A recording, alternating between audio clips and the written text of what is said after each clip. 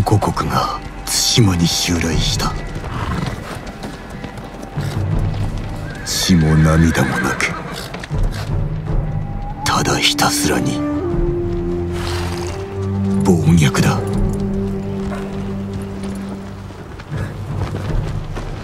我が方は八十無勢なれど対馬の民を守らねばならない。俺はこの命を捨てる。船が海を覆っている。死を恐れるな。飲み込まれるぞ。習わし武勇誉れ。それが我らが道だ。我らこそ島の勇士。我らこそモノノフだでは足立殿奴らの息をくじいてまいれ。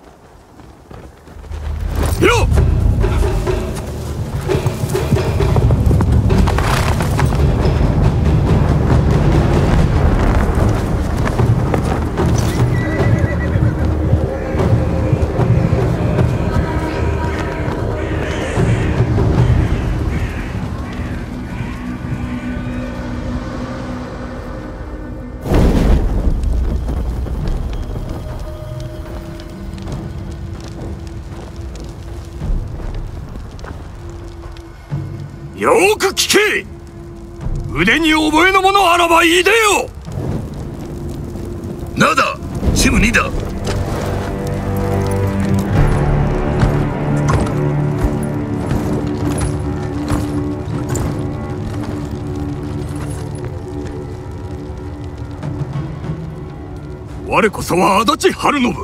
かの足立義信が五代の末裔なり。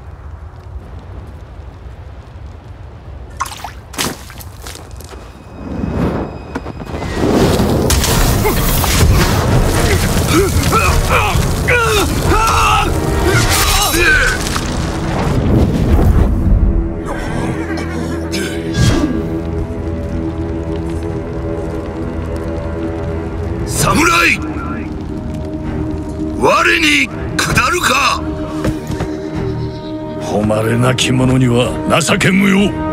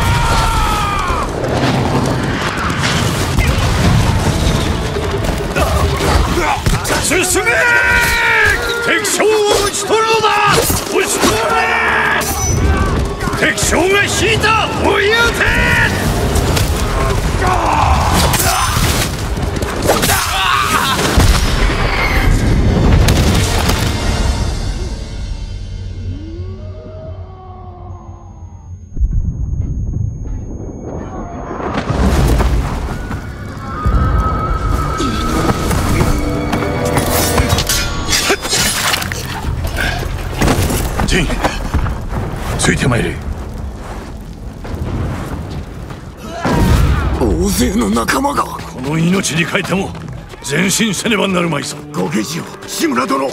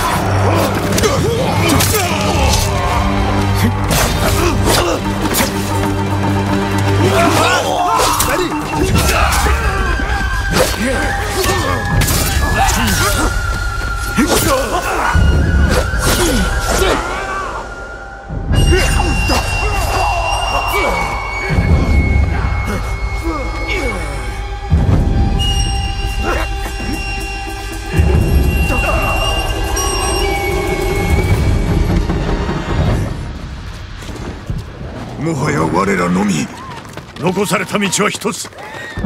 敵将を見つけ出し討ち取るのみ。最後までお供いたします。よく申した。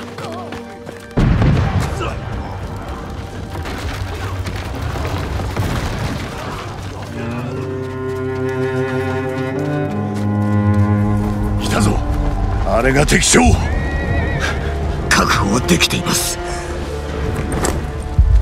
ここで決着をつけるぞ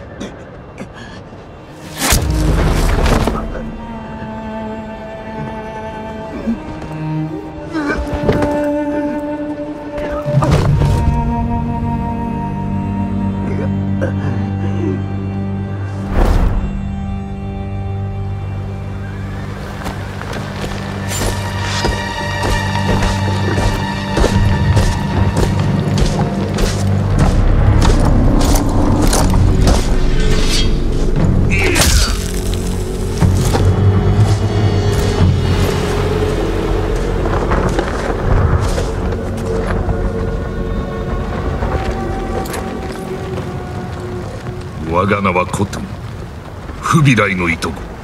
チンギスの孫だ。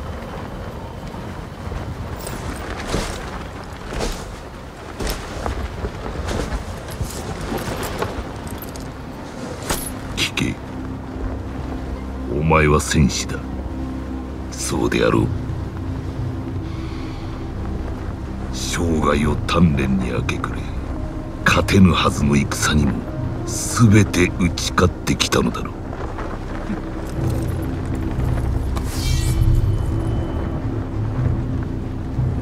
だが己が刃を研ぐ間に我らの手はずは整った。学んだのだ。この国の言葉。しきたり信仰。どの村を飼いならし焼き払うかをな。今一度己に問う侍よ我に下るか。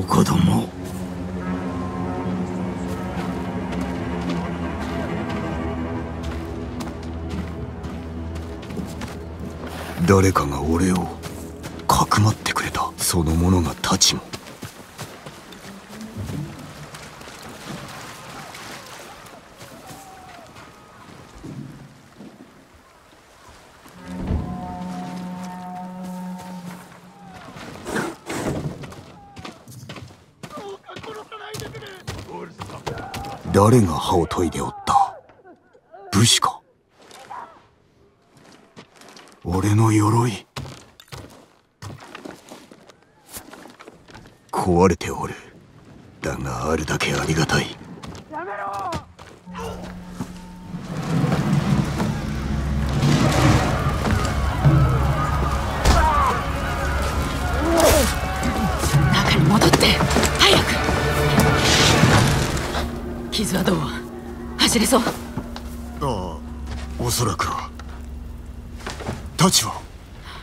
ここにはない。私に任せて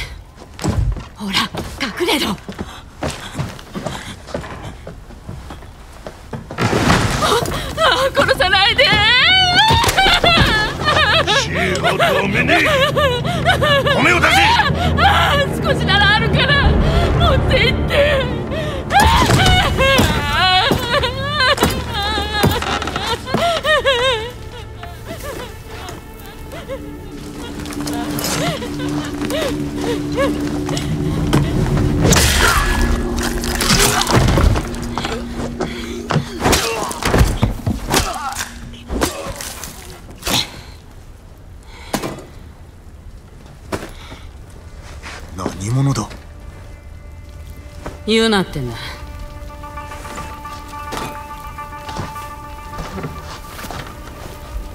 太刀が欲しいならついといて。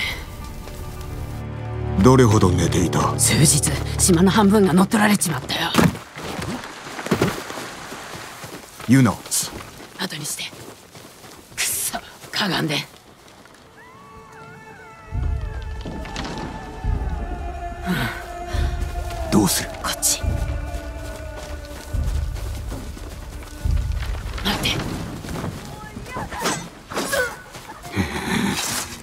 ようなんて思わないで。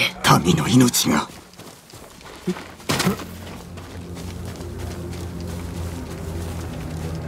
志村殿は戦場におられたか？地頭の？知らないね。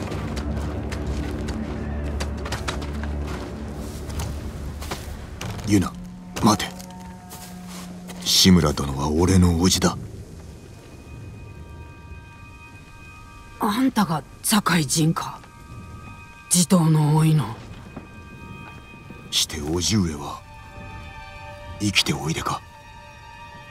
おそらくね。猛虎に囚われてるけど。場所はわかるか？東の海岸沿い。金田の木であろう。叔父上を捕らえたことで守りも手薄のはずだ。攻め入るなら今しかない。殺されるよ。だが無事にお助けすれば猛虎を打ち払うことができる。鎌倉に下踏みを送りご助力も超えよあんたが切られるのを見るために世話してやったわけじゃないよ。うではなぜ助けた？死なれちゃ困るからさ。手を貸してほしい。叔父上さえご無事なら対馬は助かる。俺にとっても唯一の身内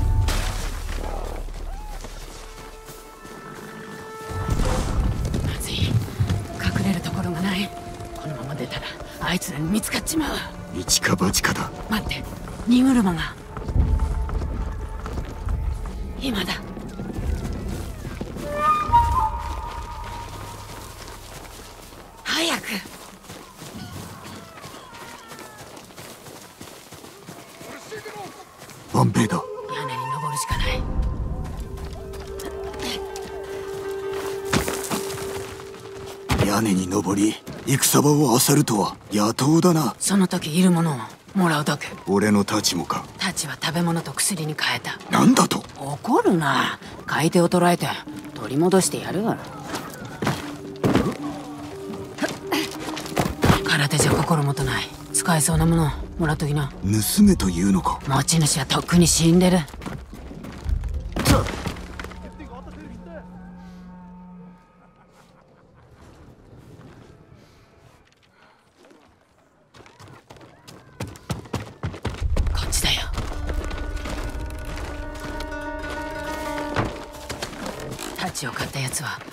先に住んでる。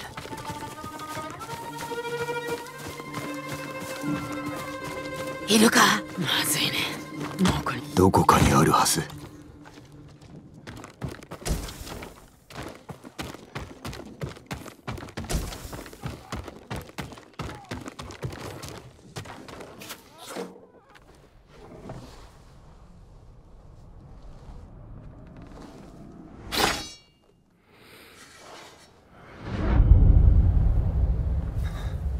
名は酒井仁地頭である志村殿の甥い。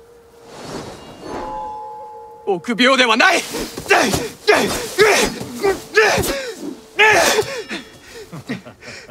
お前にかなう者はいないな。だがまだまだ太刀に振り回されておる。稽古中です。父親の武具でか？これは酒井家の宝刀戦を鎮め命を救った太刀だ。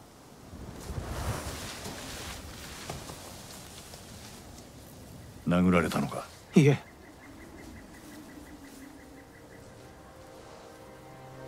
身を守る術を教えてやろう。心得ています。刃を操るには何よりもまずその心を鎮めねばならんぞできます。叔父上そうか。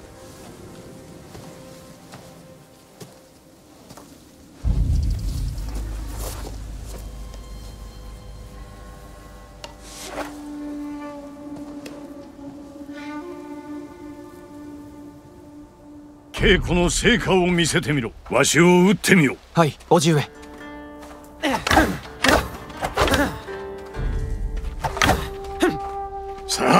ってこい。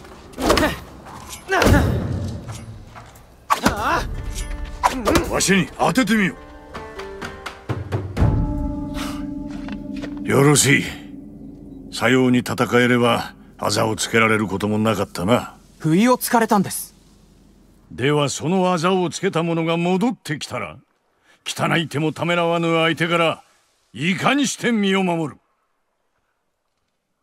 私の方が身軽でしょう。間合いの外から。疲れるのを待って。人たちで倒します。よろしい。敵がいかに策を巡らそうとも。武士たる者は臆すことなく戦わねばならぬぞ。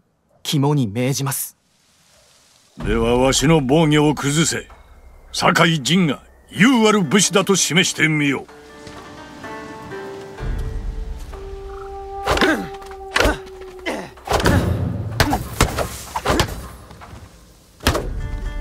攻撃で防御を崩し素早く打ち込め。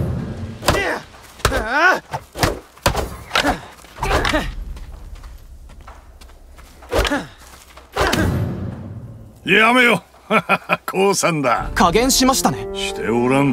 太刀であったらわしは死んでおった。嘘です。お前に嘘をつくものか。よし。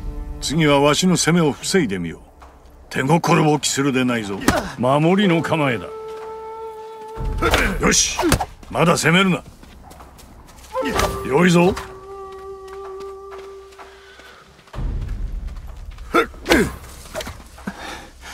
疲れた。休みませんか？まだ終わってはおらんぞ。腹を据え痛みに耐えてみせよ。よし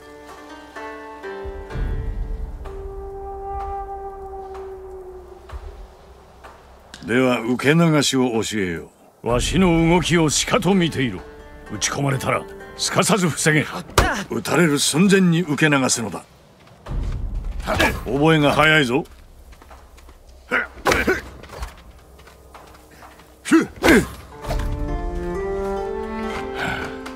上達しておるな。良い構えだ。休まれますか？お前の相手で息を切らすほど置いてはおらん。それでは槍が相手の稽古を始めよう。わしの槍をかわしすかさず切り返してみよう。よしその息だ。良い切り返しだ。うまく避けたな。良いか。かわしたらすぐさま攻めろ。わずかな反撃の気を待ち生かせ。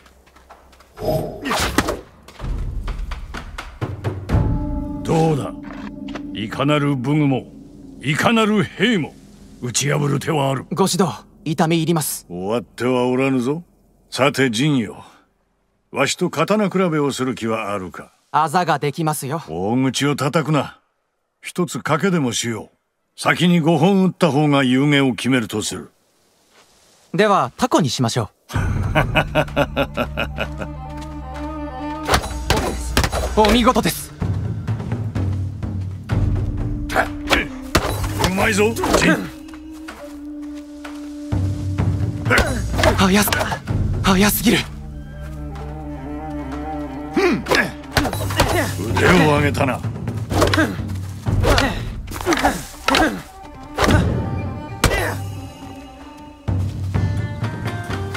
飯の前にあと一つだけ問おう代々当家の武士は規律を守ってきた。何を重んじてきたかわかるか？主への忠義己を律すること。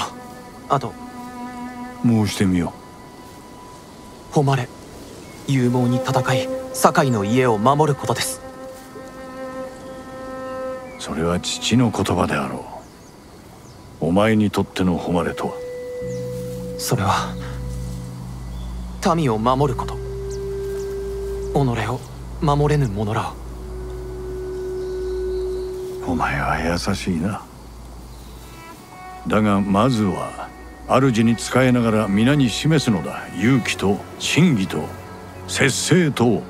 たやすく思えますが。行うは形だ。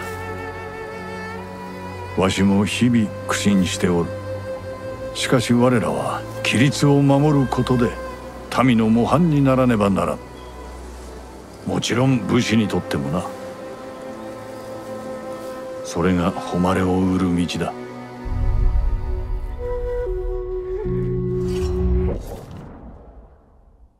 Ach, not der Samurai!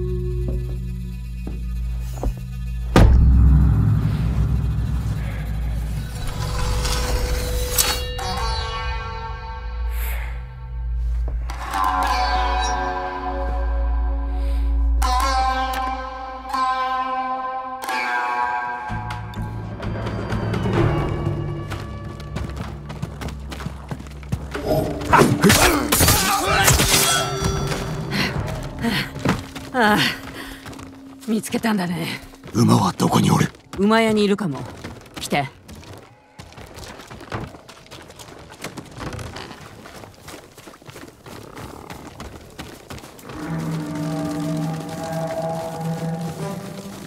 騎兵だ。我が物顔で走ってる。馬屋はどこだ？燃えてる家の裏手さ。おいで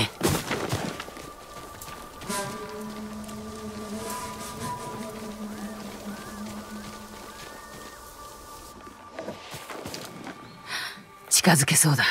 後ろから喉をかっ切れば静かに殺せる。誇りはないのか？道理に背くつもりはないぞ。来い鬼畜ども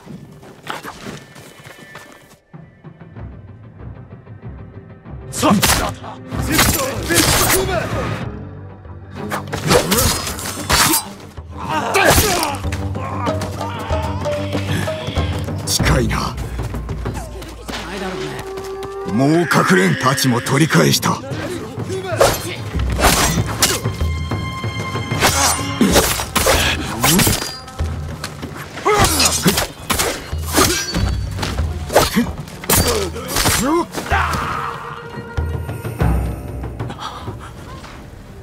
ありがとうございます。お侍は皆死んだと聞きましたが。どこかにかくまってもらえ。小金寺に行こうと思います。よし。街道は避けよう。必ず息子を守るのだぞ。あんた無茶ばかりするね。あやつは戦えぬからな。それにこれ以上見殺しにはできぬ。あんたなら大勢を救える。弟が猛虎にさらわれた。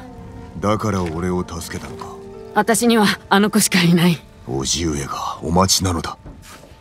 頼む。高さえ戻ればそれでいいんだ。叔父上をお救いした後でいいのならば探してみよ一緒に行くよ。馬屋はすぐそこだよ Ямар ч удмар болоо.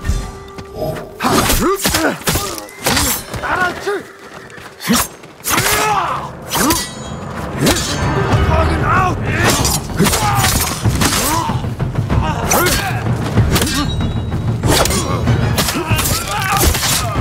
馬屋へ行こ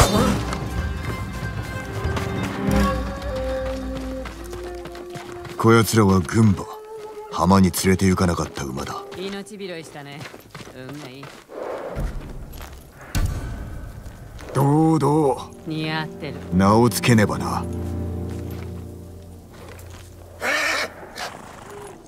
影。世を守る闇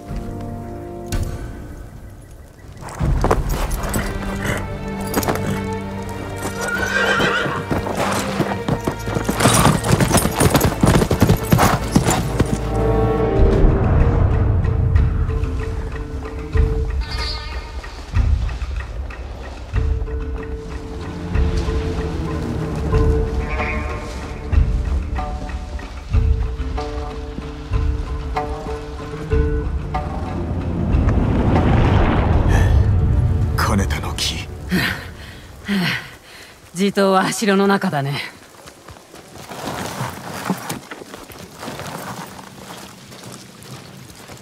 壁は高くて越えられないね。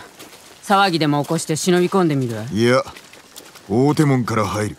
ハーンは足立殿を生きたまま焼き殺し。叔父上を恥ずかしめ。武士を皆殺しにした。この恥はすすがねばならぬ。正面から突っ込んだらお仲間と同じ目に遭うよ。猛虎もそう考えるだろう。だがこたびは俺が。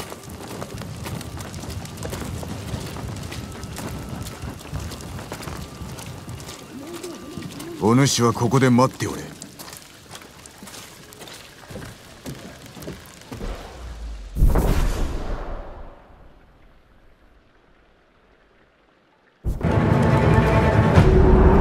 志村殿を返してもらうぞ。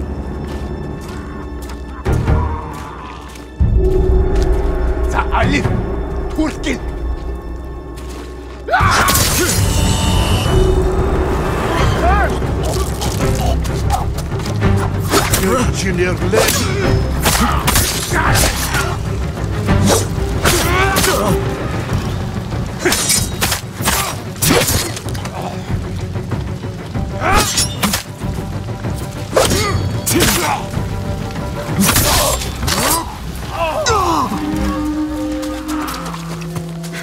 やったね。そう申したであろこの音何？うわからぬ。だがおそらくもうこの兵器。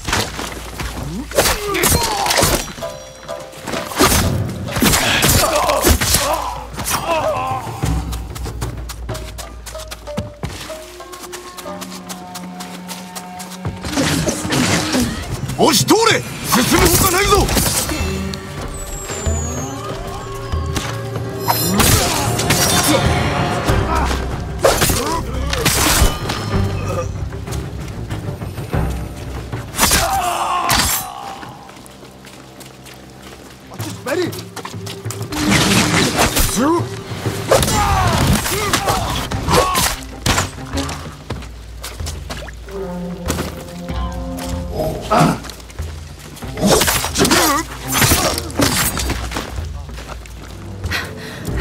これ以上は無理だ。お主は戻れ。一人で？逃げ道を探しておけ。叔父上を助けたらすぐに引く。馬も用意しとく。頼む。俺が戻らねば森に逃げろ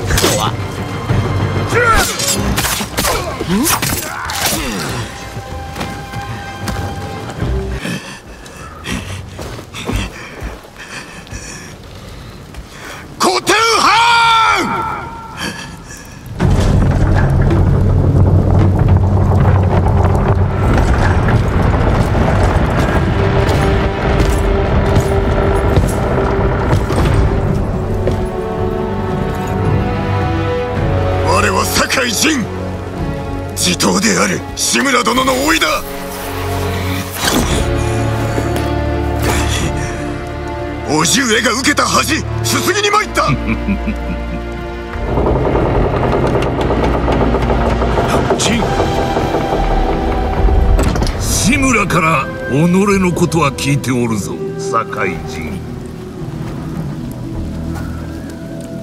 こやつに見せてやる。己が我に蹂躙されて情けをこう姿をな。ジン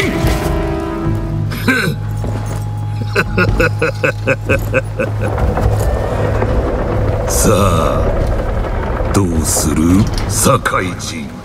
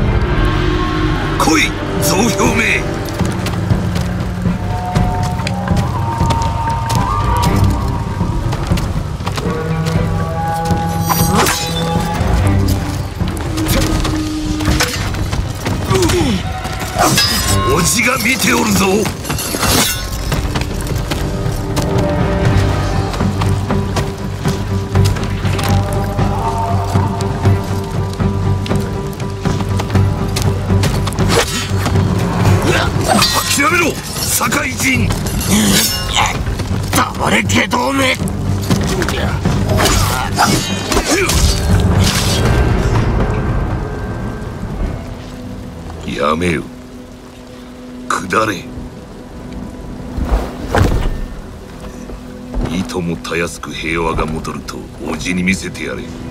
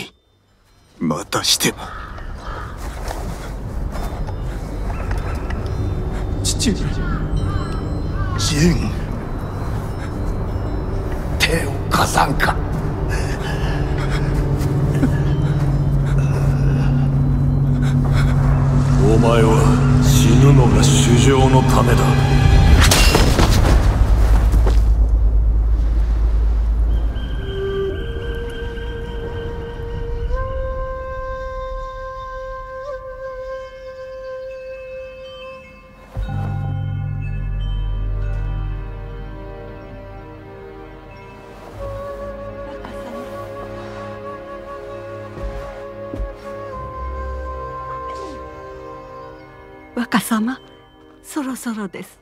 ああ今参る。島中の者がお父上を弔いに来ております。皆を返してくれ。何をおっしゃいますか？若様が堺の家督なのですよ。ああ。お一人ではありませんよ。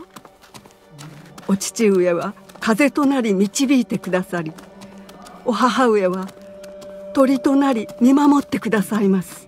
叔父上は。ご本人がお伝えくださいましょう。助かったゆり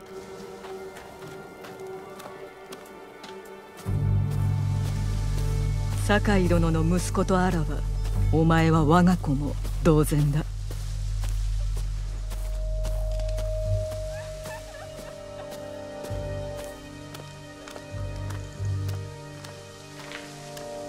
父君は何よりも民を守られたまことのものの不よ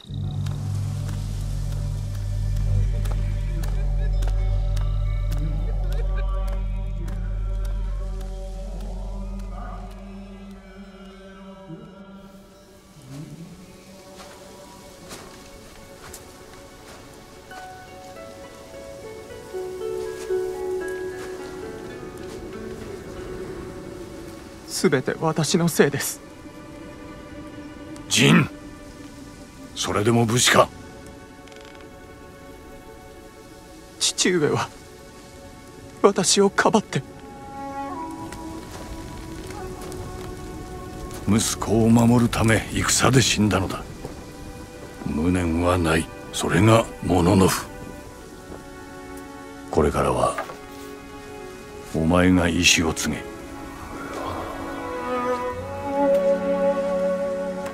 奴の魂はこの太刀に宿っておる。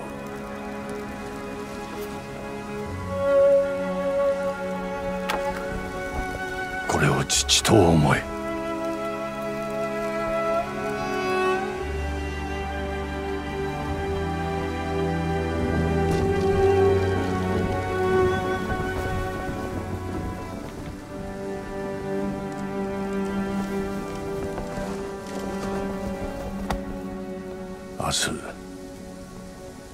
わしの砦に来るがよい。迎え入れよ。う今日は父に別れを告げろ。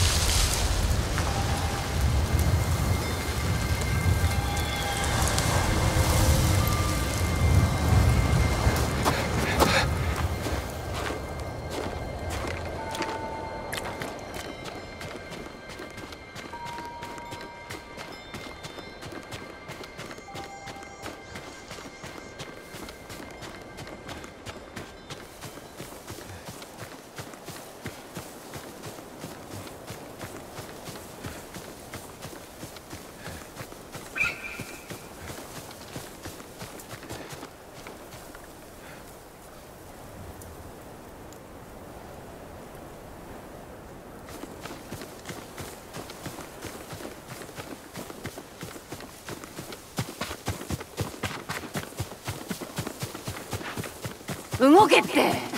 頼むから。ユナジェンどうだった？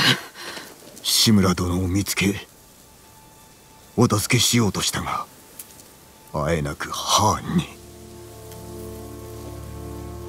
叔父上は嘆いておろあんたが無事でよかったよ。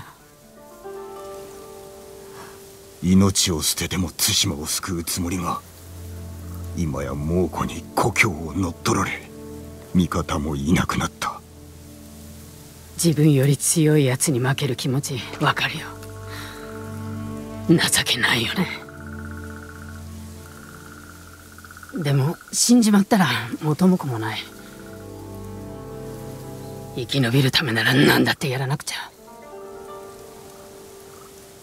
このまま再びハーンに挑んだとしても返り討ちに遭うのは必定。他の手立てを考えねばなるまい。そうして志村殿を救い故郷を取り戻そう。だったら私が。騎兵だ。ハーンの番犬だ。大勢で来る。まずい。隠れなきゃ。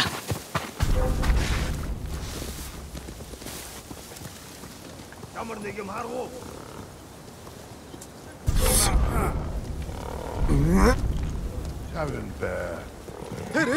bæra! Og dakwi uktil på no mo samurai! Hüdüm bæra! Tamam.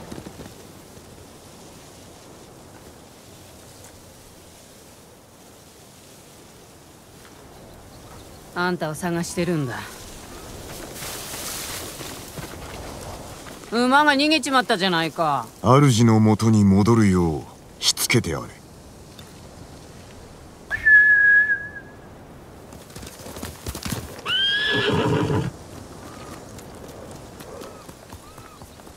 すごいな。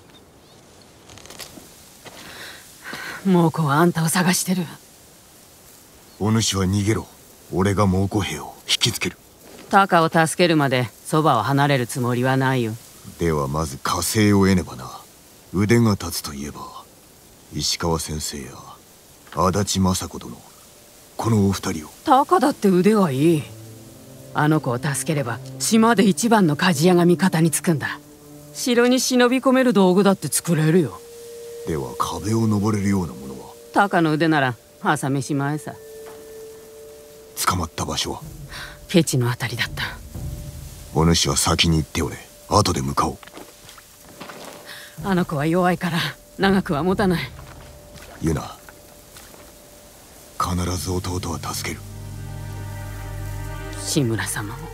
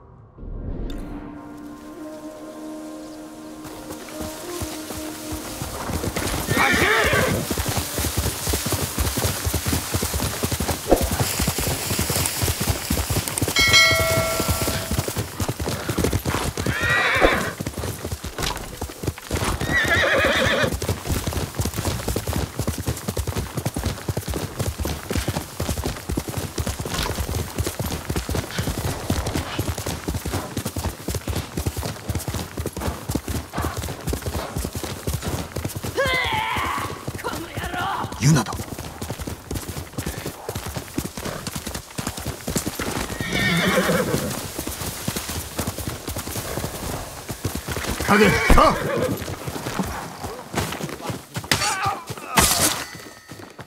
ジェン待ってたよ一人で倒したのか来るなら早く来て危うく死ぬところだったよ猛虎が捕虜を連れて川上に向かったらしい鍛冶屋を見たって人もいる弟かもしかしたらね金田の入り江の近くに野営があるって聞いた場所ならわかる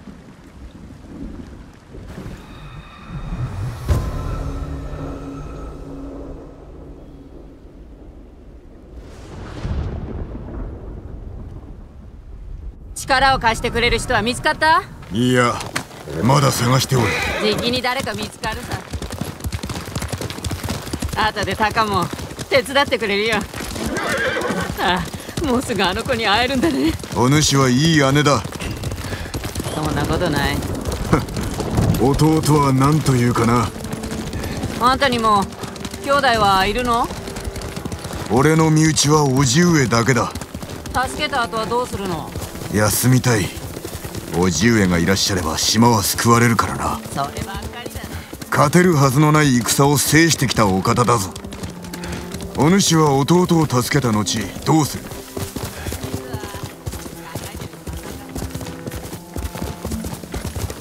傷はどう？もう痛まない？ほぼ治った。お主の手当てのおかげだ。あんた心の内は明かさない男そう見えるかもな。武士ならば感情を御せと叔父上に言われた。幼い頃から受けてきた教えだ。なんだか生きづらそうだ。それがものの札。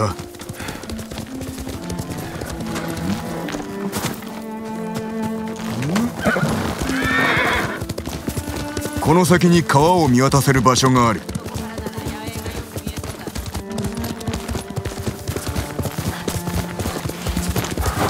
あれが八重入れそうにないな。数日でしつらえたものならばどこかに隙間がある探すぞ。タカを助けなきゃ敵に騒がれずに。何か手があるはずだ。奥の守りは硬そうだ。あの岩は登れそうだ。足場が緩いと崩れる。気づかれるよ正面の壁は出来上がっておらぬな。隙間があるかも。正面の壁に隙間がありゃ中に忍び込める。そして猛虎を全て切り伏せる。もし手違いがあれば捕虜が殺されるよ。何度も見てきたんだ。忍び込むしか手はないからね。まるで野党だ。不満でもあるのかい。この島はかつて賊がのさばっていた。しかし武士が乱を鎮め正義をもたらしたのだ。我らは誉れと共に生き誉れのために身を捨てる。かつて我が父も平和のために命を捨てた。私だって同じだよ。だけど今はやらなくっちゃ。叔父上の教えに背くわけにはいかん今は目をつぶって家族を助けたいんだ。あんただってそうじゃないの。近くに寄ってみよう。様子を探りたい。それじゃあ暗くなるまで待とう。行くぞ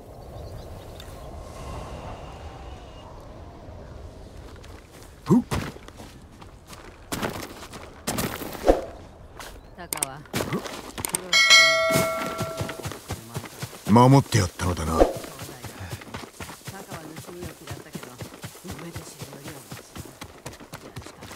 俺も武士になるほかなかった。だが教えに背くのはやはり。猛虎に殺されてた方が幸せだった？恨みを晴らしたいんだろ何だってやらなきゃ。通るぞ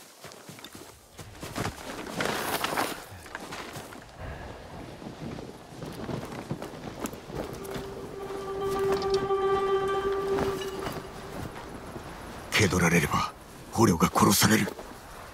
じゃあ音を立てずに喉をかっ切るしかないね。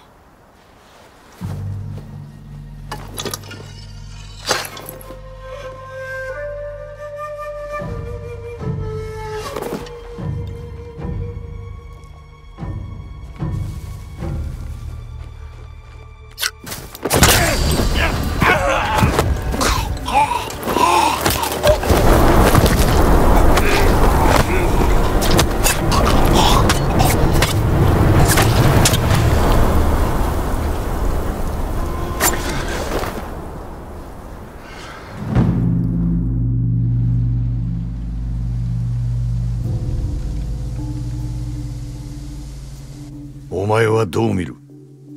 足を怪我しています。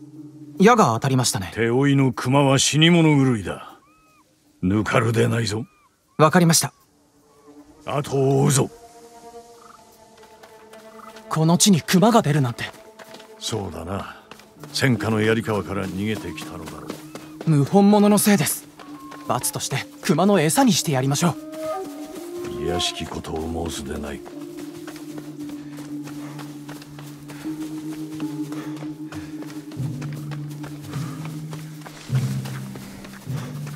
ここで倒れましたね。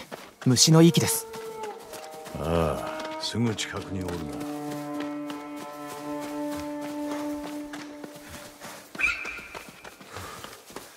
気を抜くなよ。分かってます。とどめは私に刺させてください。お前が感情を御せるのであればその時は考えてやろう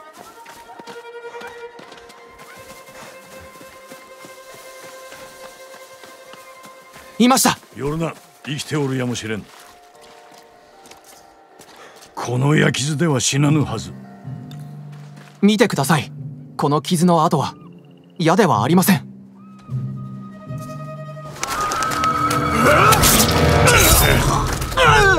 四角？槍川だな。卑怯者地頭様の背を狙うと。酒井怒りを抑えろ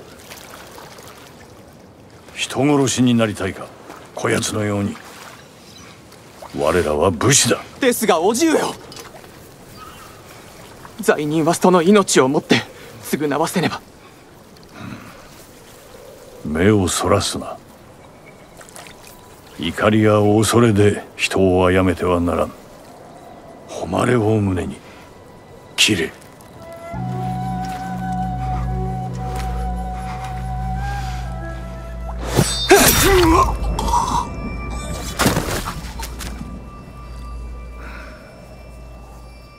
敵を前にして背を向けてはならぬ命を奪う時も相手を見据えろ。情けと覚悟を持て。それが侍の姿だ。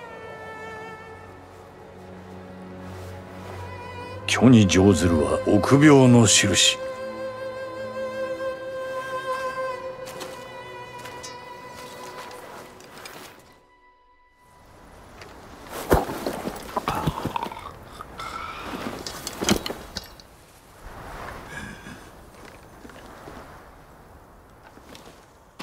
ジンどうした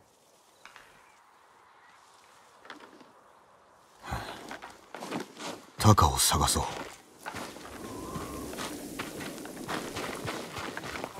見つかるわけにはいかん。五感を研ぎ澄まして頭の中まで野党になるんだ。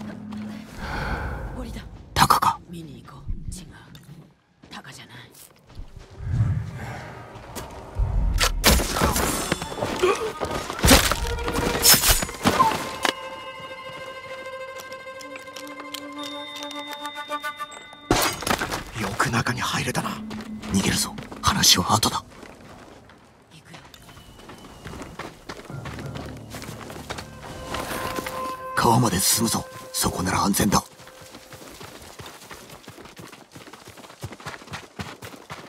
お主は菅笠衆か。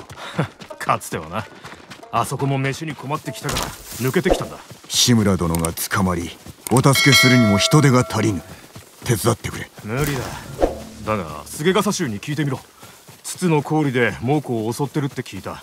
岸平原の近くの海岸だこっち弟を探してる。タカという刀鍛冶。お前はない。だが多くが他へ移された。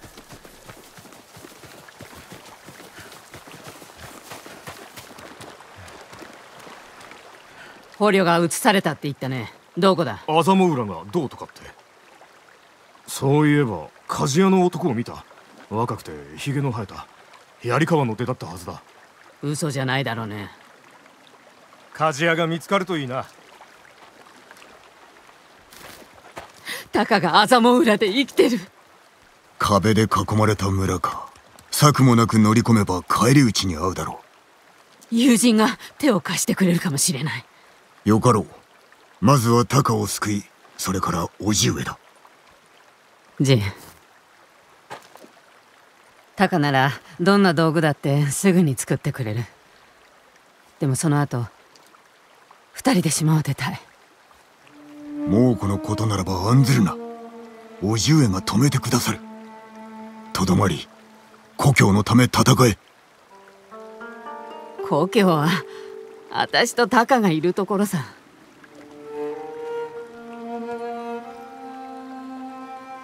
友人は麻物の氷にいる。ツツとの境だ。そこで落ち合おう。楽じゃなかっただろう。教えに背くことなすべきをなしたまで。そっか。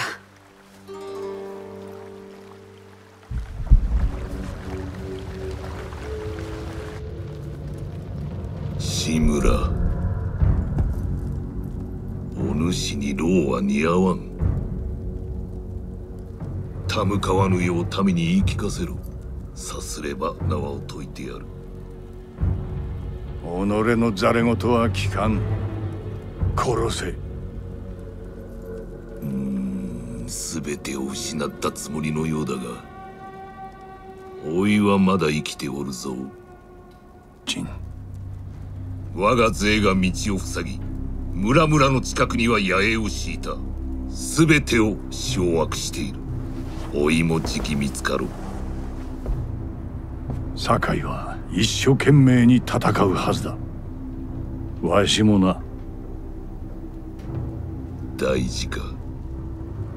対馬の民はどうだ？お主は父も同然。我が子を見捨てるのはつらかろう。己のしもべにはさせんぞ。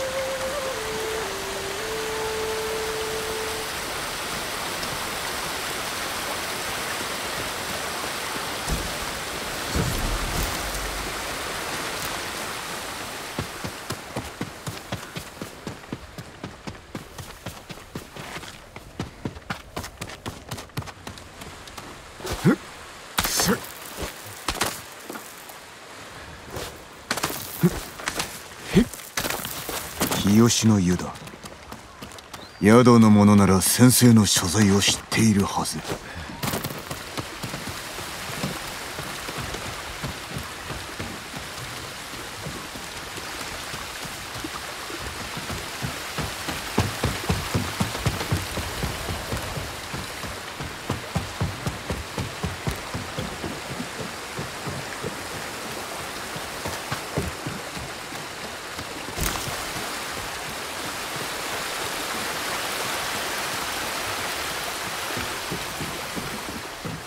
侍。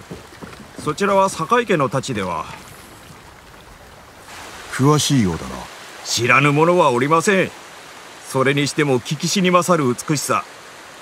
まさかこの目で見られるとは。竹を切る稽古か。懐かしいな。よろしければ一度お試しください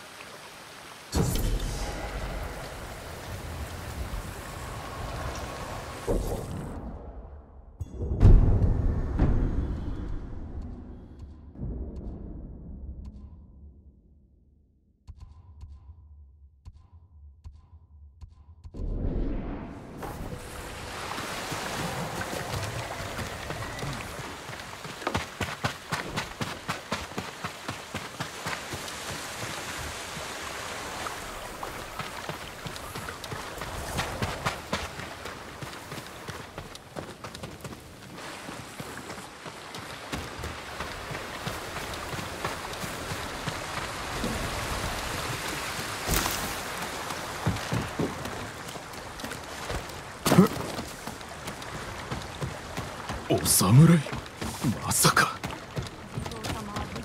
たとえ猛虎がまさかあなたもお侍？生き残りは他にもいらっしゃったのか？一体誰のことだ？貸し根に住んでいるとか。ぜひお会いになられてください。行ってみるとしよう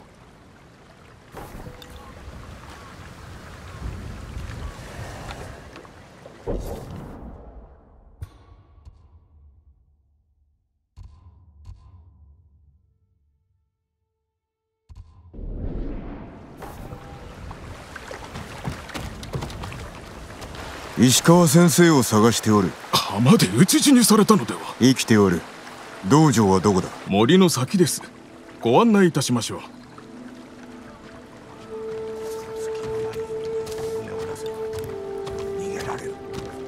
ご出陣なさらなかったので？そうだ。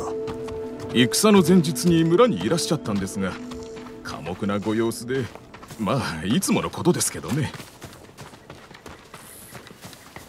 あの先生の伝説はまことですかね？伝説だと。たった一本の矢で海賊の船を沈めたとか。まことだ。もっとも射抜いたのは船ではない。海賊の頭だ。怒らせないように気をつけにゃ。後ろめたいことでも。滅相もございません。では心配には及ばん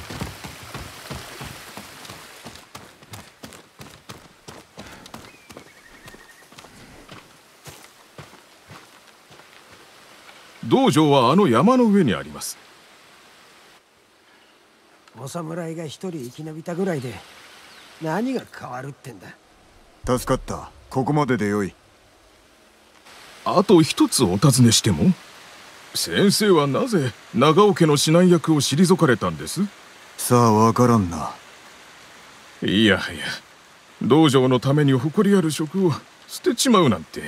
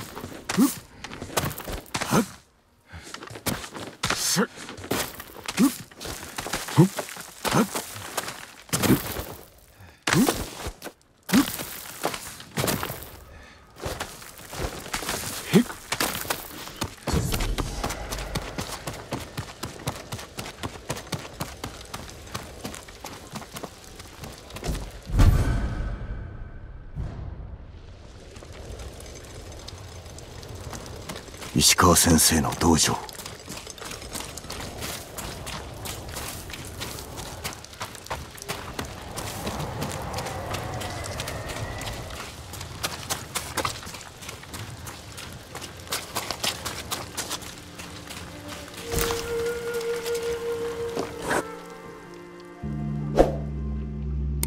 動くな。石川先生酒井の跡取りか。うん。生きておったとは。菰田で待っておりました。向かう途中で賊に襲われてな。その賊を待ち構えていたと。備えあれば憂いなしと言うだろう。うん。志村殿も討ち死にか。良き男だったが。無事です囚われの身に。望みはあるな。実はその件でお力添えを。できぬ。不肖の弟子に出奔されての。手を貸しましょう。しかる後何卒ご助力を。遅れを取るなよ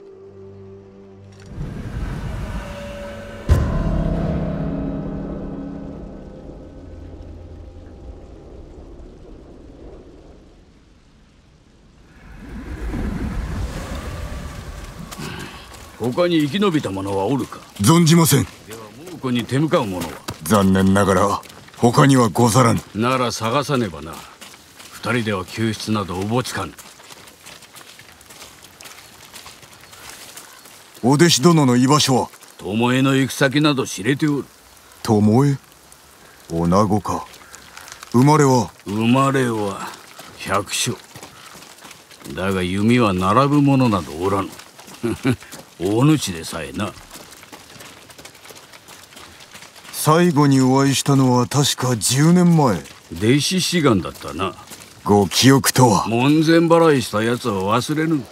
なぜ私ではなく巴を弟子になさった？お主は有望。巴は神道よ。猛虎が。殺すぞ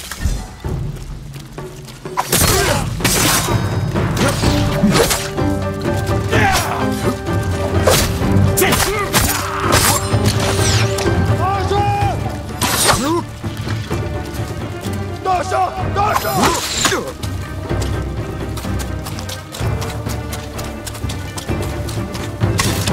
大将，夫人！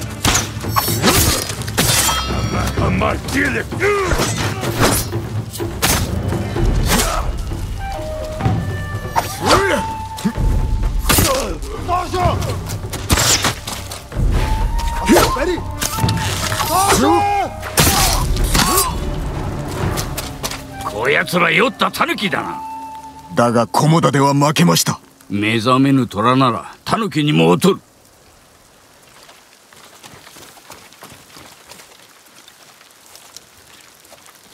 巴の足跡だ。来い。中山砦が抜かれた。あの石膏が証拠だ。砦は日吉の近く。次は日吉が狙われるな。争った跡が。襲われたか。調べるんだ米と泡。手つかずだ。不意を打たれたな。矢筒があります。わしが与えた。回伝の証だ。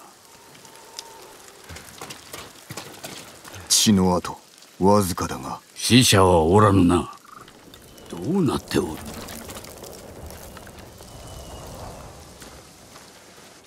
うん巴が矢筒を捨ておくとは。敵から逃れるためか。捕まったか。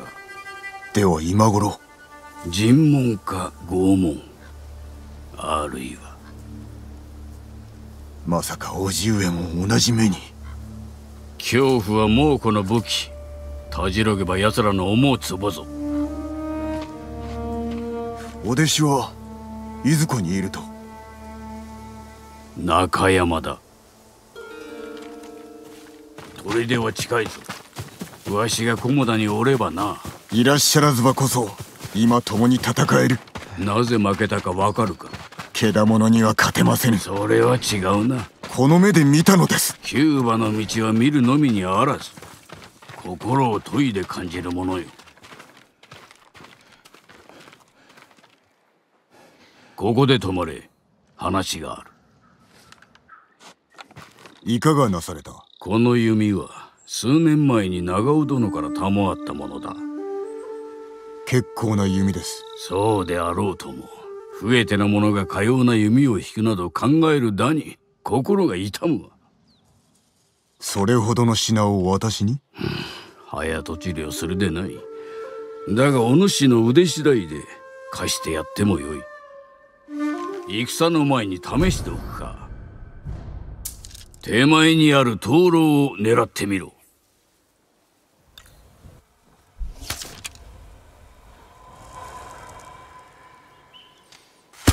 的が遠ければ矢はよし。次は奥の灯籠だ。左だぞ。まずまずだ。さらに遠くの的ではどうかの？集中戦か。今のは刀らし。手に馴染みますな。そうであろう。大事にすることだ行くぞ。この弓があれば菰田でも。良き弓だが戦を決めるのは人だ。武具ではない。猛虎の兵器は火を吹くのですぞ。戦いはこれからよ。中山砦だ。お弟子殿がいればよいが上からなら備えがよく見えよ。う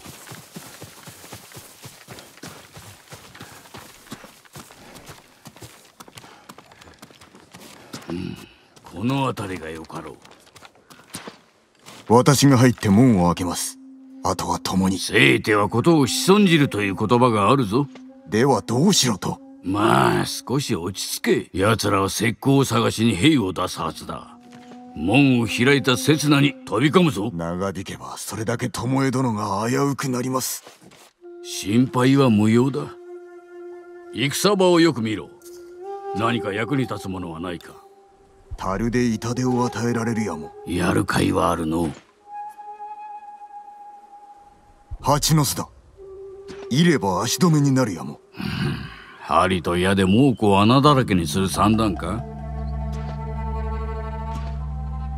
旧兵の数が多い。だが腕前はわしらが勝る。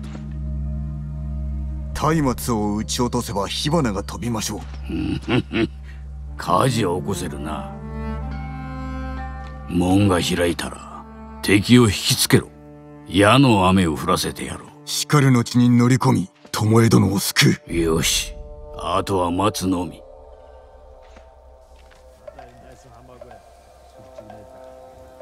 門が開きます。わしの合図を待て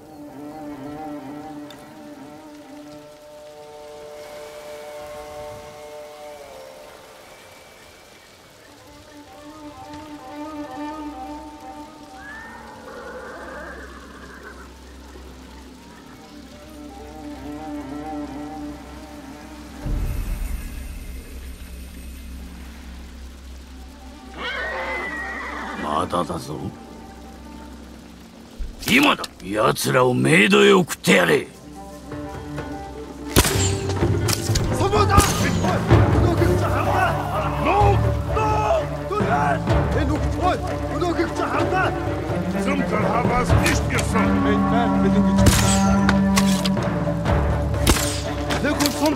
レコンンベハラ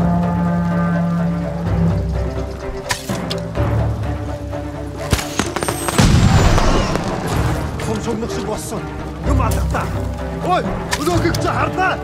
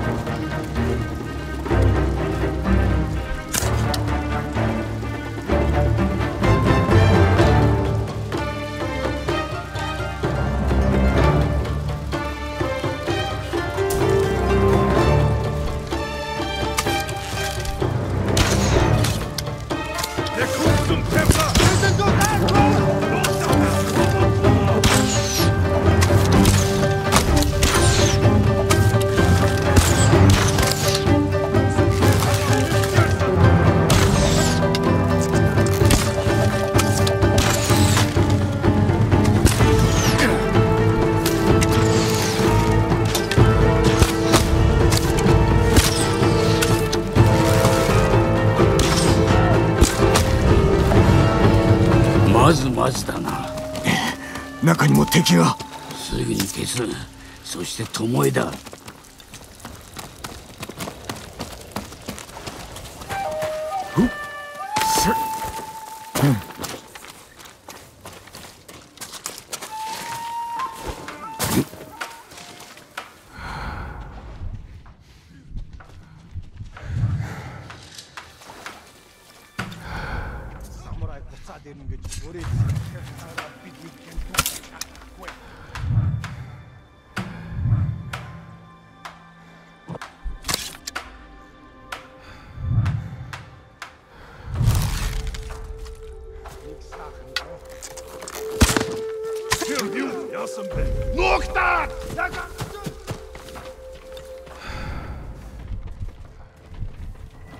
samurai chin nom som taifat. Aki charful, olas ashna tenik. Alhiv, zantiki!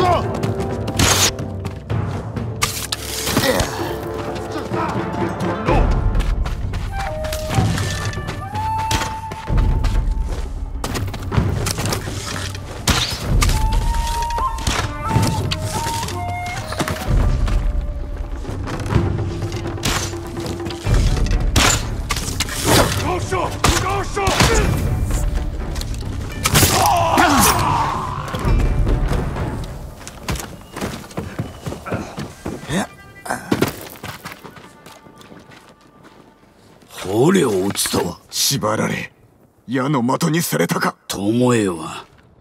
待てこれは巴のもの。辺りを調べろ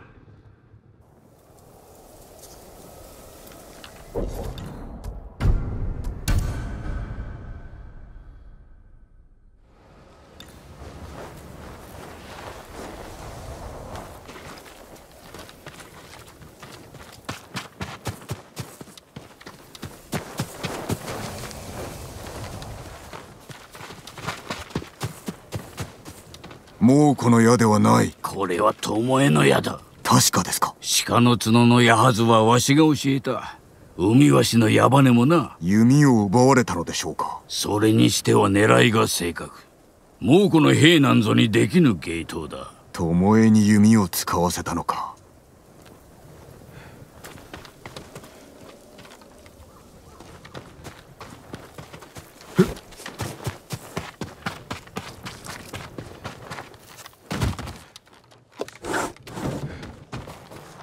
巻物猛虎の言葉で弓について書かれている。あなたの名もここに。わしの教えを猛虎に売ったということか。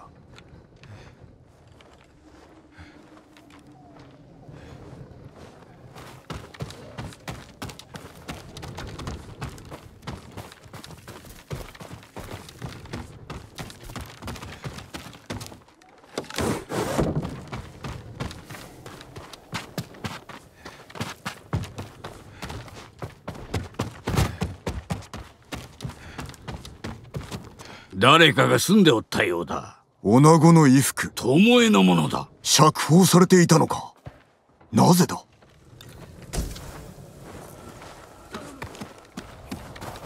聞こえたか？島のものです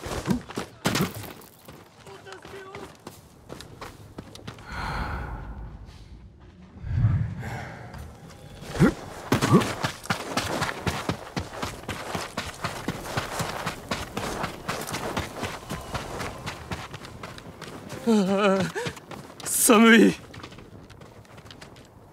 女を探しておる弓取りだ。俺と同じ檻にいた女です。でも奴は解放され弓を受け取ると女房を殺しやがった。他の奴らも。あのムクロ。己の腕を敵に売り込み寝返りおったか。頼む痛えよ死にたくない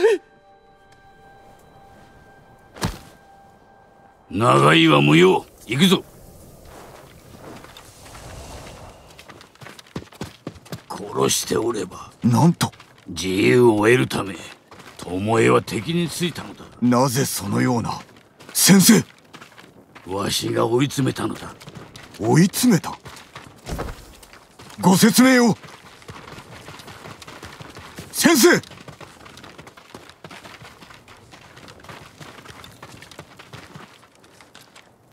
お答えください。わしを襲ったのは賊ではない。巴だ。なぜ？武士の本懐を理解しておらぬからだ。あなたのせいで寝返ったのでは。己に何がわかる？本意をお聞かせくださいわしの弓術を猛虎に奪われるわけにはいかぬ。ならば止めねば。お主の助太刀はいらぬ。いやいるはずです。勝利は人がもたらすもの。武具にあらず。お主も立派に育ったな。巴を仕留めるぞ。わしのやり方でなそして叔父上の救出にお力添えを。まあ約束しよう。手はずを整えておく。時が来たら道場に来い。我らだけでは勝てません。もっと味方を集めねば。生きておるかは分からんが足立政子殿を探せ。対馬随一の女武芸者だ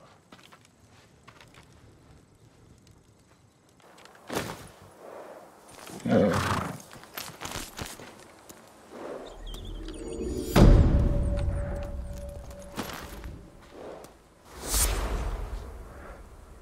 Uh.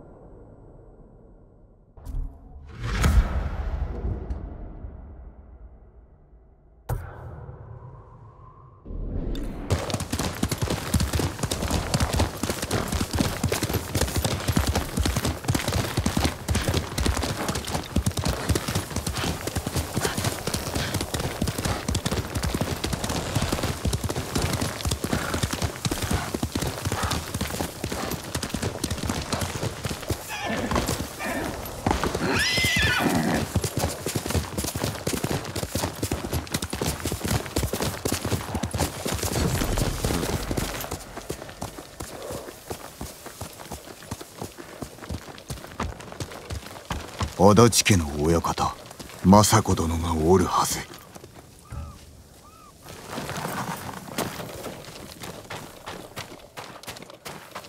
政子殿足立家のご一族誰かおりませぬか？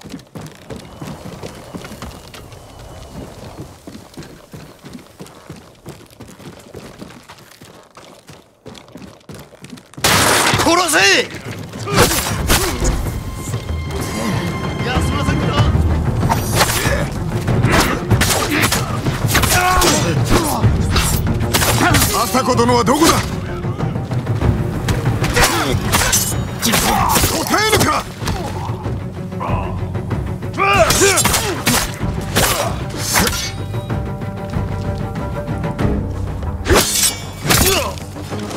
この者どもは？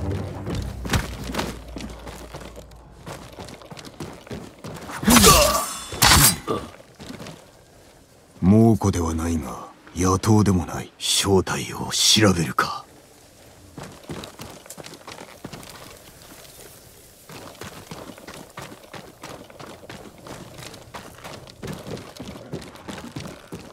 何者かが押し入ったか。なぎなた。足立家の女の者だな。家族を守ろうとしたのか。窓から子供を逃がそうとしたようだ。生き延びた者は馬で逃げたのやもな。馬屋を調べよ。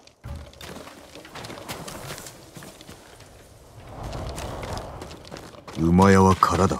誰かが奪ったか。蹄の後逃げた者がいたのか。追ってみよう。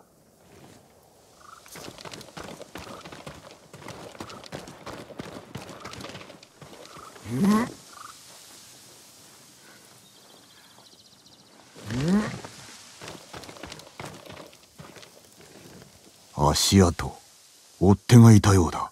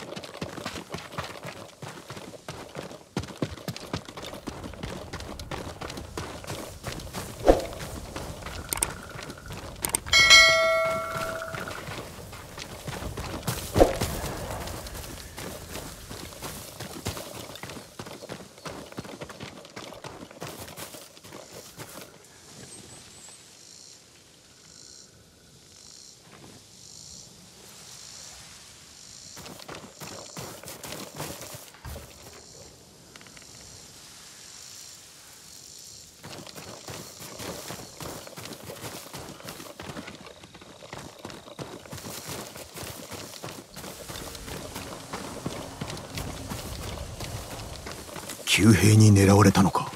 この乗り手巧みに矢を避けておる。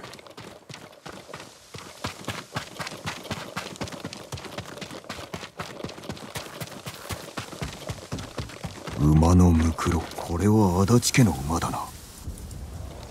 死んで数日。政子殿私です。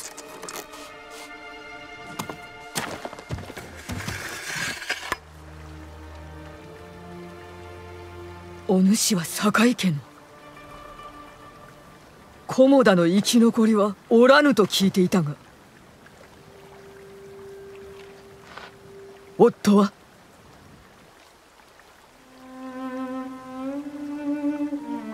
武名に恥じぬ見事なお働きでしたが討ち死にを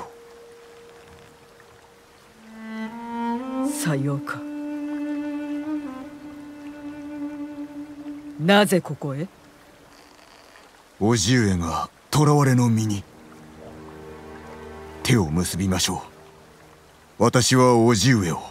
そちらは敵を。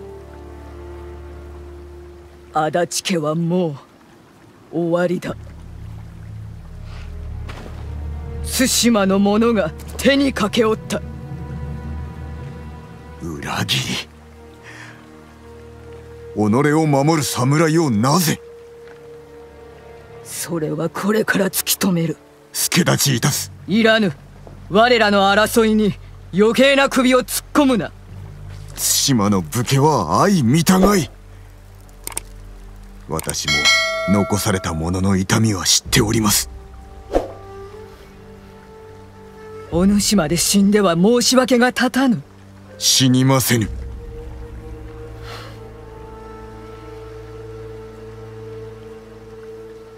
ついてこい。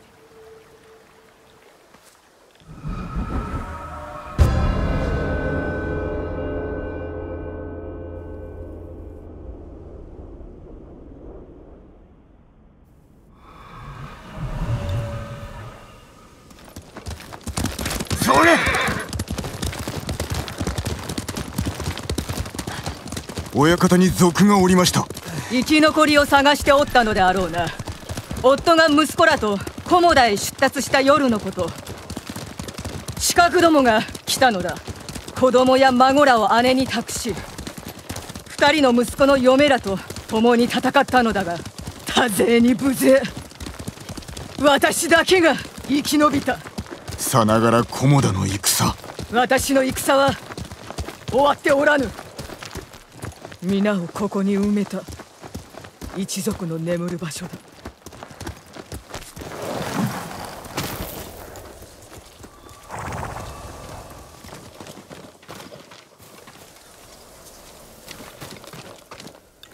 必死に助けようとしたが皆死角から逃げ切れず道端で切り殺された。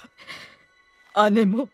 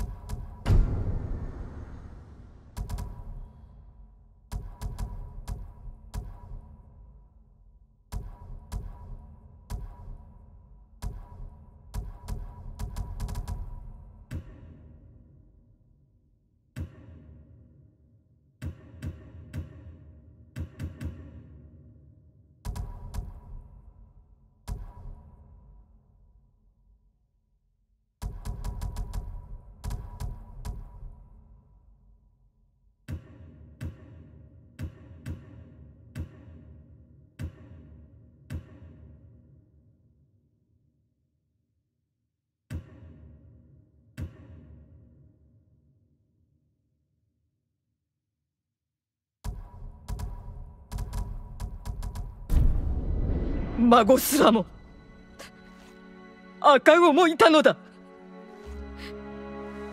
まだ生まれたばかりの母と子と私がこの手で埋めたのだ。あるまじきことです。姉も亡き夫と共に眠りたいはず。北の地で。なれど今は足立の墓に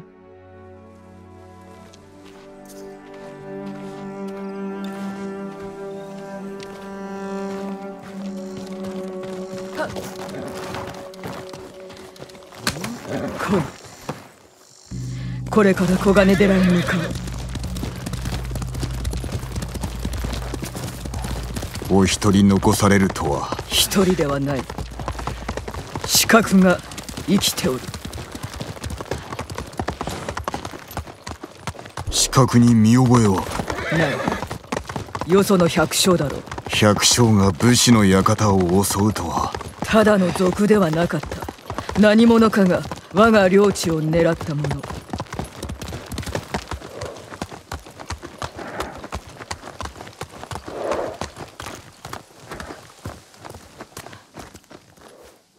お主一人で行ってくれ。草原という僧を探し足立家の顛末を伝えてほしい。どういうおつもりですか？やもめの頼みは聞け。草原と話したら甲冑師を見つけろ。修繕を頼んだ鎧がある。お主にくれてやろう。かたじけない。では。私は寺の裏口で待っておる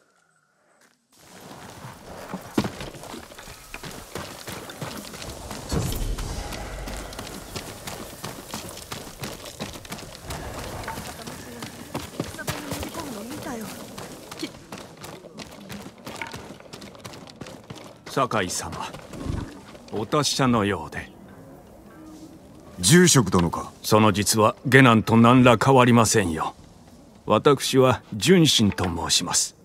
この寺が民の助けになればと。広めておこう。寺まで赴けない者は有明の野営へ。少ないですが食べも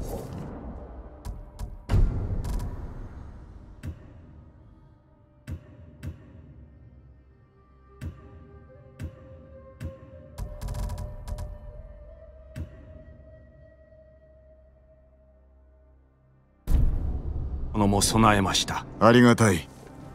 時に僧を探しておってな。草原という名だ。境内を吐いておるはずです。かたじけない。民を頼むぞ。怖いけどそこも怖い。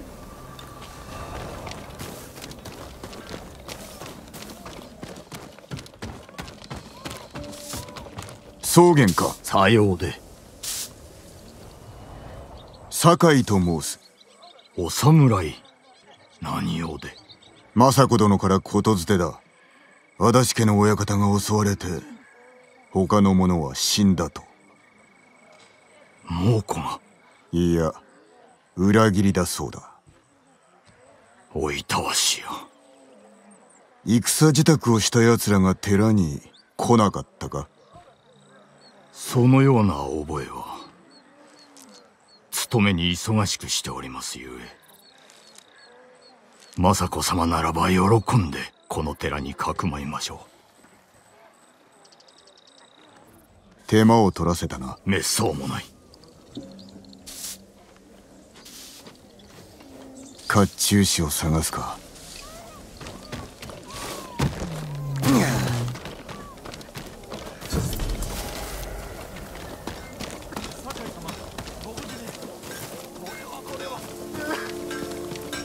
太刀の切れ味を鮮やかにいたしましょう。酒井家に伝わる宝刀。素晴らしい一品です。見ただけでわかるのか。私には刀の顔がわかるのです。人と同じくそれぞれ違うのですよ。酒井様素材をお持ちくだされば喜んでその宝刀を鍛えて差し上げましょ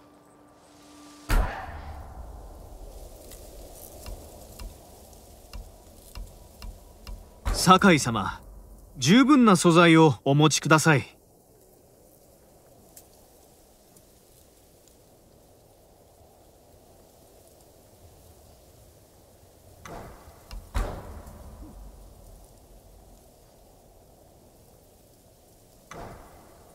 また来よう。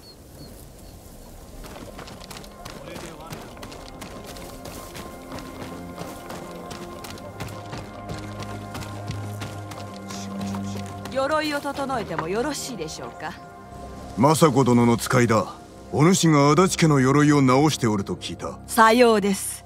誠に素晴らしい鎧でございました。取ってまいります。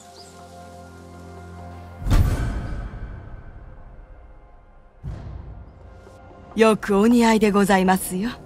島に二つとないものです。大事になさってください。もしもお気に召さないことがあればいつでも直しましょうその際は素材をお持ちください。助かった。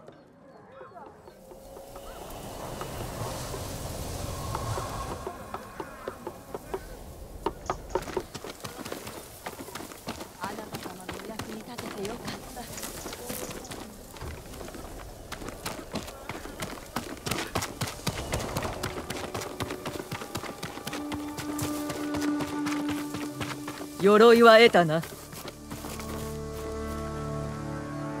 良い具合です。それは私の長男重里のもの。かたじけない。そうと話しました。何と言っておった？喜んで寺でかくまうと。そうして居所を敵に漏らすわけか。ついてこい。襲撃の陰に草原がいると？刺客が来る前に奴が館を訪ねてきたあの坊主は石膏なのであろう。そうと決まったわけではああだが疑いたくもなるさ。奴は秋の初めに神谷方から突然やってきたのだ。もうこの噂が流れ始めた頃。だが足立の所領はそうやすやすとは奪えぬ。そこで戦に乗じた。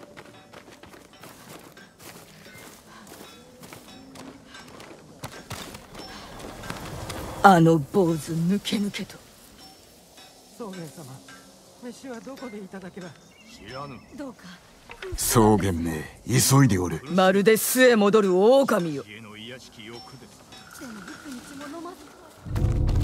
ここからはしゃがめ。私を利用しましたな。恐怖心を煽って尻尾を出させたまでおかげで住処に向かっておるぞ。こちらへ見られぬように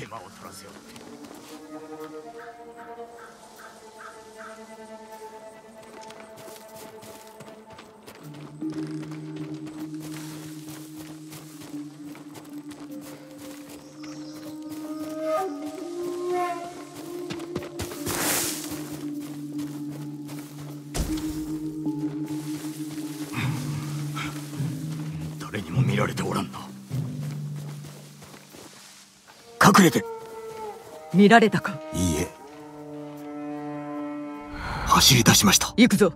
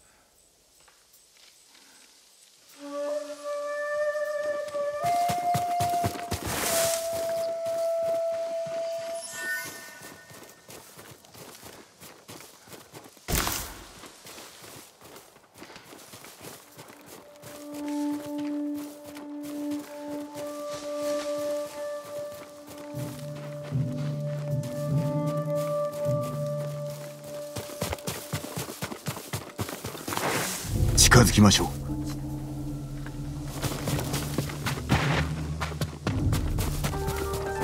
まさかお前生きておる。武士を連れておるぞ。館で仲間を殺した武士だろうな。アホどもめわしの肩入れが筒抜けだ。見つけ出してこい。声を抑えてくれ。わしは中で休む。奴らを殺すまで戻るな。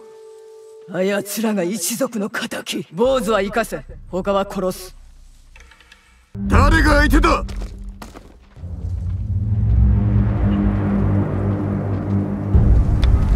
お前を殺せば名を残す。我が一族の敵。何が違うのだ。俺たち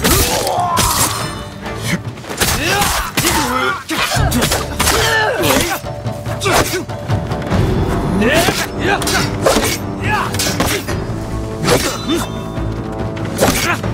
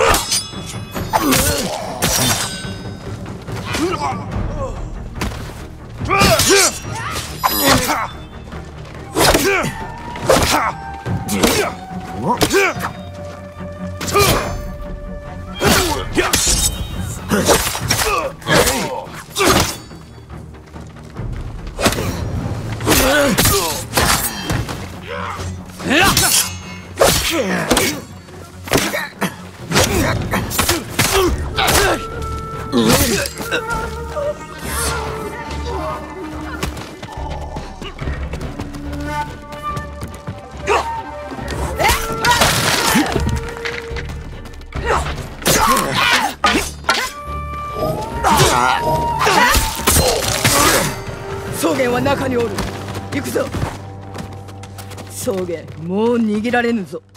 なぜ足立家を襲った？わしはただの使い走り。主は。それを知って何の役に立つ？己に問われる筋合いはないわ。政子殿。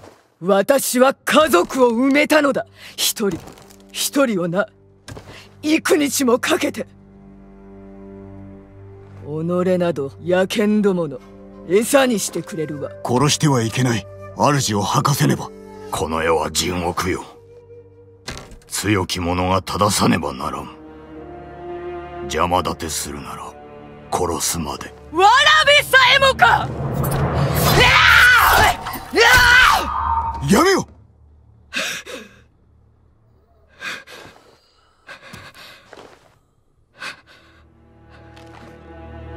どうせ口を割りはせぬ。手がかりがいる糸口を探さねば。あなたは外を。私は中を調べる。済んだら知らせろ。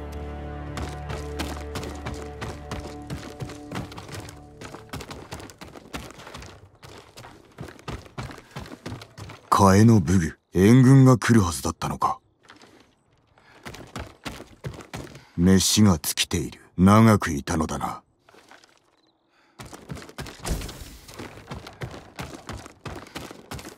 うん。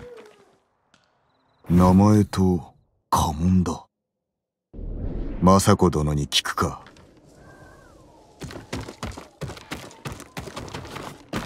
何か見つかったか？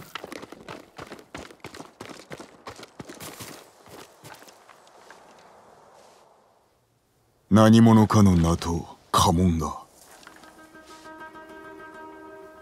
確か奴らにもこの家紋が初めて見るものだ。どこぞの家が乗っ取りを図っているのか。捨ておけません。私がな。お一人は無謀です。もし叔父上がいればこのようなこと決してそのままにはいたしませぬ。お力をしかる後ご一族の仇を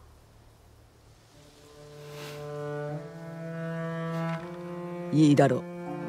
志村殿の救出に向かう折には私も参ろかたじけなきお言葉。うではさらばだ。やることがあるでな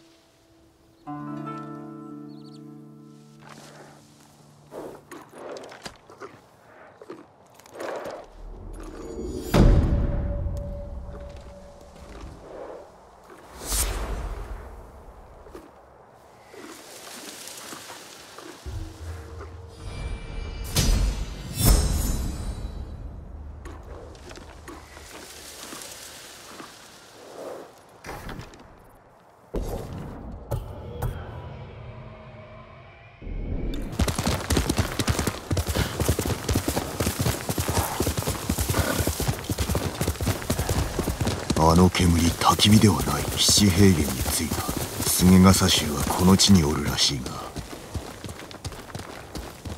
猛虎の荷車が襲われたのか菅笠衆の仕業であろう。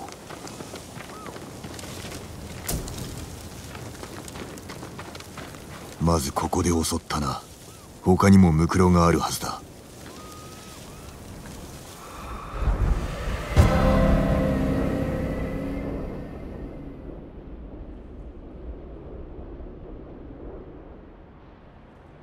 向こうにもムクロが見えるな。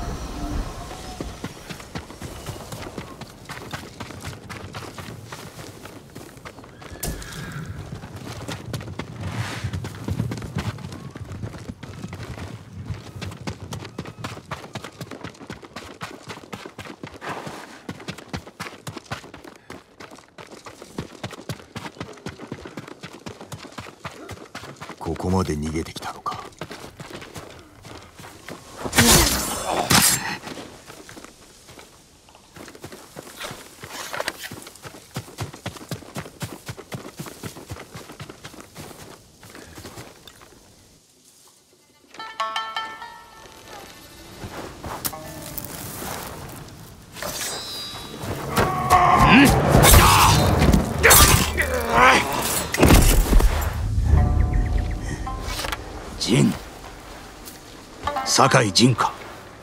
龍蔵そのいでたちは何だ？人のこと言えるかよ。俺のすげ傘だ。今は浪人なのか？腕を売ってるのさ。手を貸してくれ。頭と話したい。菰田で死んだよ。浜にいたのか？大勢死んじまったこちらもだ。手を結んで敵を討とう。まず叔父上を救いたい。無事なのか？みんな怪我を負ってるし飯も食えてない。そんな連中に命を張れなんて頼めねえよ。もちろん褒美は出るぞ猛虎を成敗すれば叔父上も報いてくださる。望みのままに。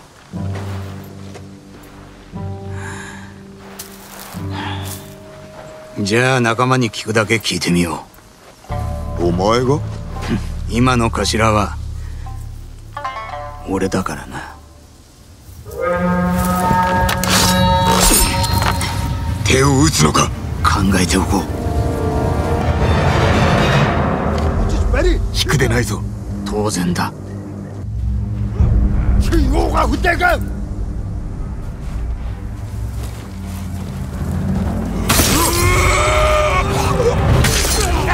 の裏に晴らしてやる一人も残すな。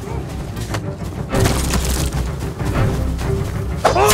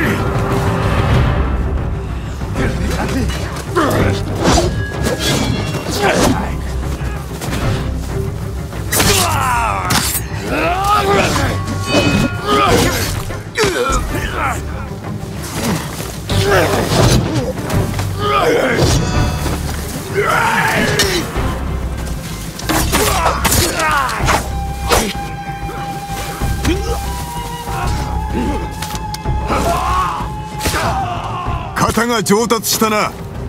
そうか。お前はヒゲが生えたな。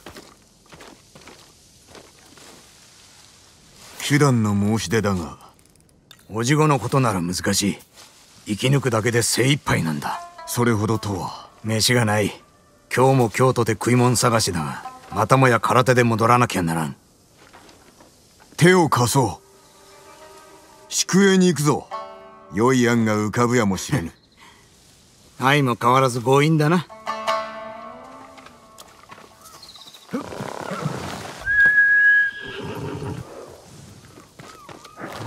最後に会ったのはいつだった？二夏前の長尾家での刀比べ。あの後お前はどこに消えたのだ？菅笠衆に一味に加わるよう誘われてな。一発返事なぜ菰田で声をかけなかった？侍相手に忙しそうにしてたの。俺も酒盛りしてたしな。一杯くらい付き合ったのだがな。ああだろうな。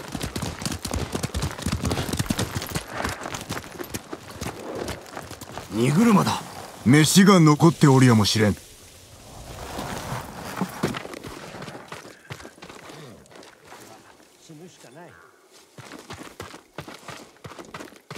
体お侍。お侍。お主のものか。その通りです。馬と米を盗みやがって。猛虎どもめ。命があって喜べ。猛虎はどこへ向かった？大平砦畜生。小金寺に逃げるのだ。街道を通ってはならぬぞ。わかりました。ほら行くぞ。机は近い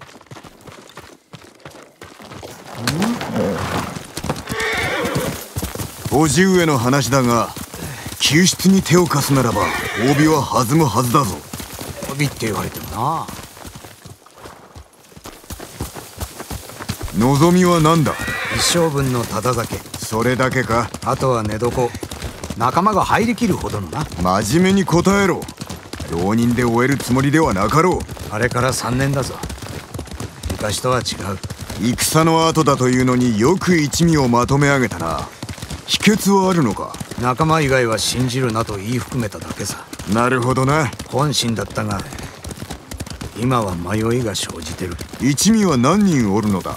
半分に減ったがまだまだ大勢残ってるぜ。なぜだ？猛虎が米を盗んで大平に逃げたと聞いたろ食い物を貯めてると？おそらくな。策はあるのか？まあ見ておれ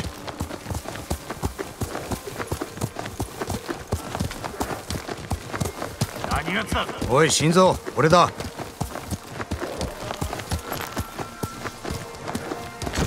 お前ら雄三様だ。ようやくか。食い物はどうしたんだ？聞け。これは俺の友酒井だ。皆腹が減っておるそうだな。手を貸そう。食い物はなかったのか？策がある。砦に押し入り猛虎が奪った食料を取り返すのだ砦に押し入る。殺されるだけだ。ちょっと待ってくれ。ジンついてこい。あらかじめ策とやらを聞いとけよかった。皆を喜ばせたくてな。これは俺の役目だ。すまぬ体はなかった。いいさ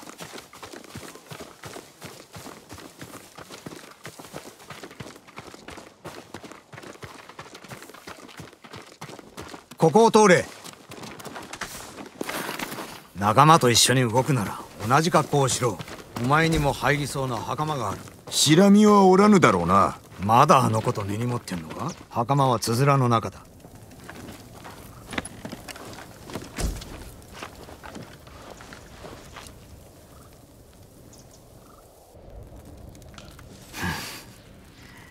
俺ほどの男前とはいかねえが悪くない。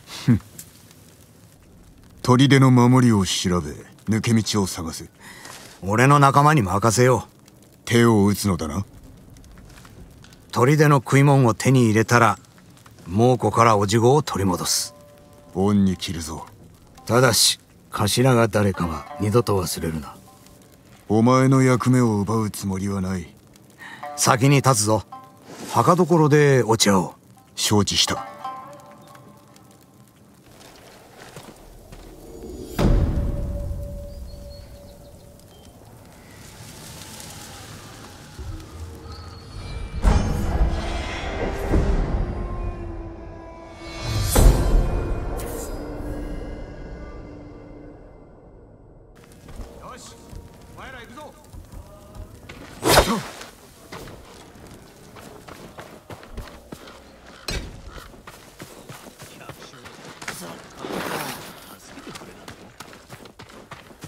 一つ聞き忘れたことがある。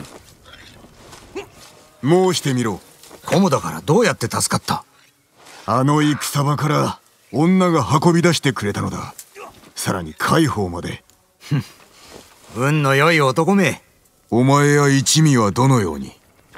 逃げたんだよ。備えを済ませておけよ。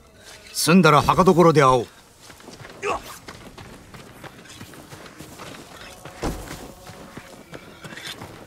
菰田で死ぬかと思った。全く行かなきゃよかったぜ。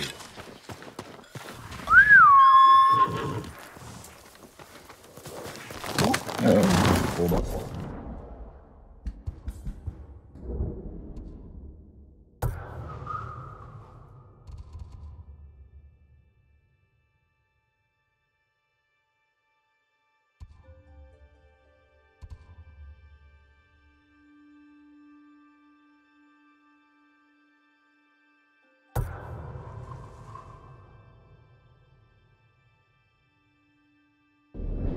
れほどの馬はいない。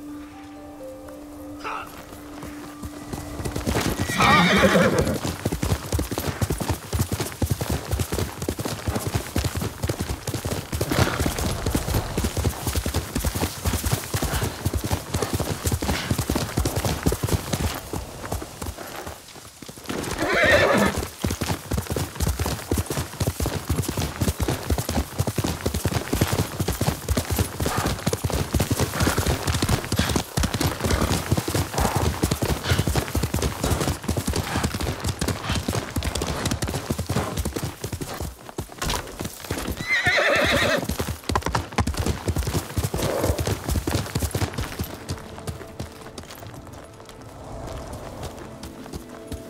侍。恐ろしいことです。どのムクロも血が出ておらんな。何があった？疫病でございます。井戸にムクロがあることを知らず口にしてしまったようですな。むごい死に方だ。埋めてやらねばな。病が広がるのを防ぐには燃やさねば。しかし誰かの足跡を見つけました。どうにか探さねば任せろ。そやつは急いでここを離れ助けを求めに行ったようです。生きておればクスシに見せるが死んでおればムクロを燃やす。赤と長尾は滅んでしまった。成仏できるよう祈りを捧げよう。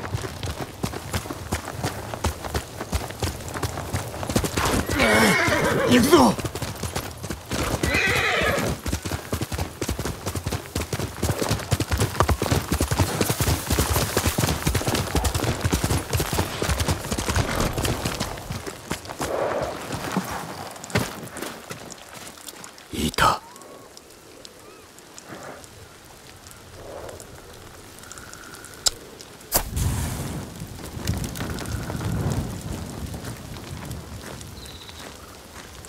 知らせてやるか。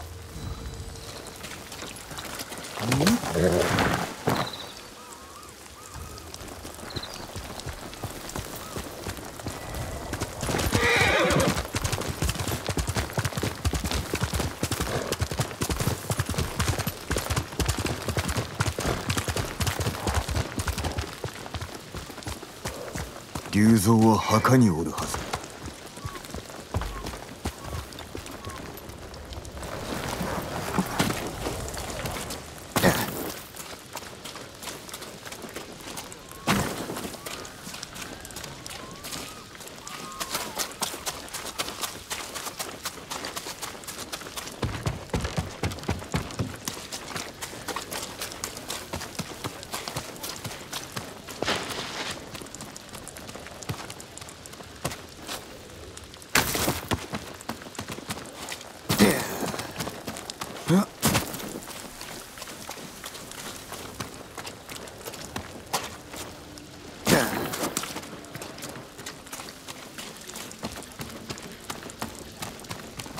おう来たかそれじゃあ飯を分取りに行くか。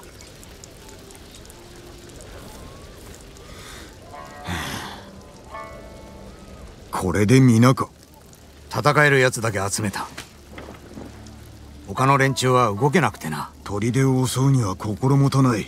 枯れ木に満開の花を咲かせる方がたやすいかもな。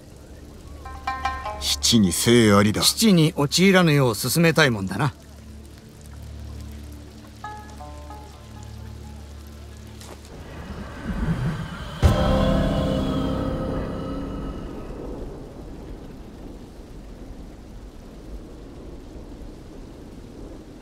石膏が戻った。来い。中に大勢いるぞ。櫓にはのろしずつも。船の兵に加勢されては一大事だな。挟み撃ちに遭う。俺が何とかする。筒を壊したら討ち入るんだ。失敗したら。俺の敵を撃って兵糧を奪えばいい。そりゃ明暗だ。櫓から目を離すな。分かったよ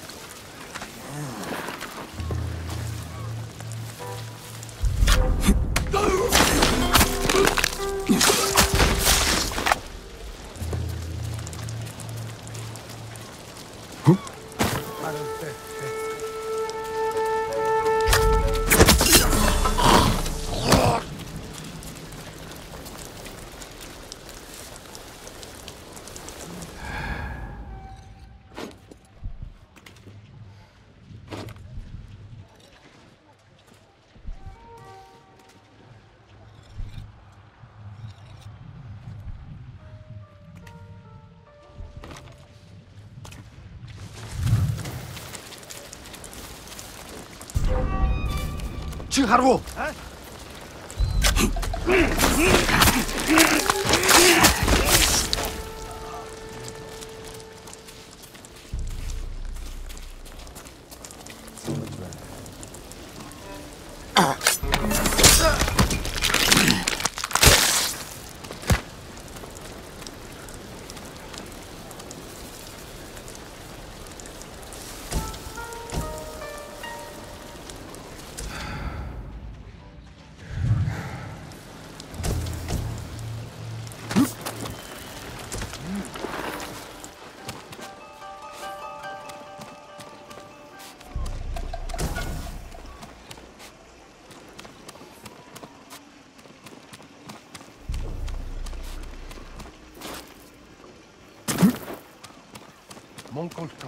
उल्टा संन्यास पर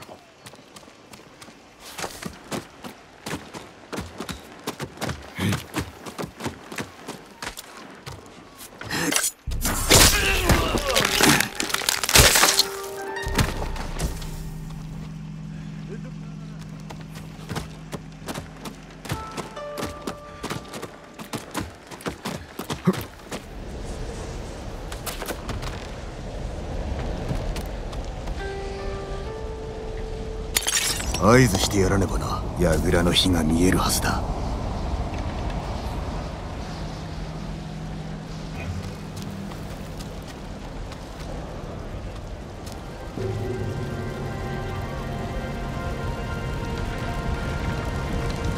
頼むぞ龍蔵。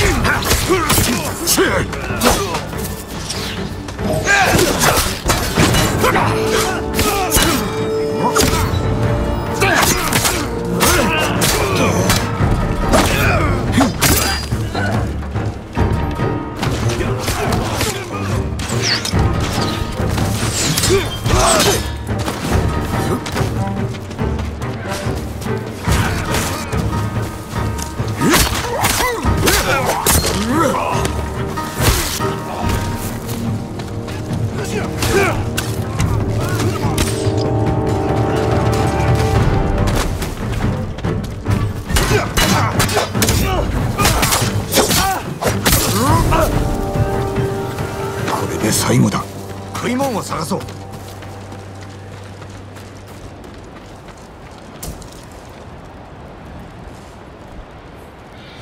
いかがでしたか？ここじゃないな。こっちはさっぱりだ。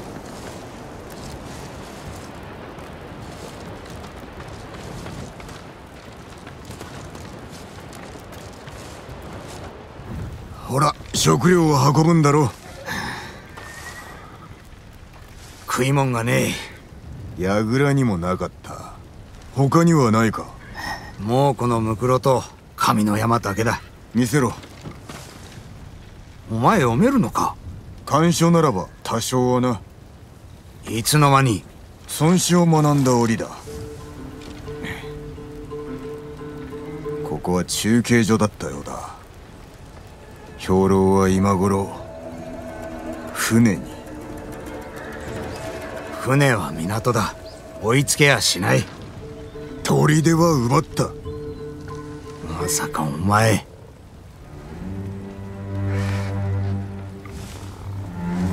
話を聞こうか。まずは様子を探ろう。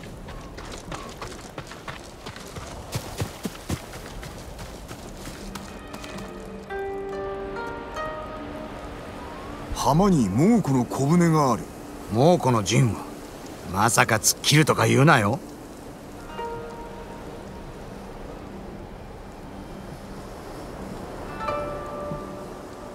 硬い防備に急兵か。正面からでは難しいな。仲間を敵陣に送り込むのはごめんだぞ。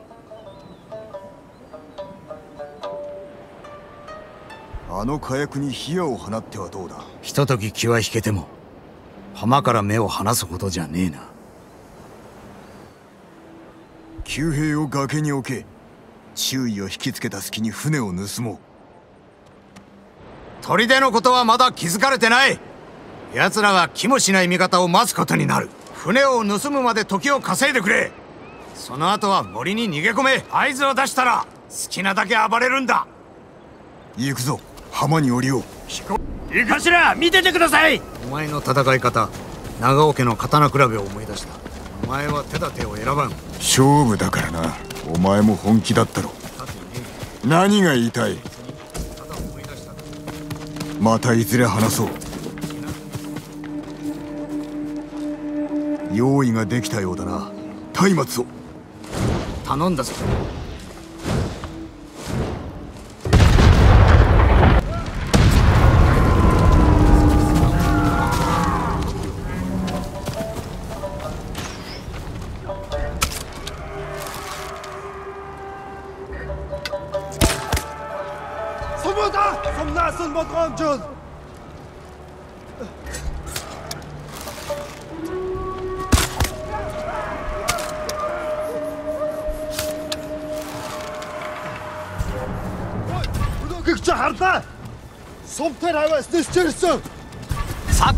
れたのかよ。A の相手をするな。猛虎の船に乗り込むんだろ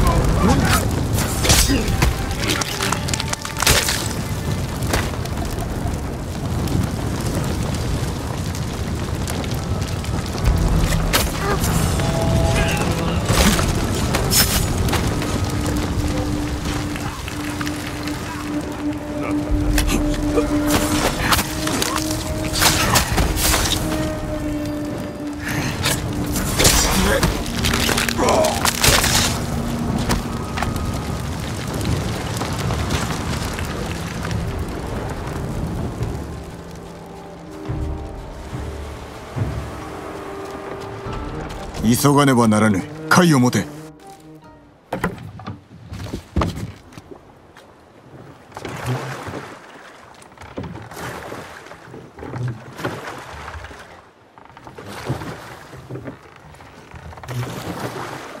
誰も船を狙ってこなかったな。おま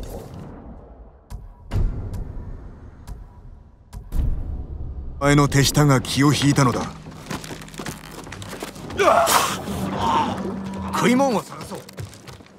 ない。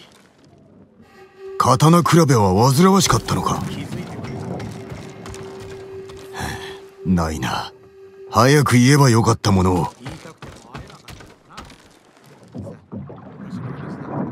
何もないな。兵糧はあったか？いや。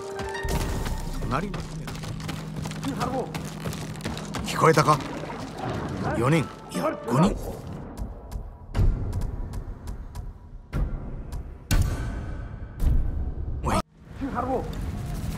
こえたか？4人？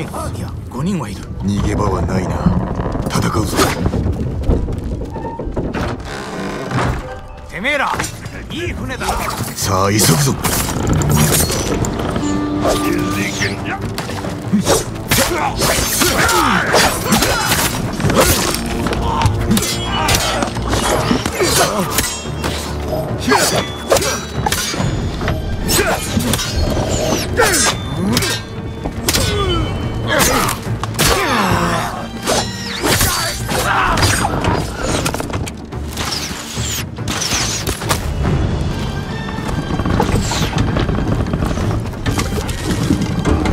新手が来た。殺せ。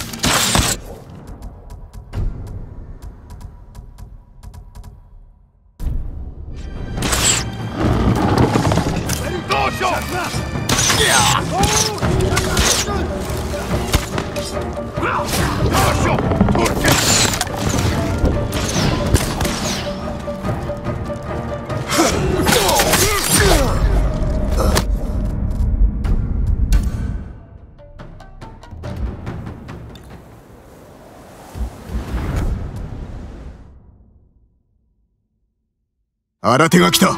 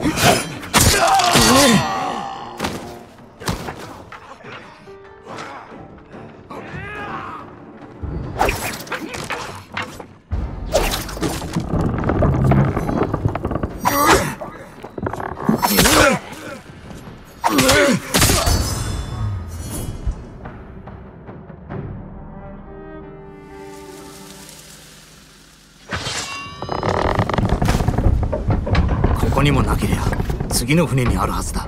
俺が行こう。ここは任せる。流行るなよ。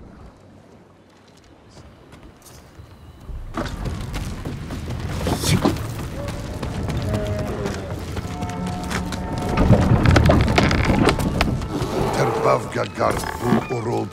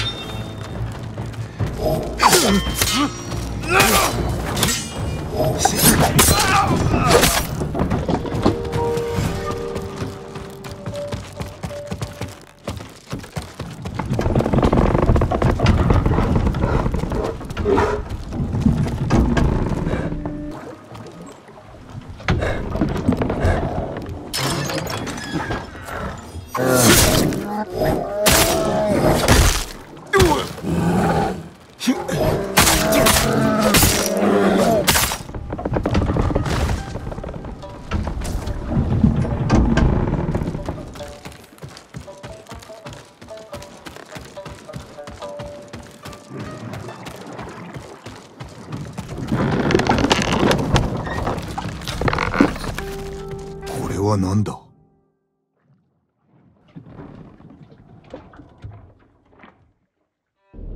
猛虎の兵略図か。龍蔵と話そう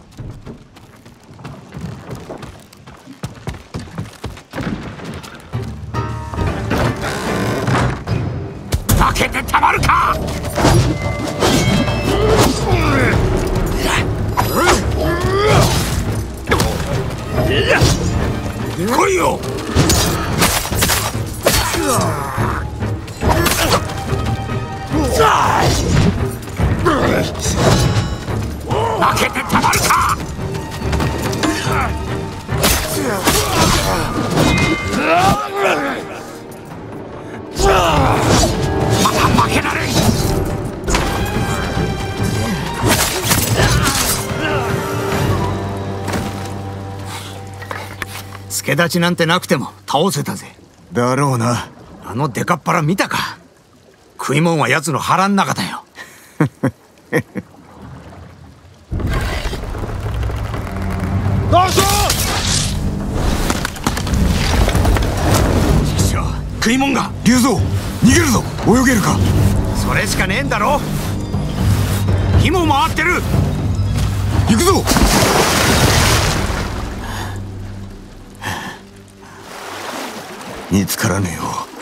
隠れなければ。あそこに身を隠せそうだ。食い物持って帰るって約束したのに空手で戻るとはな。別の手を考えよそれまでに全滅しちまうぞ。う船でこれを見つけた。敵の兵略図だ。補給路が乗ってるか。地図も書かれていた。役に立とう。よこせ。抜け駆けするつもりか？俺は奴らを養わなきゃならんお前とは違う。その地図がいるんだ。金田の木には来てくれるな。約束しよ姿を見られるな。うお前のようにか？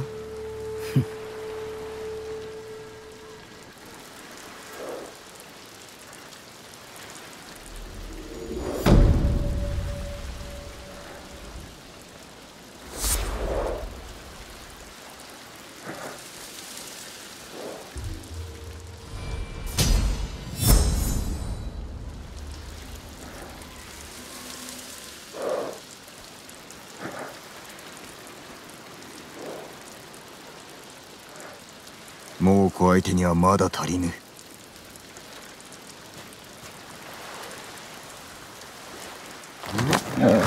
よしいい子だ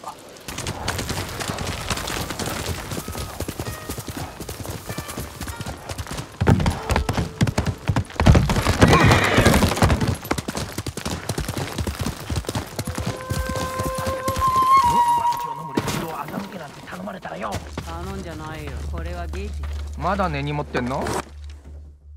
タカが待ってんだよ。あいつのことはもう諦めろ。うまくいかないって。救ってみせよ例のお侍。酒井仁と申す。これはこれは。失礼しました。あっしは検事。信頼と安心の当時で酒売り。そんで島一番の山師タカを麻浦から助けるのに手を貸してくれるんだってさ。あそこは猛虎だらけ。村を乗っ取られたか。あの壁を越えるのは難儀だな。実は酒の運び手は入れるんだよ。バカ言うんじゃないよ。酒を用意しろ。道すがら策を練る。ままずは一杯やりましょう。ゆっくり策を練って。ほら行くよ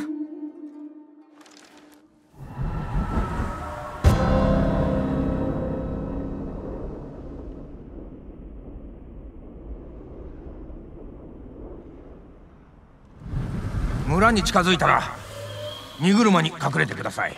荷を改めぬのか。ご心配なく。何度も何度も届けてますからね。あっしの酒が口にあったようで。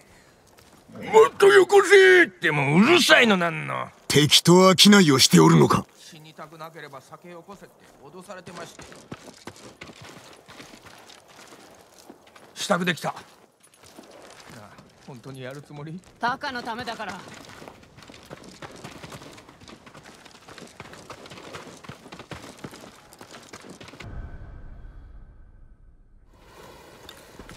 アザモウラはどのようなありさまだ？歯向かった奴は殺され生き残った奴は捕虜にされるか下人にされるか。タカを見てないんだね。ああ。でも火事場で働いている奴がいるって聞いた。きっとタカだ。二人は知り合って長いのか？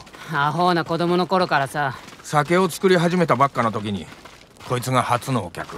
ふん。飲めたもんじゃないけど安かった。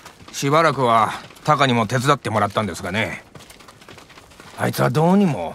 口車に乗せられて酒をやっちまうんだよ。ただでね。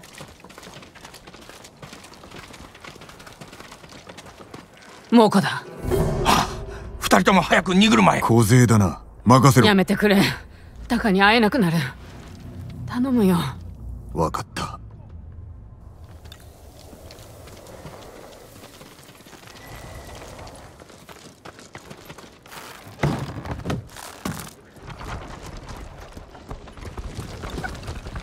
構えて荷を調べられるかも。話が違うではない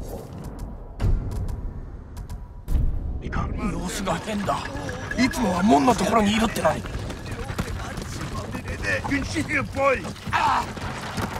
止まれ。ダースだダースほれ酒だよ。酒か。ほら行け。わしにはさっぱり意味がわからね今の叫び声はタカも同じ目に遭うかも。腕のいい鍛冶屋ならば傷つくこともなかろう。わからないだろう。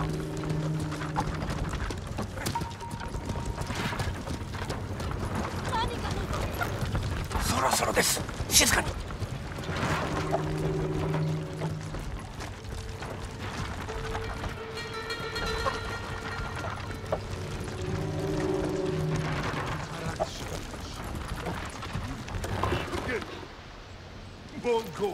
コボツァディルチ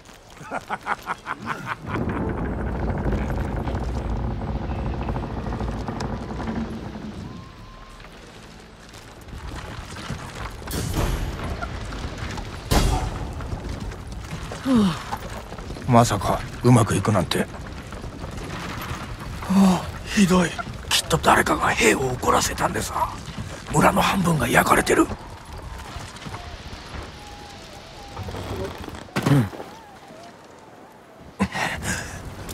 ひとまずお別れですね。兵に酒を飲ませ気をそらせろ。やってみましょ無理はするな。う酒井様もご武運を。タカが待ってるよ。行こ終わったら村の外にある辻で待っとります。見晴らしの良い場所を探すぞ。うこっち。良いか。万が一にも敵に見つかったら。捕虜が死ぬんだろ。あこの上。見て門のそ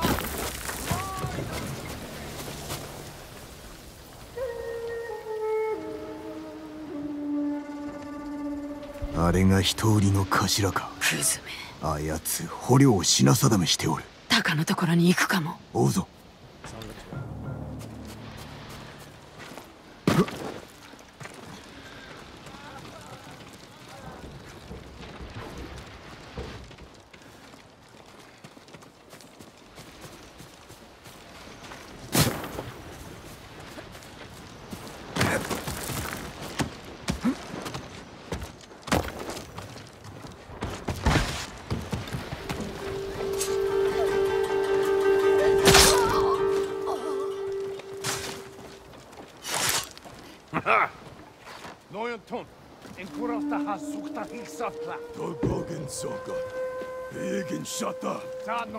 きっとタカは無事だ。肝が小さいから。行くぞ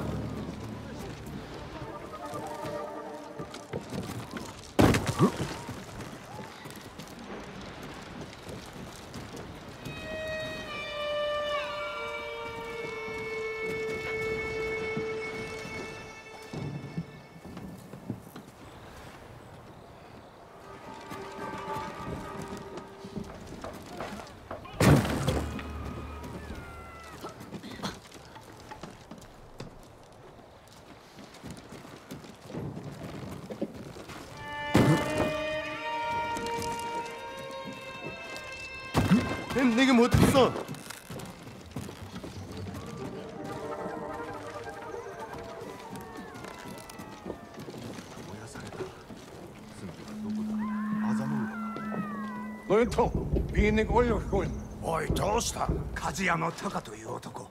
手を抜いてるぞ。粗悪なものしか作ってない。やはりね隆がいる。他に梶谷がいない。わしだって梶谷だ。それにあいつより腕がいい。二人分の飯はない。だから隆を殺す。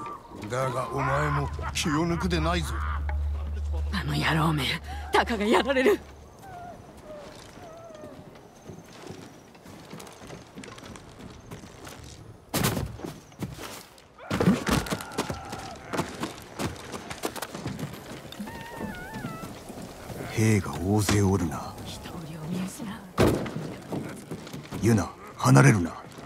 を探す。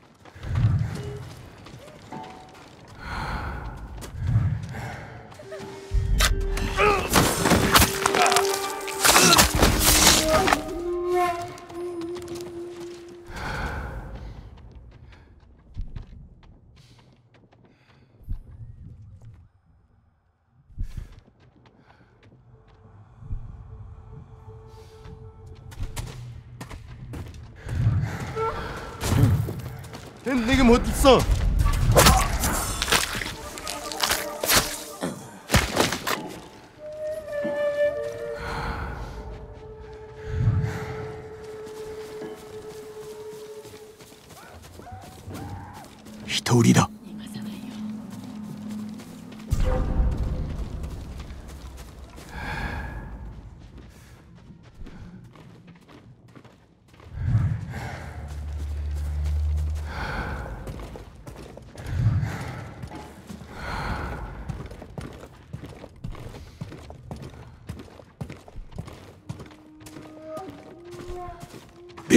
やめろ頼む。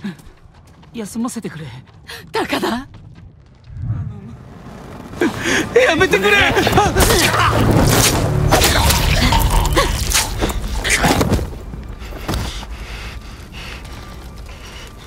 姉さん。タカ何もされなかった。怖かったろう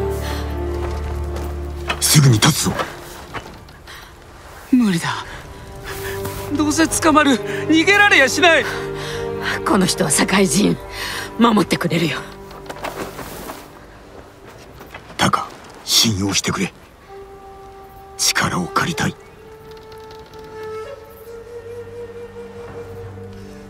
励んでみます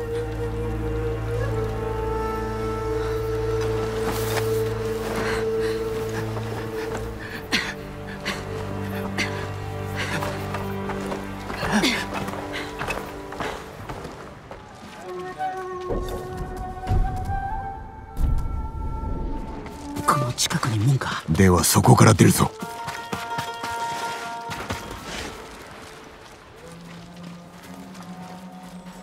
ムクロが見つかった。殺される。隠れましょう。いや進むぞ。あそこ登れそうだ。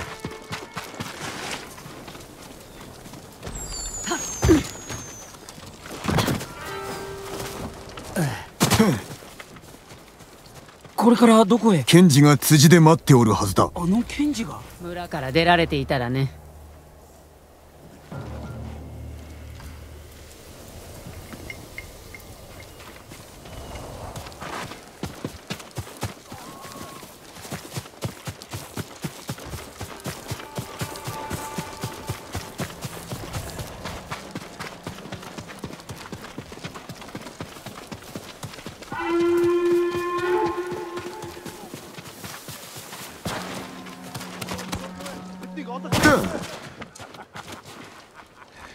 Тюх, ты достал! Лагу чата! Бутылку дал! Угдеген сам... Ушел, давай,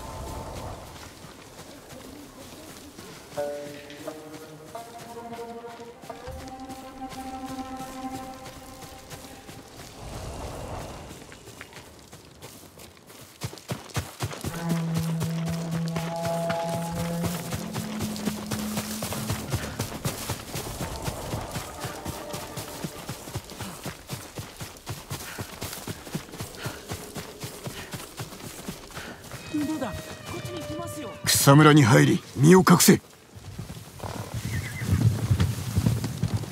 検事だよ。タカ！やったな！つけられたか？いいえ。でももううちには戻れませんね。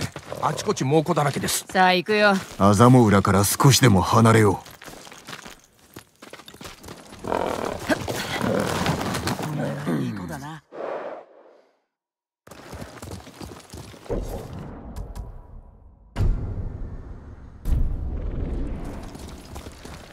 夜明けから猛虎を見てない。巻いたみたいだ。う行き先を決めねばな。この先で伊豆原を見渡せますよ。疲れたか？酒が飲みたい。あと眠りたい。酒ならいくらでもあるぞ。タカ寡黙だな。死なないんだってことがまだ信じられなくて。酒井様助かりました。でも姉さんとはどのように？命を救われたのだ。俺と同じですね。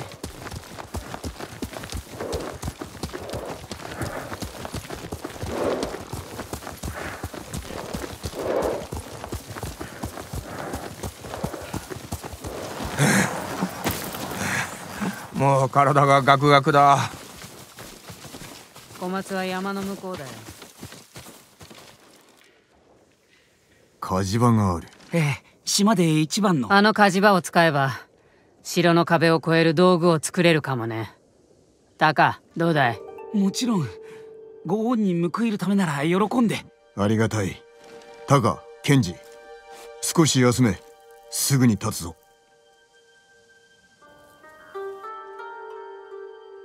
気分はどうだ？タカが無事で安心した。弱っておるが小松までたどり着けそうか？飯食って寝りゃ元気になる。アザモ浦にはまだ捕虜が残っておるな。助けに戻るつもり。村から猛虎を一掃せねば。そうだねお主らは小松へ俺は後から向かう。ジン。ありがとう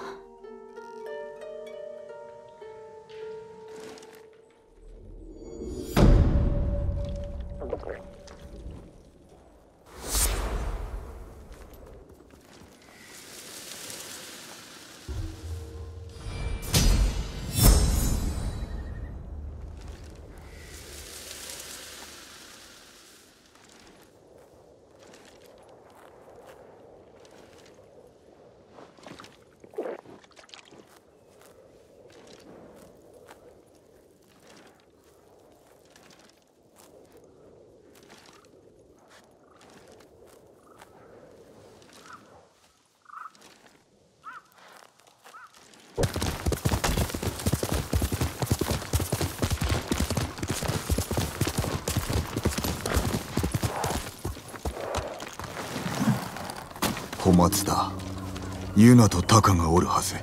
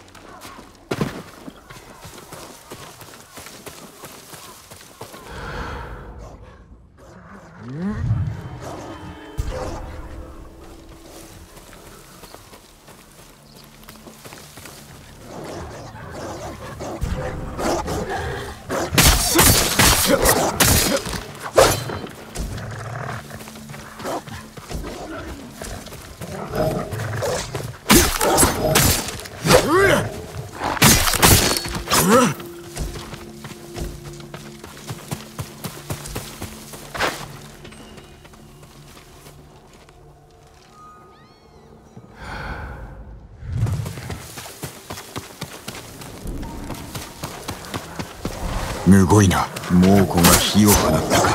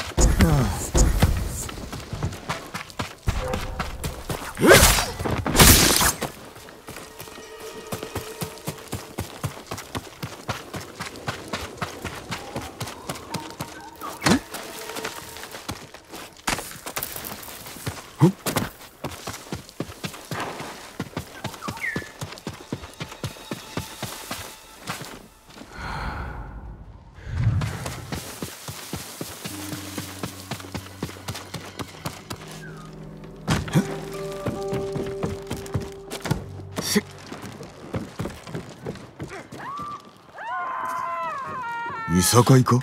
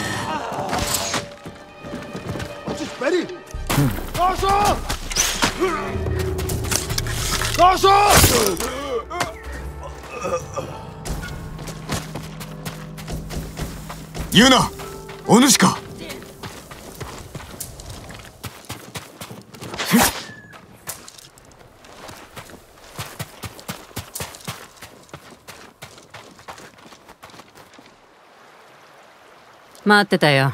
何が起きた？タカはどこだ？村の連中と隠れてる。ここも猛虎に襲われた。手向かいは殺されほとんどが捕虜にされたよ。残りのものを奪いに戻るはず。今のは石膏だ。ほどなく軍勢が押し寄せるぞ。なら逃げなきゃ。すぐに。いや村を守る村の火事場も民も失えぬ。望むならばお主は行け。嫌だね。私も逃げるのは飽きた。村の者に会いたい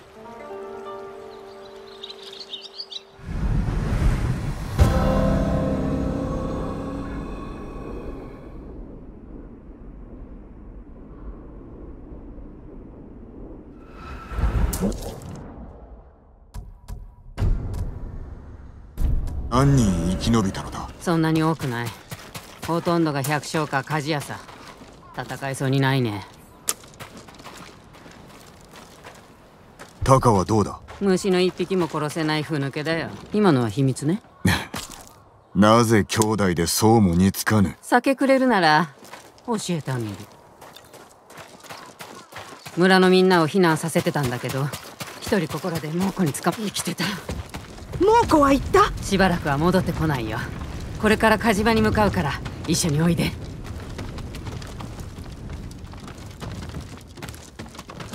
火事場は動くか？ああでも火はつけないよ。煙が出たら最後猛虎に居所を知られるから。いや釣り出してやろう。さすれば血のりを生かせるはずだ。火事場をおとりにするってわけか。酒井様姉さん。タカ。あなたのご無事を祈ってました。それはありがたい。時に頼みがある。何かご入り用だとかどういったもので？叔父上を救いたい。金田の木に囚われておるのだが守りが固く。人知れず忍び込める道具がいい。ここには火事場がある上お主も腕利きだ。最高のね作ることはできますがじき猛虎が来るのでは。村は必ず守ってみせる。任せときな。火事の助手がいります。幸男という名の。どこにおる？嫁を探しに行ったはずです。村の方へ。俺に任せろ。ユナ戦の支度を。できてるみたいです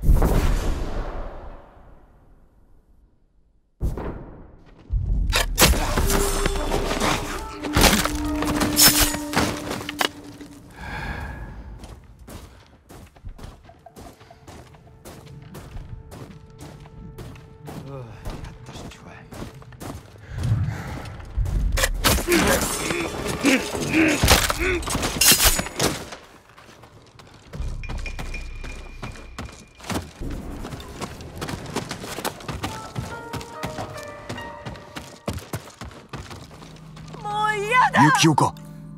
はい。タカが火事場で待っておる。お待ちを。妻と妹が川にいるんです。今すぐ案内しろ。こちらへ。俺から離れるでないぞ。隠れろ。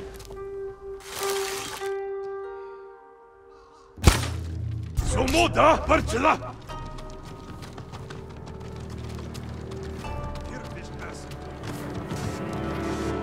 Was Harvard Bison?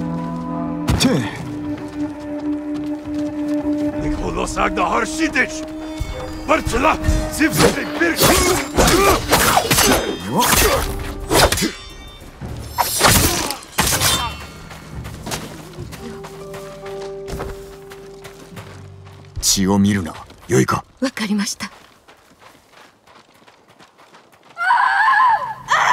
猛虎に見つかったここにおれ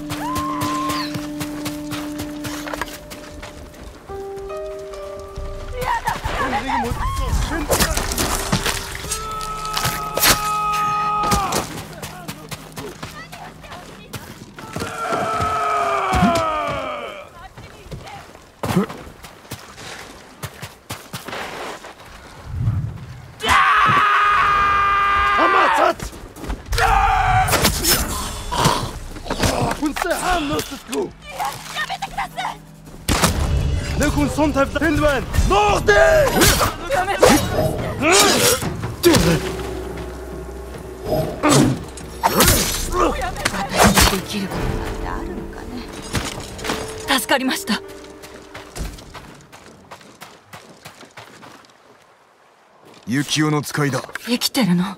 ついてこい。火事場へ向かうぞ。よかった。もう会えないかと思ったよ。怪我はないな。この方の強さといったらまるで鬼だ猛虎が相手の時のみだ。火事場に行くぞ。ついてまいれ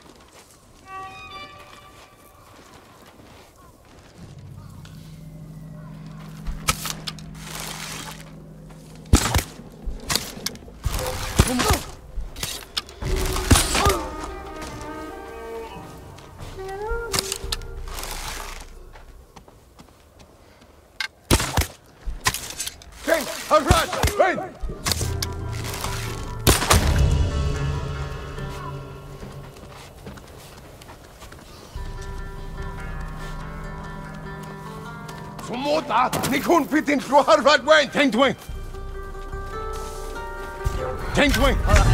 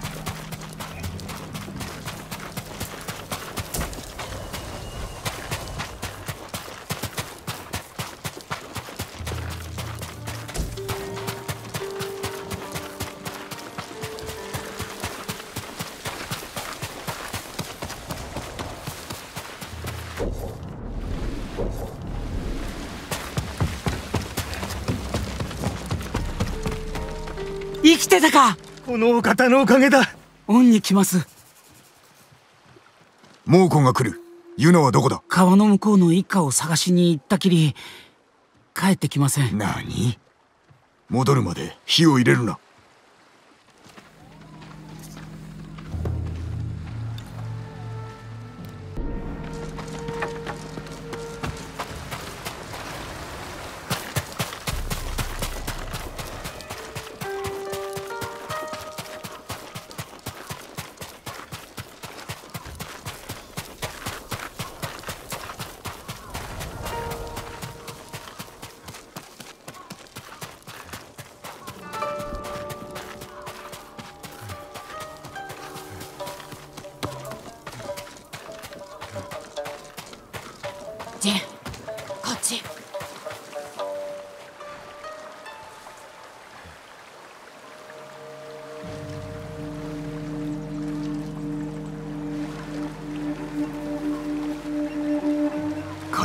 火を入れられるぞ。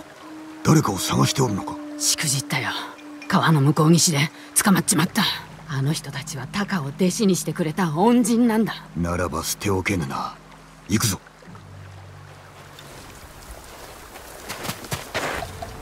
侍侍はどこだ？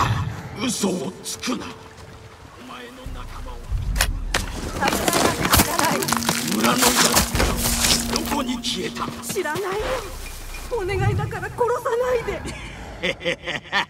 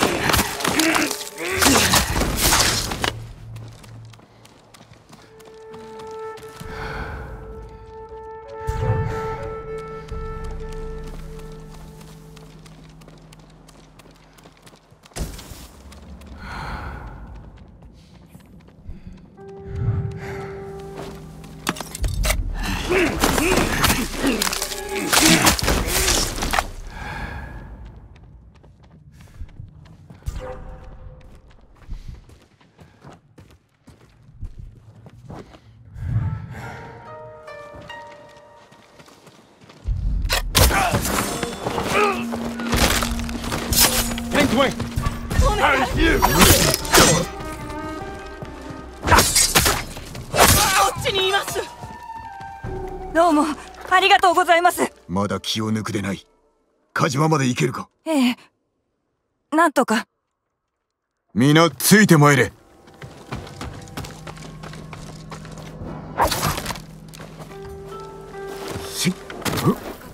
ものなんだ。話せば長くなる。殺し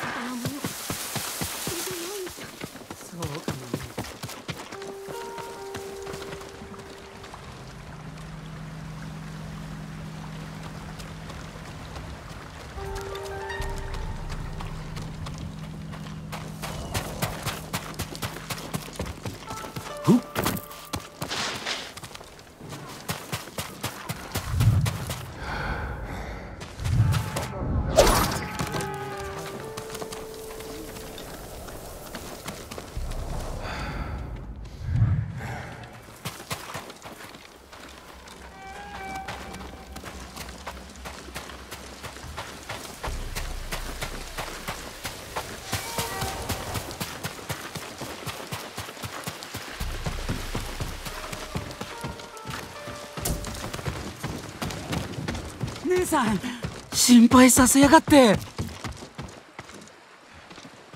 火事場に火を入れろ。猛虎が寄ってきます。ここを打ち壊しはせぬであろう。この利を逃す手はないぞ。その前に殺されるかも。いずれにせよここで猛虎を迎え撃つ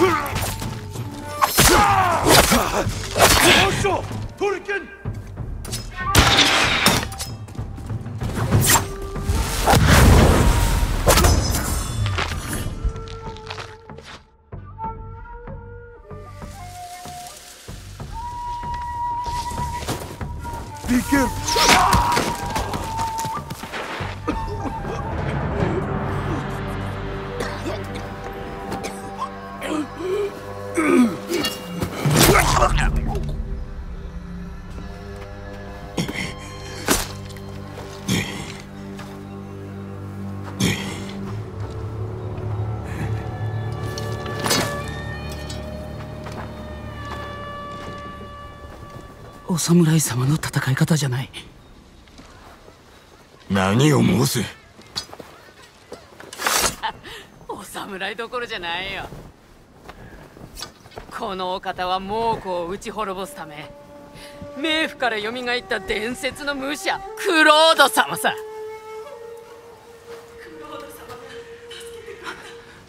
早く逃げましょう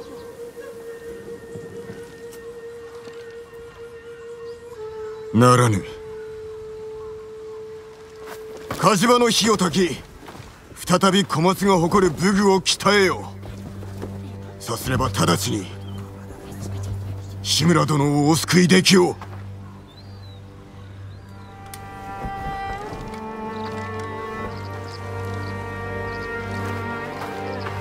伝説のクロード。悪くないだろう。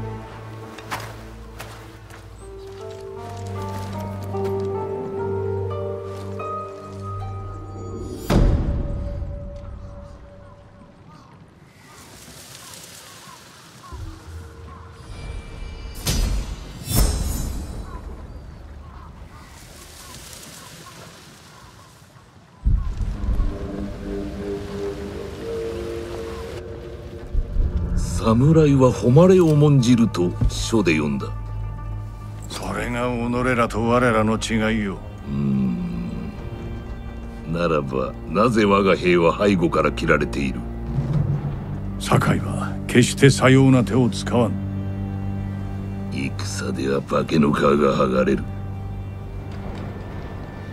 ならば己は犬だな。不備来の下地でしか動けぬ。哀れで臆病な犬だ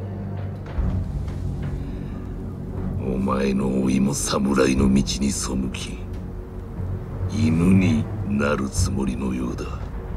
止めたくば大元国に下るしかない。そして我らは本土襲来の手先となる。違うか。考えておくことだ。ただし急がねば己の老いは道を踏み外すことになるぞ。それまで首がつながっていればな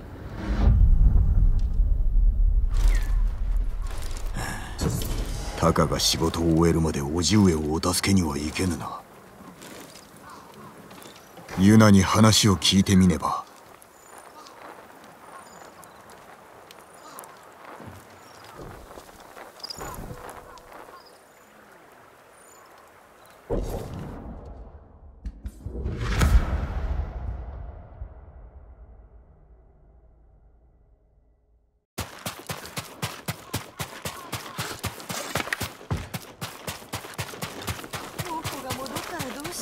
あの人が八重を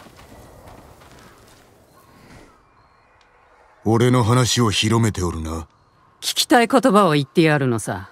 噂は広まってるよ。クロードの。お主が言い始めたデタラメではないか。クロードの力を信じてみんな村に残ってんだ。武士の力ではないのだな。武士とクロードさ。叔父上が自由になれば皆おとぎ話から目を覚ますぞ。どうかなタカは仕事に精を出してるよ。あんたのために必死だ。様子を見に行くとするか。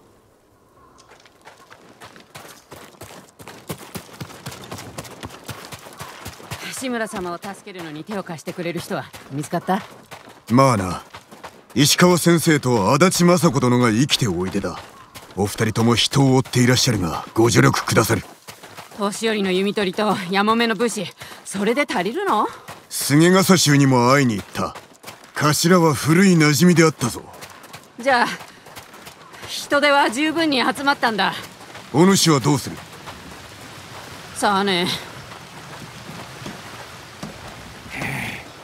誰か手を貸してくれ。任せな。タカに会って。話は後で。終わりました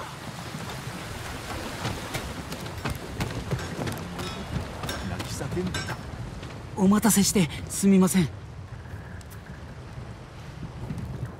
縄の先に鉄の鍵を仕込みました。壁登りや谷渡りに役立つかと。丈夫なのか？手前で試しました。大染めを鍵縄です。良いものだな。借りができた。いえとんでもない。俺は姉さんと家と鉄だけで満足なので。痛み入るぞ。ジンどこにいる？龍蔵ジン出てこいよ。誰か武士を見てねえか。ここにいるんだろ。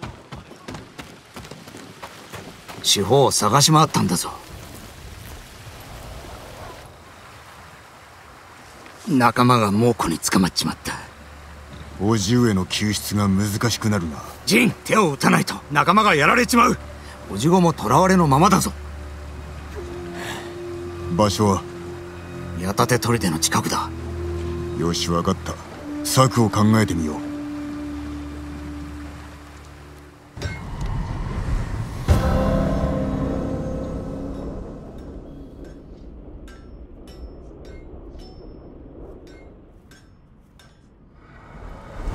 手下は砦の近くだと言ったな。どこかわかるか？ああ実は砦の中の檻だ。砦は崖の上。いかにして助けるつもりだ？戦える奴はまだ残ってる。近くの四辻で待たせてんだ。足りると良いがな。行くぞ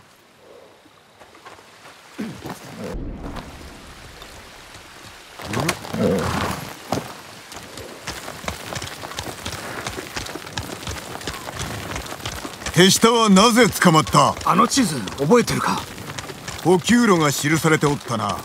飯はあったか？ああ万平付きだったけどな。なれど精鋭を連れておったのだろう。まんまと生け捕りにされちまった。逃げ延びたのは俺だけだ。生きておるとなぜわかる？昨べあいつら歌ってたんだよ。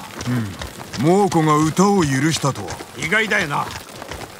上手だったのだろう。このまま浪人をやめてはどうだ？好きでやってるわけじゃねえ。刀比べで負けたからだよ。ああ長尾家の刀比べ。それがどうかしたのか？覚えてるか？受けの連中が刀比べを見に来てたんだ。それなのにお前は本気で打ってきて腕が折れかけたぞ。すまん。初の試合であったゆえつい浮かれてしまったのだ。そうだろうさ。あの刀比べで地頭様の甥子に皆会いたがった。そんなつもりはない。生まれのいいお前と違って俺はあの刀比べで腕前を見せてどこかの武家の老頭になろうと狙ってたんだ。俺のところに来れば話を通してやったものを。お前に頭を下げろって？嫌だね。俺は一人でどうにかしたかった。なぜ早く言わなかった？なんでだろうな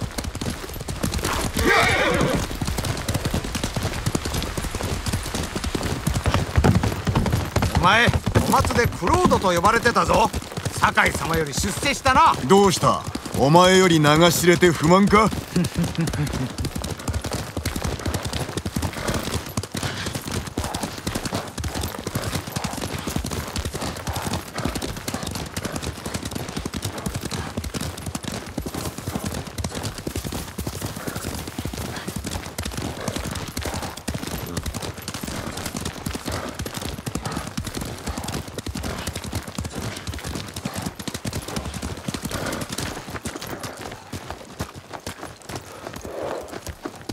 ヒロと心臓は？逃げた。もう戻らんだろうな。あいつら。逃げただと俺の苦労が水の泡かよ。捕まった手下を救うならこの数で十分。戦や病や上で死んだ奴はいても逃げる奴など。弱いのだ。お前に非はない他に逃げたい者は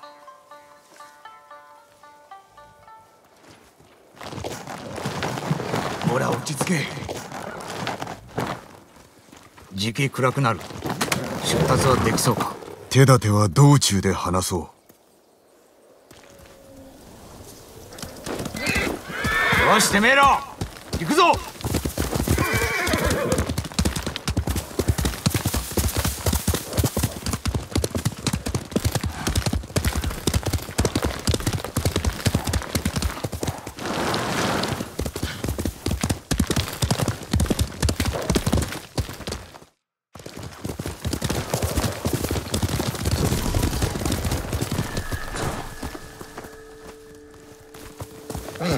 矢立て取りで仲間はあそこに捕まってる。どうやって救い出す？どうやって？策を出すのはお前の役だろ。うん。砦に入る道は一つだが守りが固い。忍び込まねばならぬだろう。崖の見張りが手薄だ。崖を登り壁を越えよう。何？お前は猿か？役立つ兵具がある。手下は任せろ。うまくいけばのろしを上げる攻め入りの合図だ。猛虎を挟み撃ちってわけか。見ろ。やはり策があったな。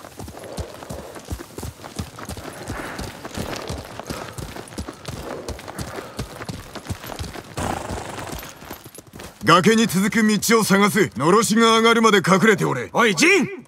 死ぬなよ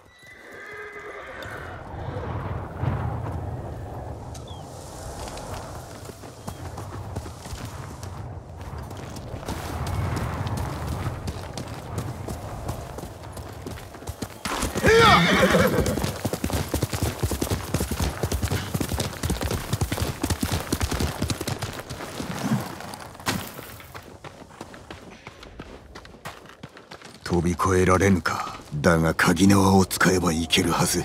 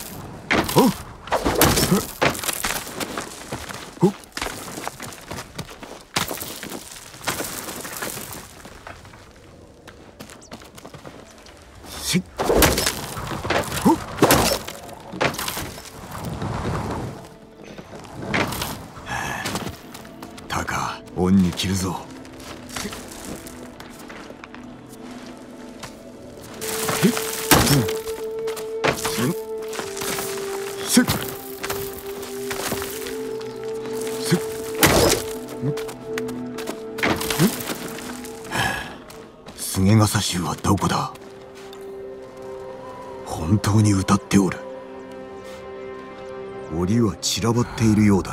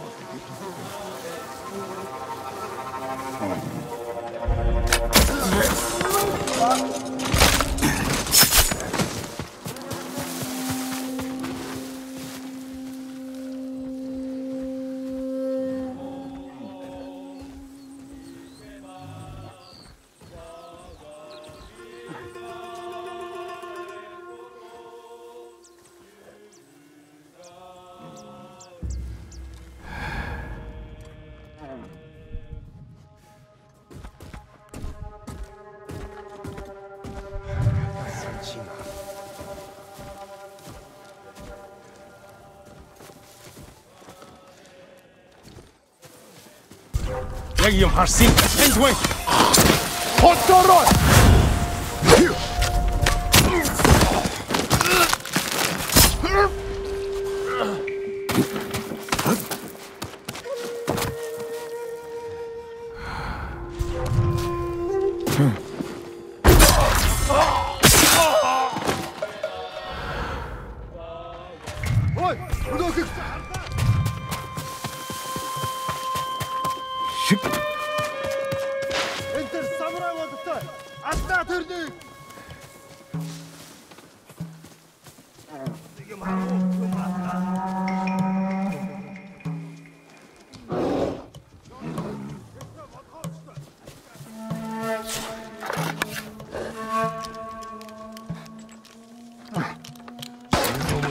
外におる。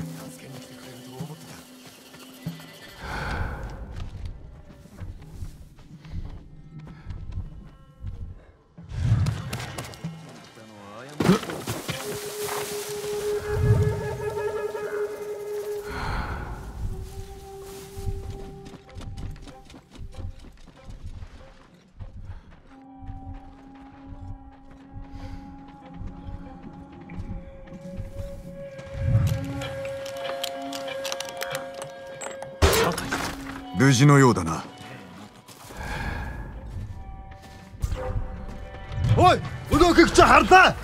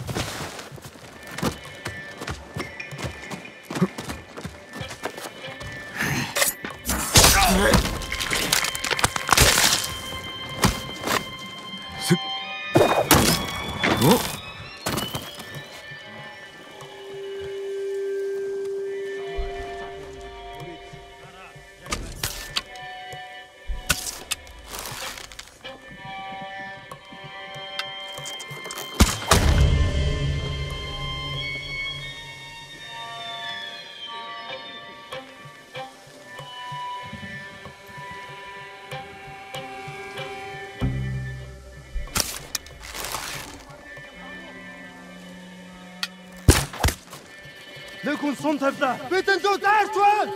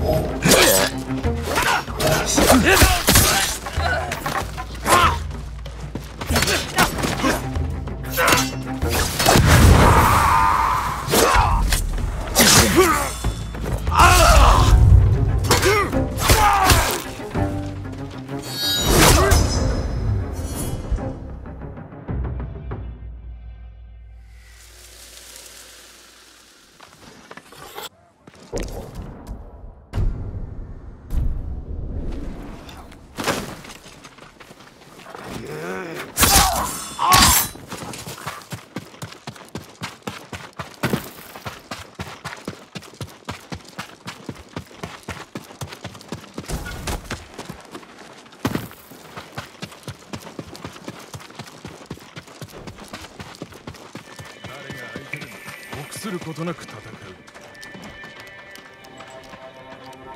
あんたどうやって入ったの？戦に備えろ。打点だ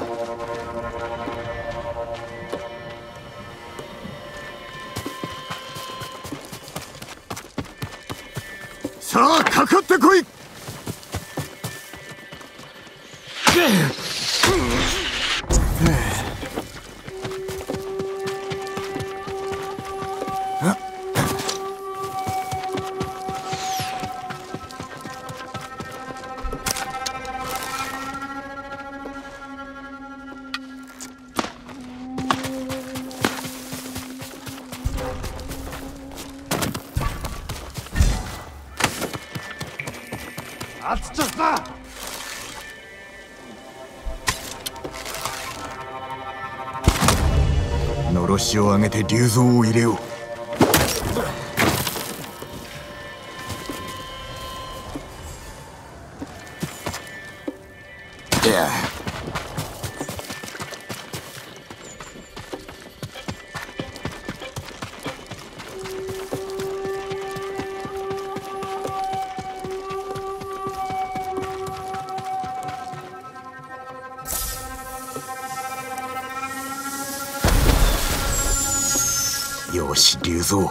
つでも来い。門を開けねば。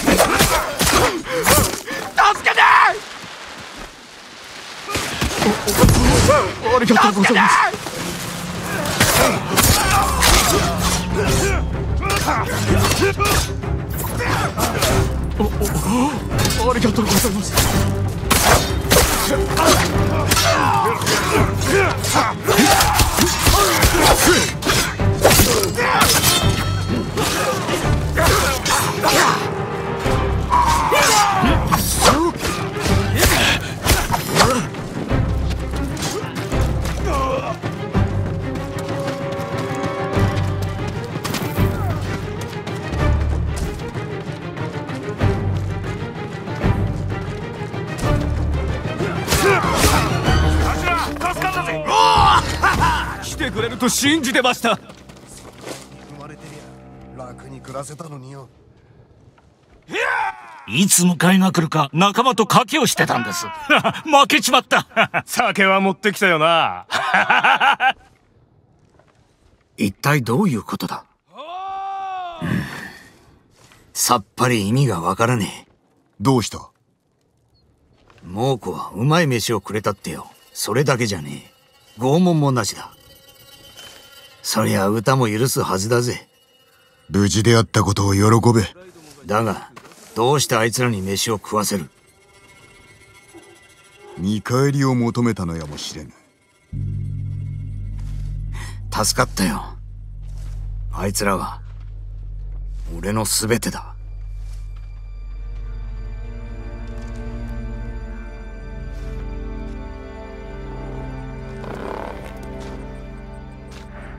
よしてめえら馬に乗れ。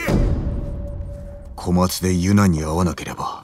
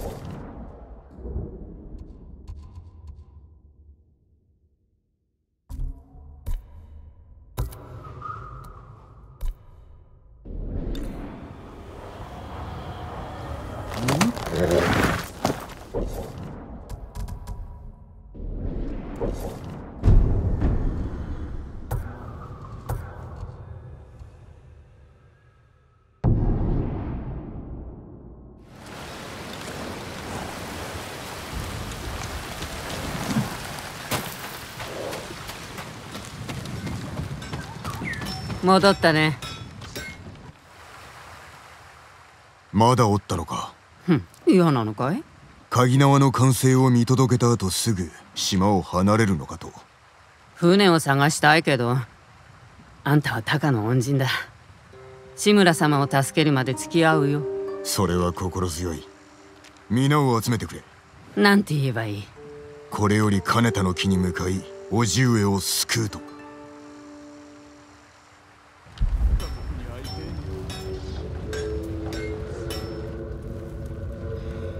前の老いが我が兵を追い回し獣のごとく八つ咲きにしている。己らが民に何をした？心根では分かっておろう。我らの望みは同じ。死して名を続く功した。わしは誉れをもって武君を立てた。対馬の好機を正し平和をもたらしたのだ己とは違う。奴もそう言ったな。だが奴は功氏を残す前に死ぬことになる。功氏とは死しても残るものだ。ああそうか。己の家は代々対馬を治めておるとか。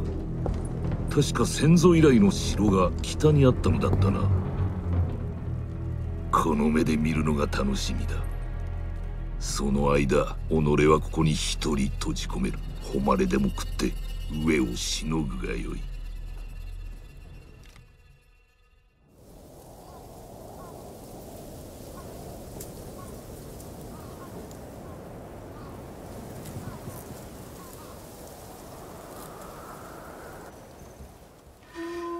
どうした龍蔵何があった？みんな揃った。菅笠衆を待ついや先に小屋で待っておれ。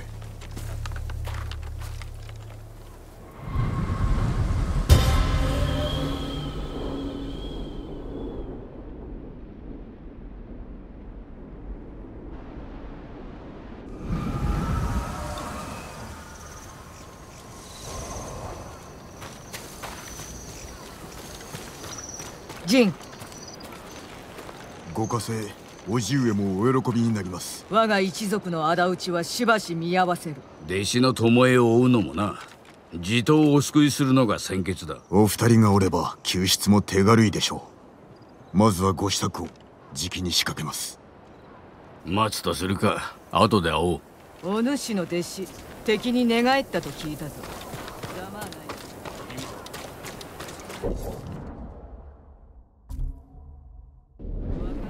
酒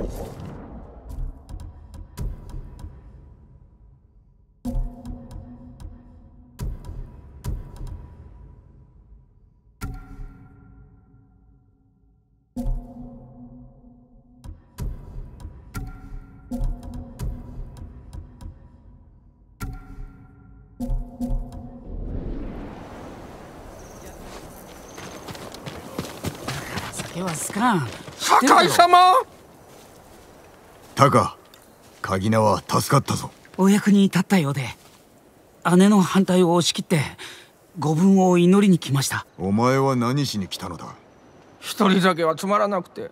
良い酒を残しておけ。叔父上を救った暁には宴を開こそれじゃあ極上のものを。どうかご無事で。うおのおの方潮時ですこれより叔父上をお助けいたす。菅笠衆が誰一人来ておらぬようだが。しかれどもこれ以上は待てませぬ策は終わりで酒井殿。私が鍵縄を使って忍び込みのろし術を破壊します。皆は大手門を破ってください。叔父上は主格に囚われておいでのはずです。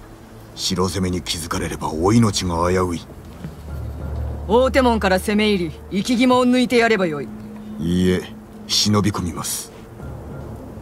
それから主格を目指し叔父上を救い大手門へと戻り退却しましょう。死にに行くようなものだ。討ち入れば負けます。闇に乗じて忍び入るのが肝心なのです。さながら雇うか。それかクロウド叔父上がお待ちです。いざ城へ。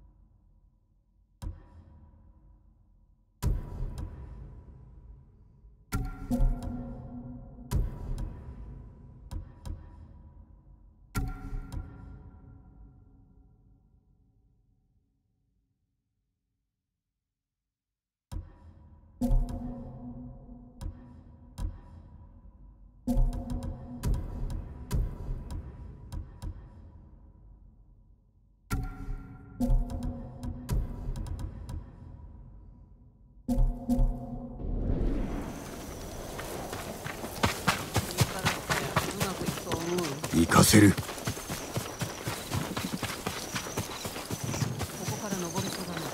皆のもとへ行け。城の中で会おう。気をつけるんだよ。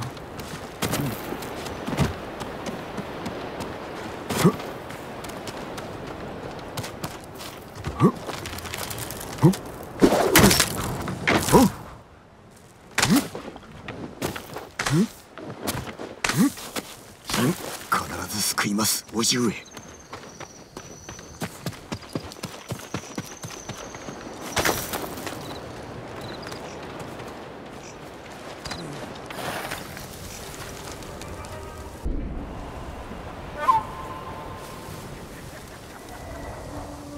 先生が物見を仕留めておる。さすがだ。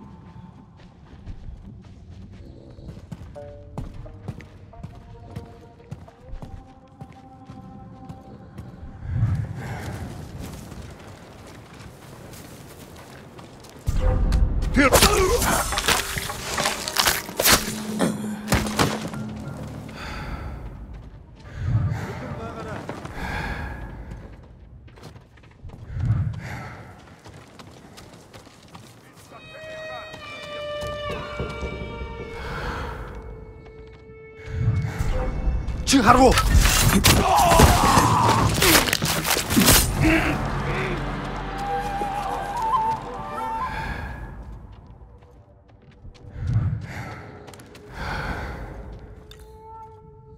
のろしずつまず万平を倒さねば。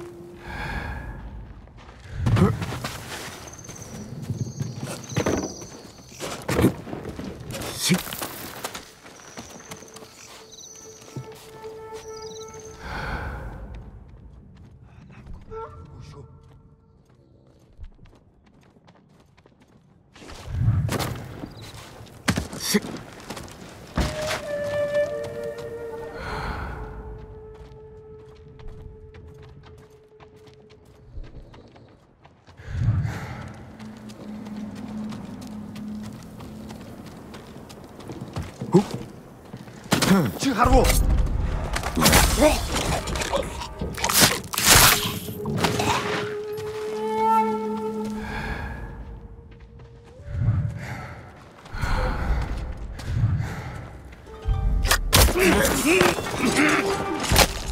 先生検事と大手門の番を。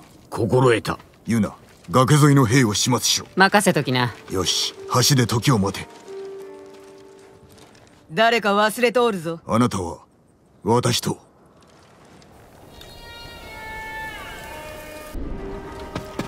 この先の猛虎の兵器以前は大きな妨げでした。こたびは我らが使う。ここを抑えねばなりませんな。不意打ちするかまたは突き破るか。お主が Yasin Bey. 나 서! 諦めはついたかヒ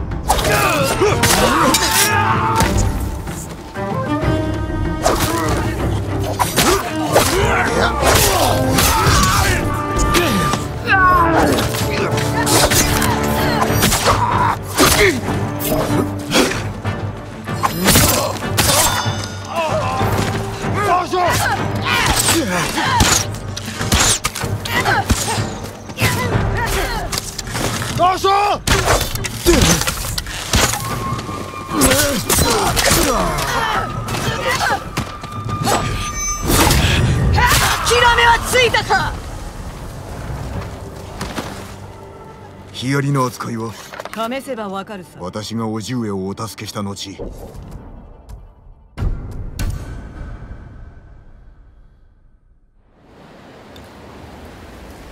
ヒヤリの扱いは試せばわかるさ。私が叔父上をお助こ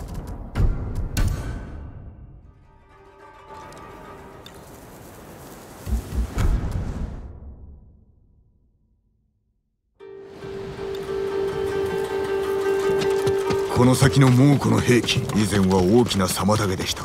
こたびは我らが使う。ここを抑えねばなりませんな。不意打ちするかまたは突き破るか。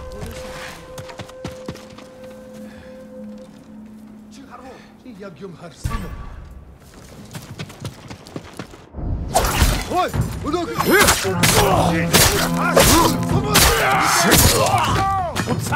っ！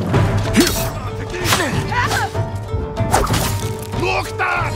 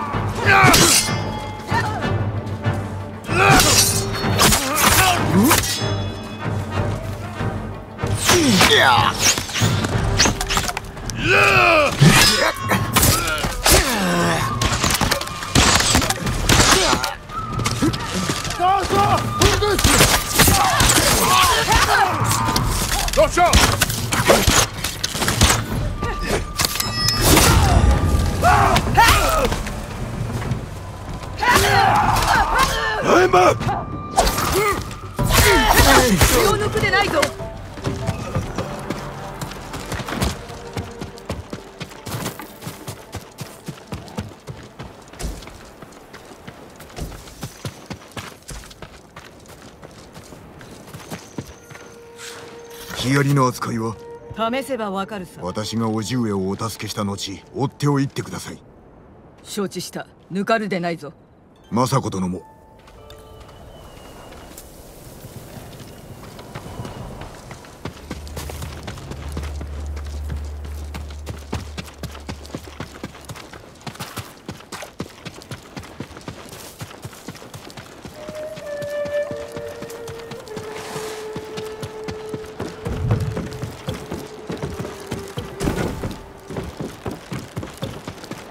万平がいる。俺が先駆けだ。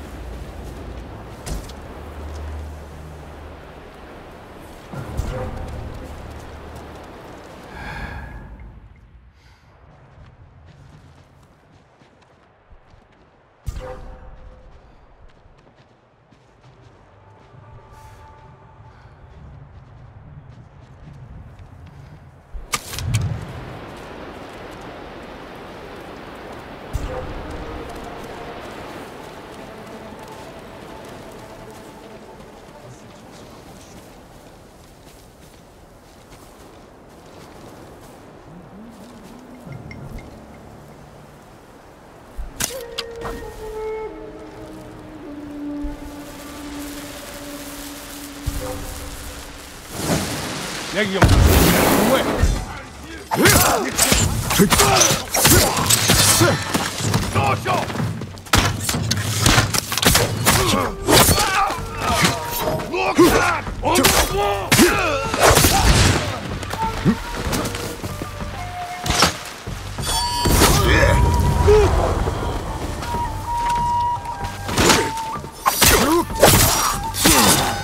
しようがいたらこんなに苦労しないのに。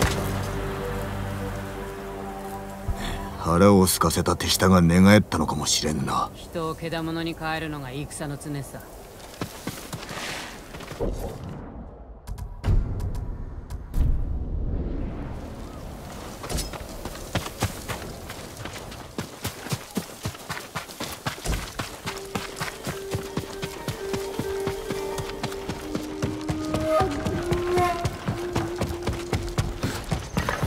この橋はよく覚えておるこの高さから落とされたんだろよく生きてたね。確かにな。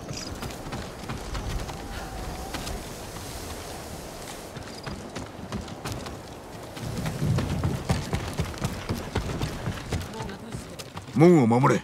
俺は他の道を探す。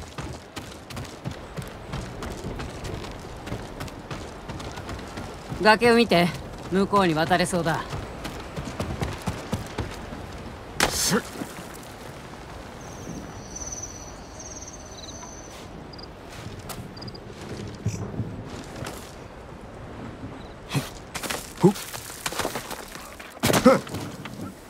明暗だな。中に入れたらすぐに門を開けてくれ。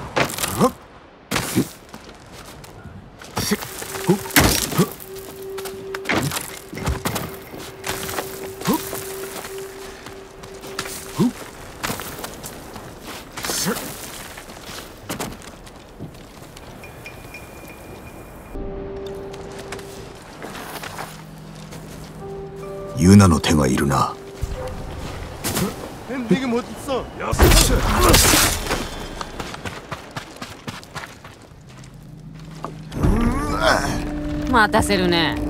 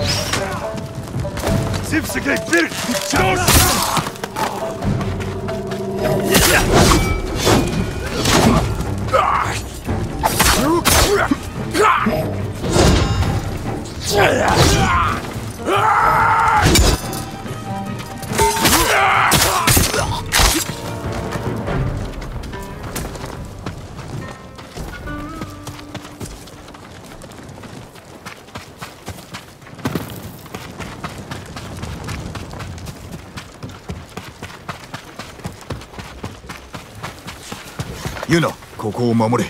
俺は叔父上のもとへ。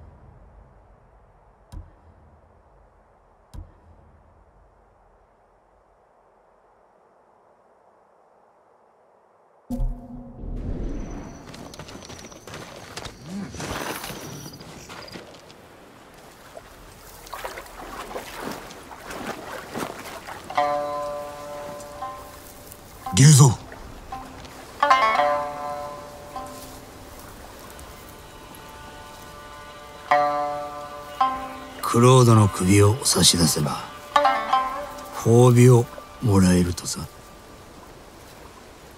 お前？仲間が腹をすかしてんだよ。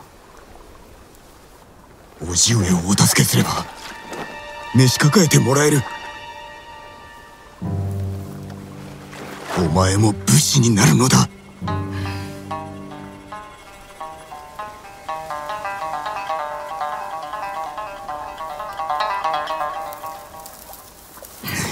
そして死ねというのか。駒田での戦のように。竜蔵おじごにはお前がいる。あいつらには俺しかいない。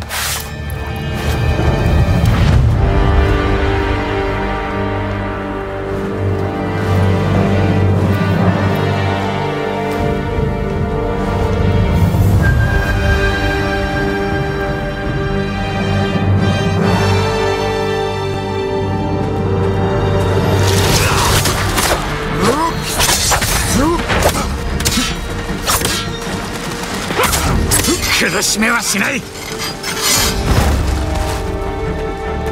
友ではないのか？もう昔の話だ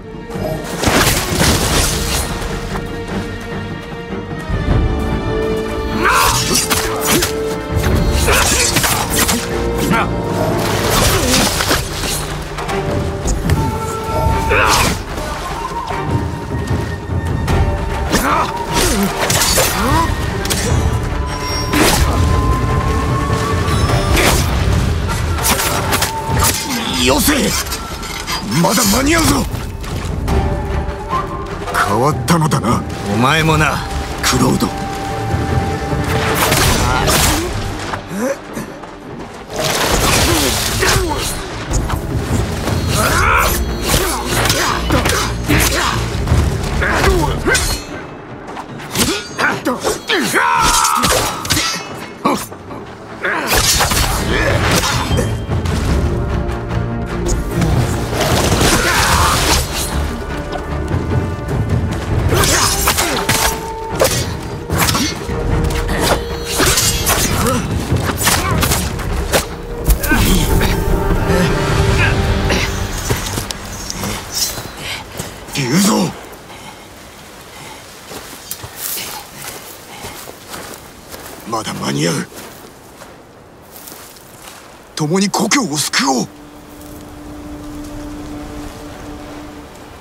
今じゃもうこのもんだ。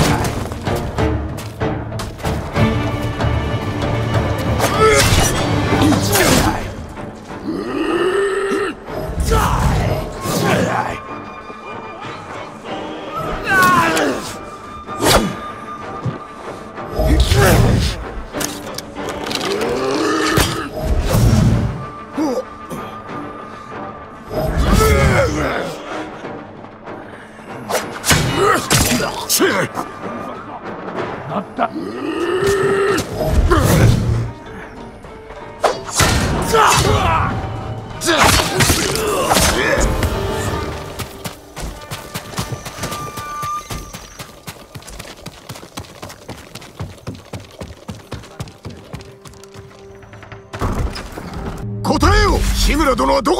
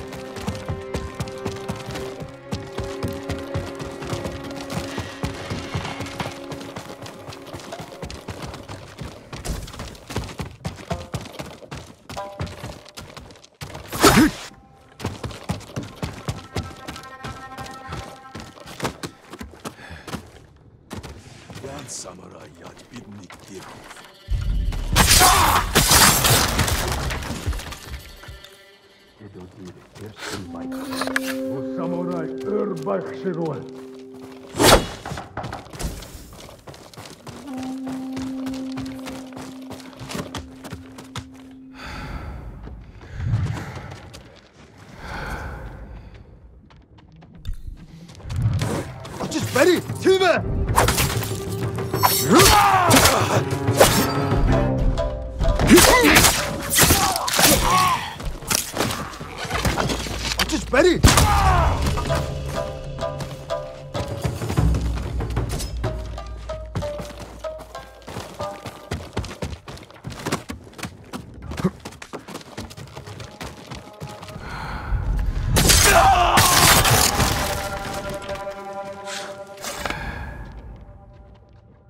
したふぬけ目が。叔父上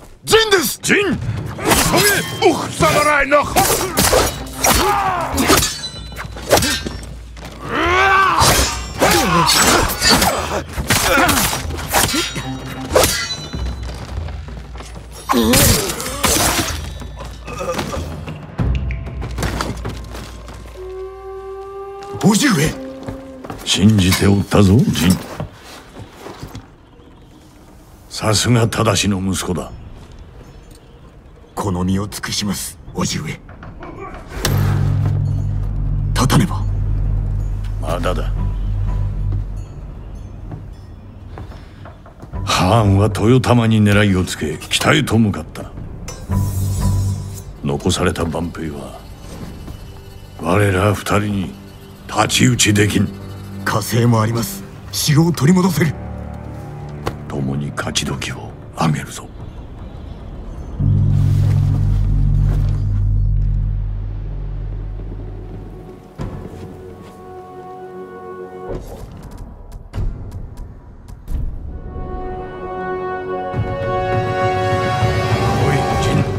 北にいる万兵どもを始末さあ行くぞ。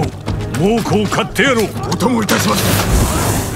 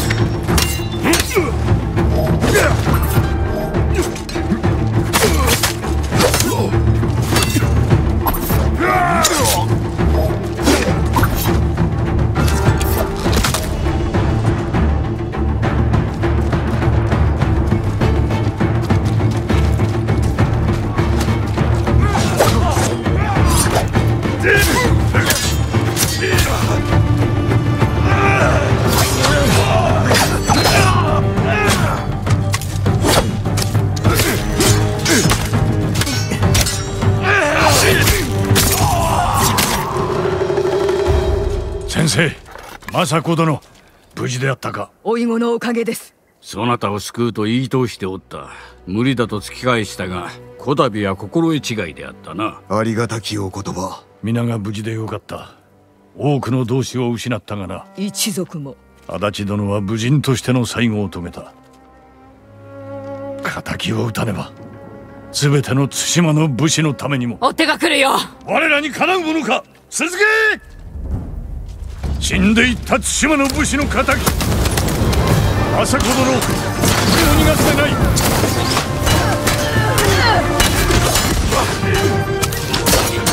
矢を放て。本身は守ろう。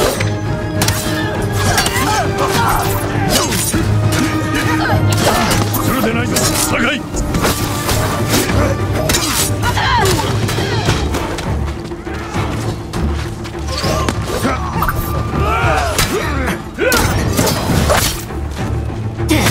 Blade!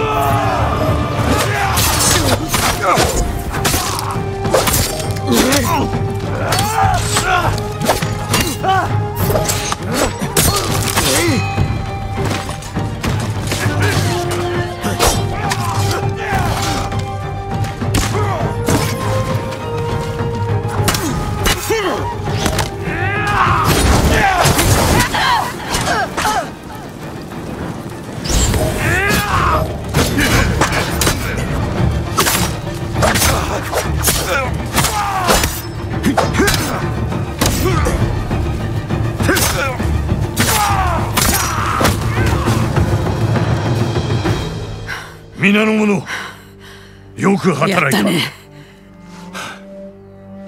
城は取り戻した。ご采配の賜物です。お前がいたからだ。これより猛子供の鼻を明かしコトゥンハーンに意志を返すとしよう。見せつけてくれるわ武士の意地を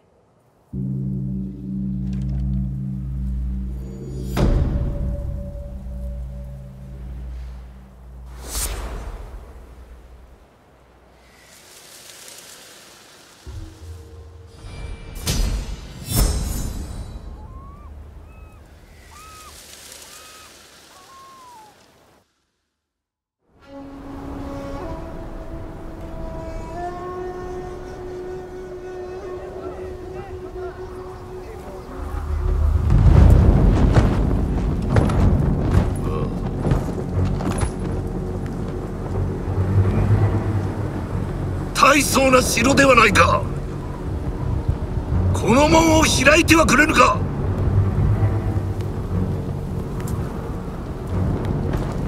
同胞がくたびれ飯も食えず凍えている。門を開け助けてやれ。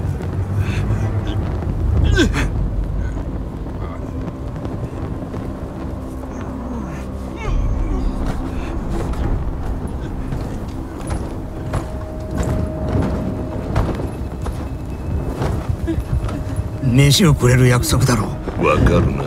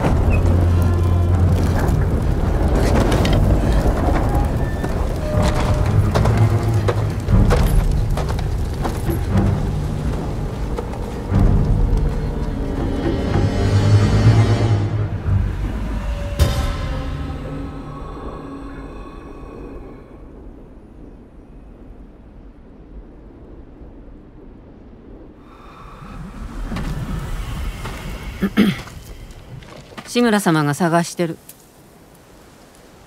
ハーンが城を奪ったらしいね。竜蔵を信じたばかりに。みんな計られた。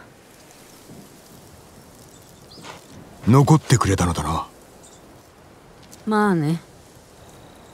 褒美について叔父上に話してくれ。志村様なら資格だよ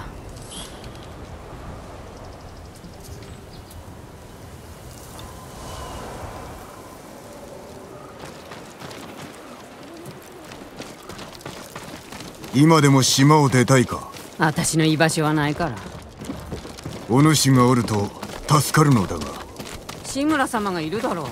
何言ってるのさ。猛虎は兄弟だからな。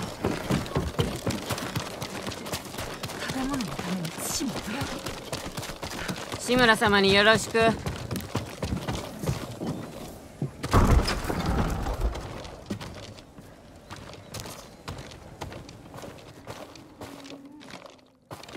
陣待っておった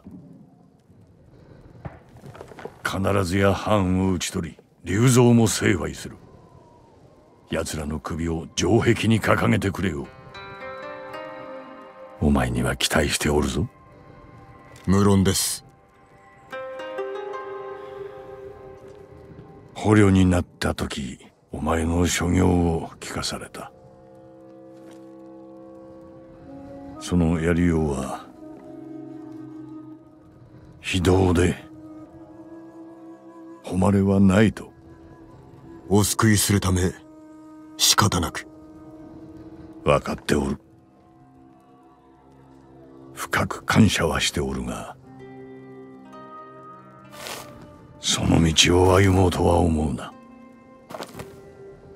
我らは民を導かねばならぬ。まずは島を救おう。武士らしくユナの件ですが私と叔父上を救ってくれました。あやつの望みは無事に本土に渡ること。船を一艘やってもよい。我が城を取り戻した暁にな。ありがたく存じます。半時後に立つ。承知しました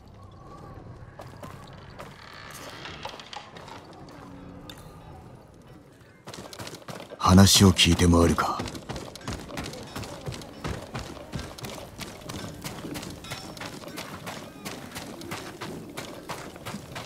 お手伝いできて光栄です。恐れながら数が足りませんね。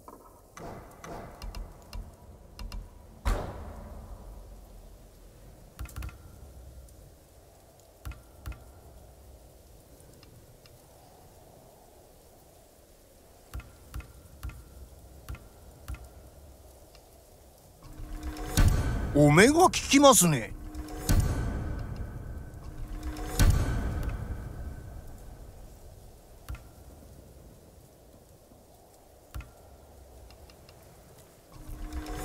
さあどうぞ。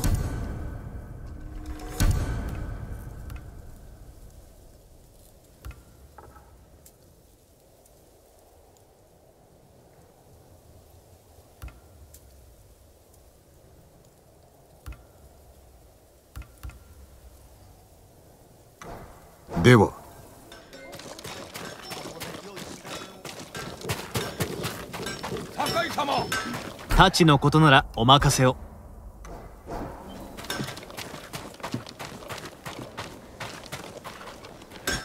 守りは進んだか？ああいいえ。火事場が動けば間に合います。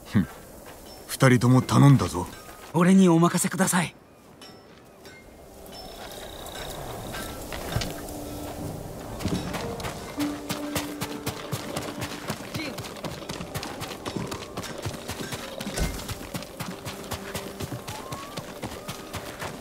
品揃えが増えました。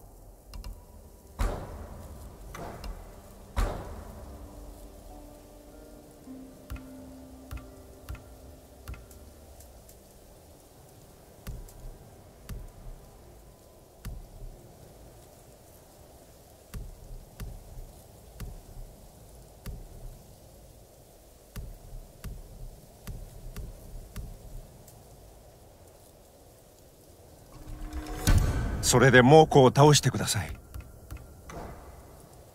素材が足りないようですね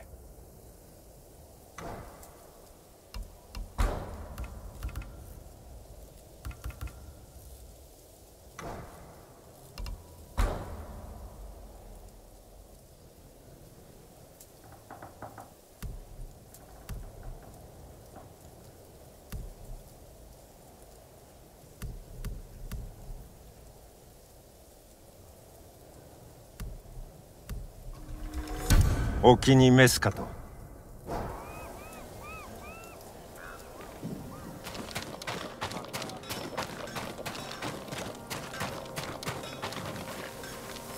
政子殿資格の手がかりはいかようで。先は長そうだ。何名かは豊玉へ行ったようだが。いつでも加勢いたす。叔父上の城を取り戻す暁にはぜひお力添えを。もちろんだ猛虎を一網打尽にいたそう。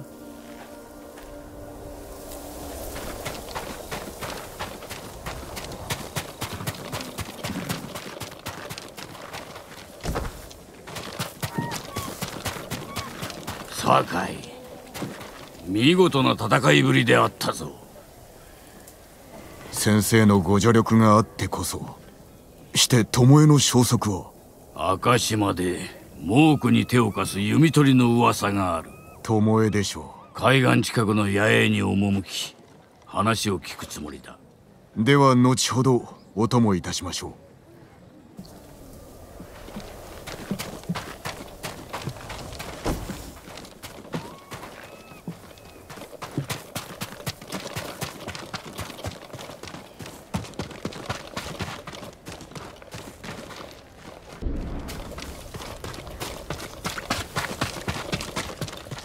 志村様は何て？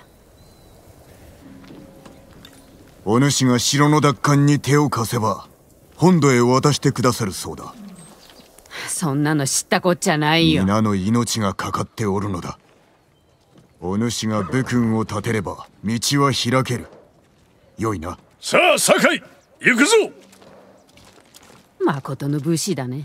絞り取ることしか頭にないんだ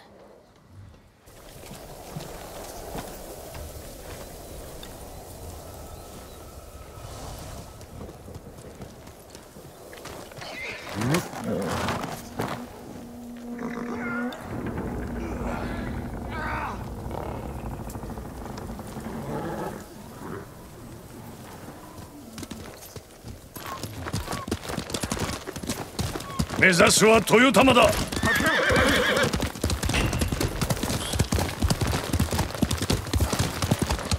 橋は行けぬか。ならば森の古い隠れ道を使おう。行くぞ。叔父上もっと早くお助けできれば。何を謝ることがあろう。ハーンはどのような男です？一言で申せば切れ者の獣誇りなどみじんも持っておらぬ奴は言葉を学び叔父上を生かした。その狙いは？本土を攻める折の助力を壊れた。褒美は富と権力に女だ。まさか鎌倉を裏切れと？あの侮辱だけでも生かしておけん。時にユナとはどのような女子だ？勇気と忠誠を備え腕も立ちますなりわいは野党だと聞いた。大義に応じる者を手放せとおっしゃるのですか？あやつは勝利を求めておらぬ褒美だけ。よ厳しい戦になろう。味方が頼むに足るかを知らねば。私がお支えします。ユナも。かつてこの島は混乱を極めた。そこに秩序をもたらしたのは他でもない我ら武士だ民に見せねばならぬ。我らが島のために戦えることをな。お前は一度故郷に戻り殿下の鎧を受け継いではどうだ？私には時期尚早かと。亡き父も喜ぶぞ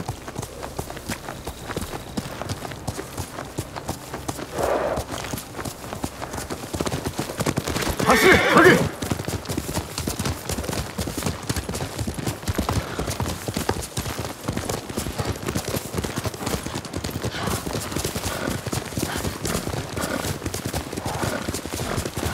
この匂い燃える木とムクロ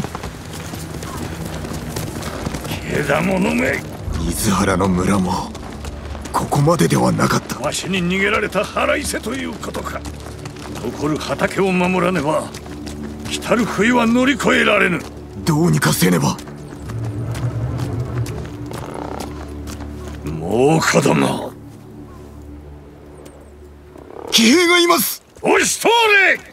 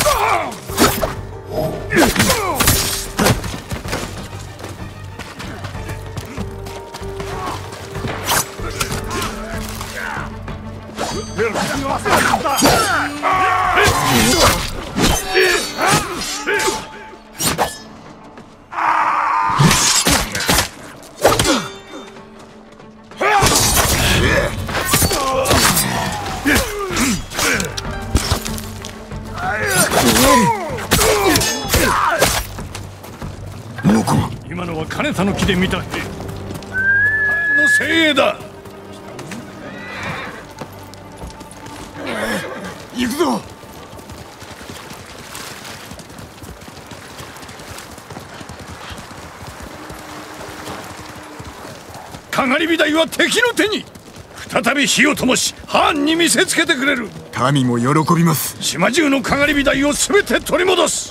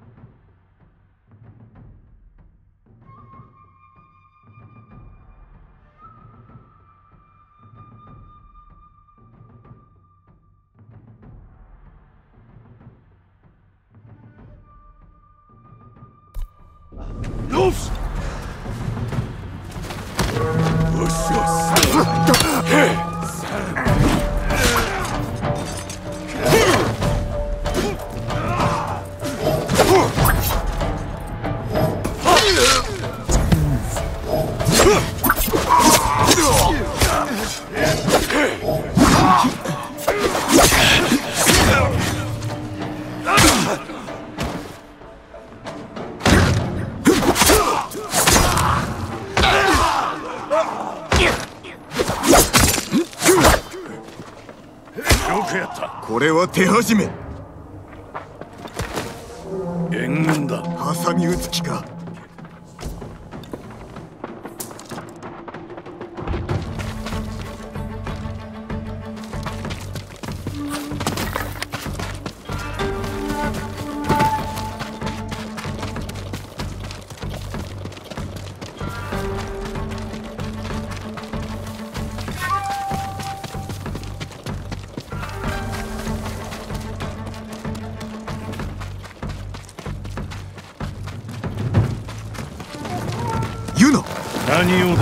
猛虎の大軍が来てるよ。火薬も持ってる。逆手に取ってやろう。弓を構えて。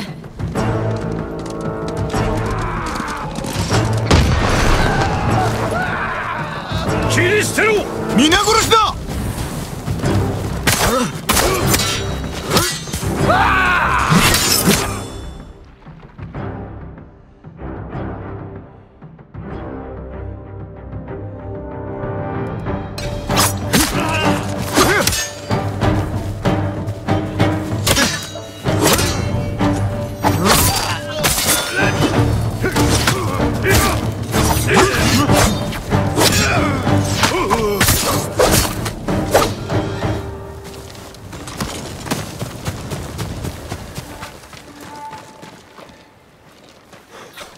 大義を分かってくれたか。私はこの島を出る。タカも一緒に。まだ済んではおらん。参るぞ。かがり火台の火を灯し金田の木の勝利は始まりに過ぎんと猛虎に示す。はあめ待っておるがいい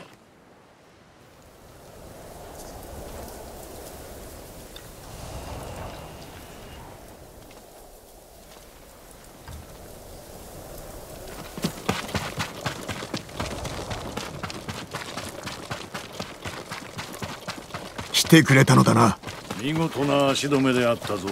当然の行いさ志村さんお主のような武人が多くおればいいのだがな。その目を開かなけりゃ。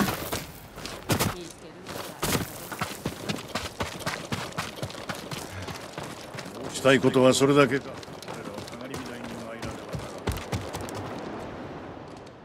槍川には兵が大勢いる。壁が抜かれてなけりゃねかつて槍川家の反乱を収めた。わしは恨まれておる。知ってる。あそこで育ったから。だから盗みがうまいのだな。ユナはとても口の立つ女です。助力するよう説き伏せられましょよろしい。酒井と共に兵を集めろ。さすれば本土への船を調達してやる。弟も一緒に。う元槍川で待っておれ。恩に切るよ。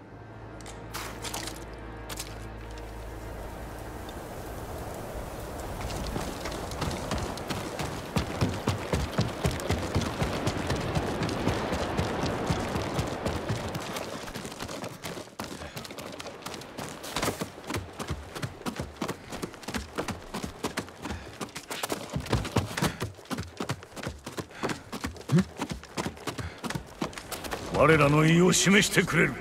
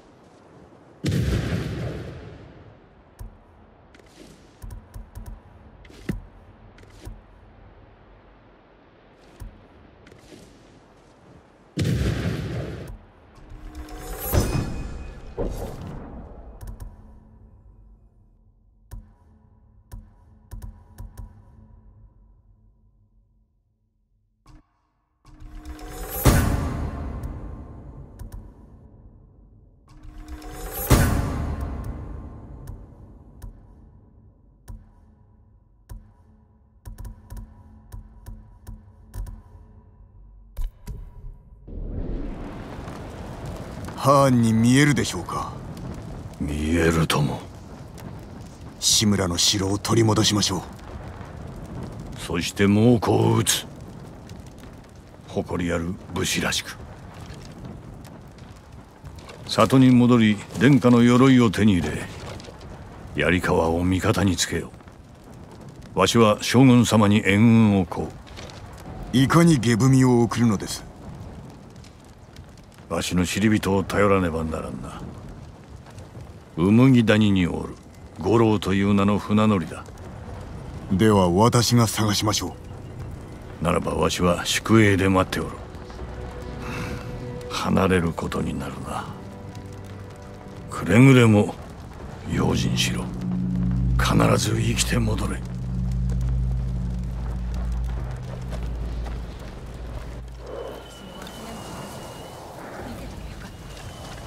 海様牢に捕虜がおりました。僧兵のようでお話をしたいと。僧兵だと承知した。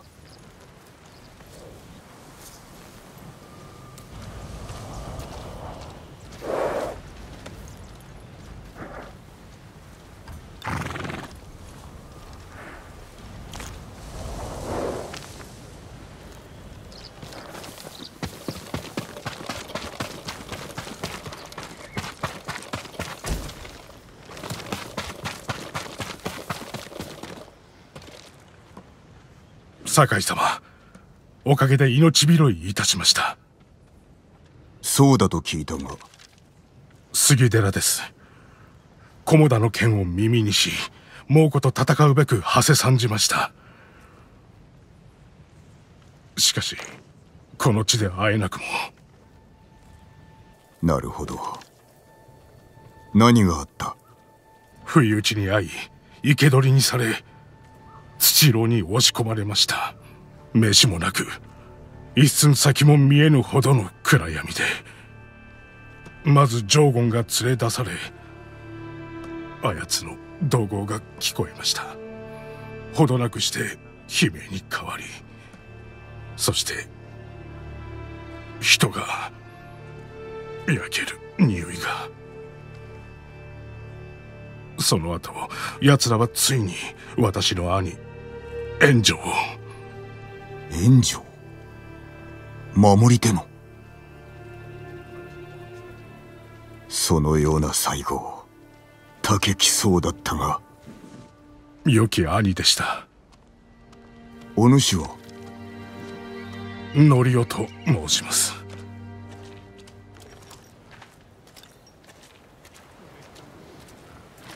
この牢におりました。6人が入るかという大きさ。いいえ10人以上いました。少し歩こう。見せたいものがある。豊玉からの旅路。どうであった？櫛寺は無事です。赤島の楠市の村も。麦谷も猛虎に抗っていると聞きます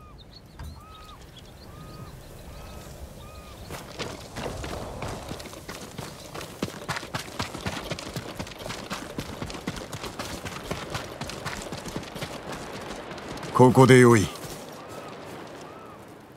敵は何千にも及びます。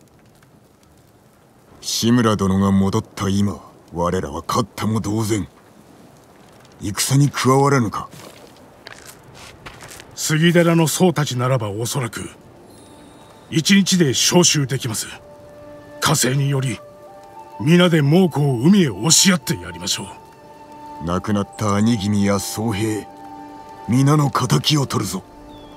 敵討ちではなく平和のために戦います。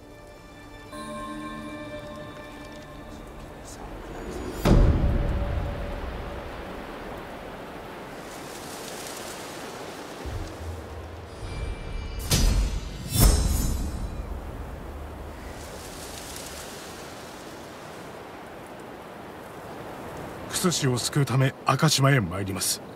折を見て酒井様もいらっしゃってください。方針を紹介しましょう。島で一番の靴下と言われています。赤島で会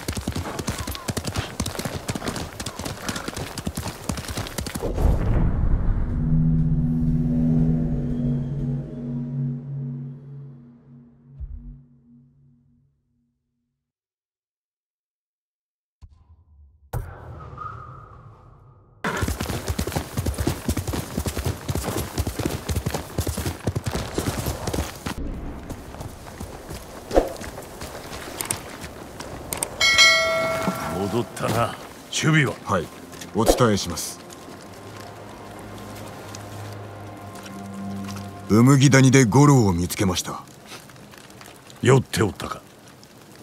冷ましました。御身への借りを返すため本土へ船を出すと。悪人も使いよう。あやつほど海を知る者はおらん。この二人が下踏みの使いですか？そうだ。小太郎も太郎も中遊の死鎌倉への書状を託すにふさわしい。五郎曰く近くで落ち合い船へ案内するとのこと。宵闇に紛れて立つぞ。その時までに戦自宅を済ませろ。はい叔父上。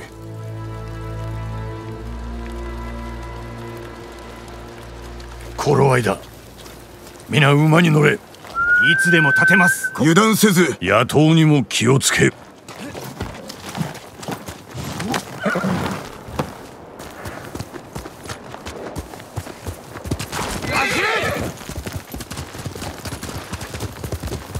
その顔聞きたいことがあるようだな。申してみよ五郎と知り合ったいきさつは。ご金星の唐の絹を売っておったのを捕らえた。ら絹を燃やし放免してやった罰する代わりに恩を売ったのですね。腕の良い船頭は手堅いからな。もうこの囲みは厚い。五郎は抜けられるでしょうか。抜けるしかない。我らが捕らえられたらどうします？血を恐れてはならぬ勇気を持ち守るべき民のことを忘れるな。志村様！五郎船はどこだ？こちらに生きてらっしゃったとはよかった。よく引き受けた。見直したぞ。まあやるにはやりますが岸を離れることなく沈められちまうかもしれませんよ。物見の兵が船に行参いますから。では歩く。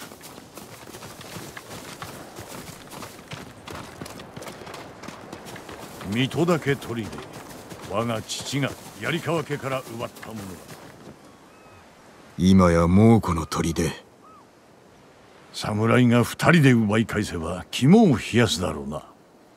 砦の中で騒ぎを起こせば、うん、船の物見も目を向けるはずだ。五郎これより我らは砦に押し入ってくる。その隙に船を出せ。ダメです。死ぬおつもりですか。いいから下踏みを届けろ。馬では気づかれる。歩いていくぞ良いな酒井。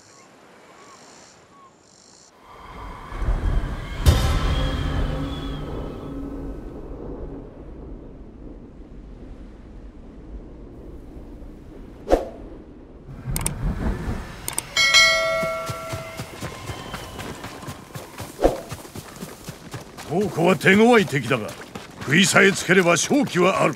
それだけで砦を落とせますか？多勢といえど一斉にはかかってこられまい。幾度敵の不意をつけると？初手だけで十分。残りは切るのみだ。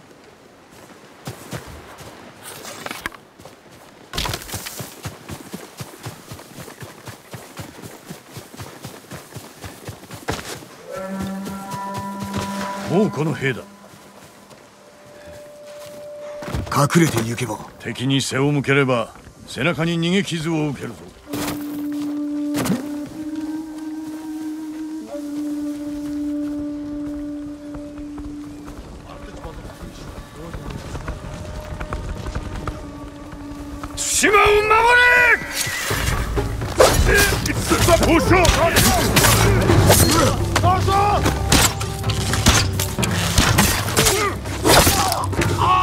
Kaptırtma çamak!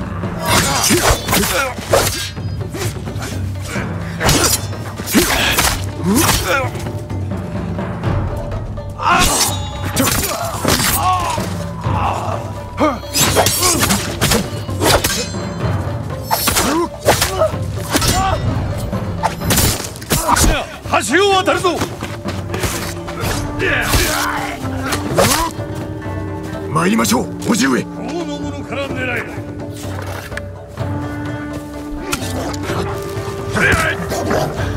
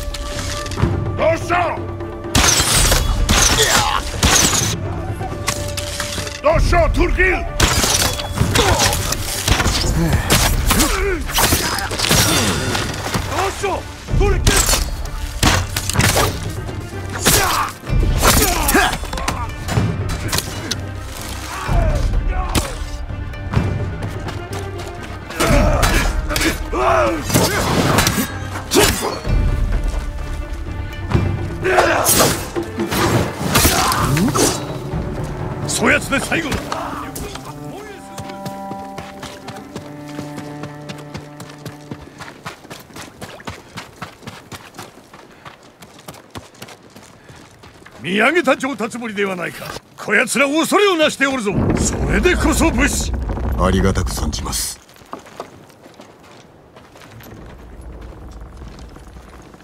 不覚を取るな。急兵隠れて。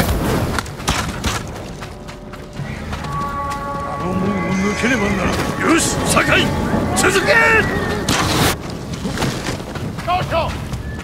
騒ぎを起こしてやれもうこの船にいる兵の目を残らず引きつけるぞ。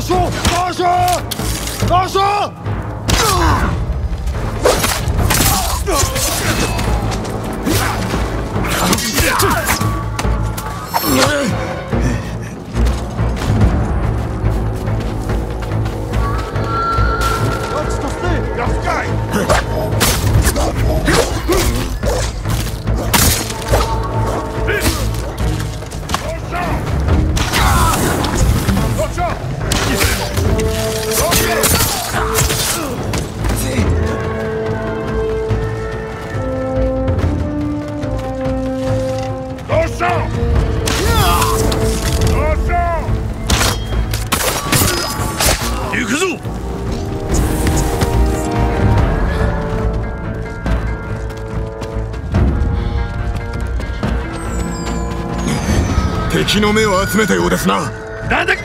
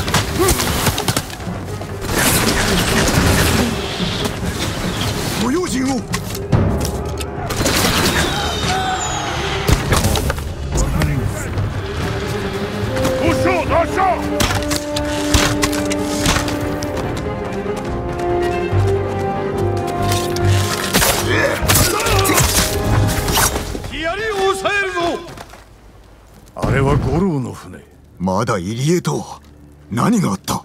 猛虎に見つかったな。奴らの船に追われればひとたまりもなかろう。いえ我らがおります。それにこのヒアリも。敵の兵器だぞ。それを使うと今は味方の命が肝心。操れるのだな。やってみせます。もうこの船を潰せ。砦の兵は任せろ。叔父上。ここで死ぬつもりはないがな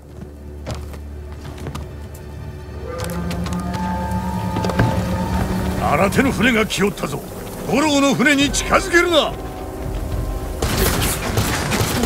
やりました。もうこの船が燃えています。撃ち続けろ。そのまま距離を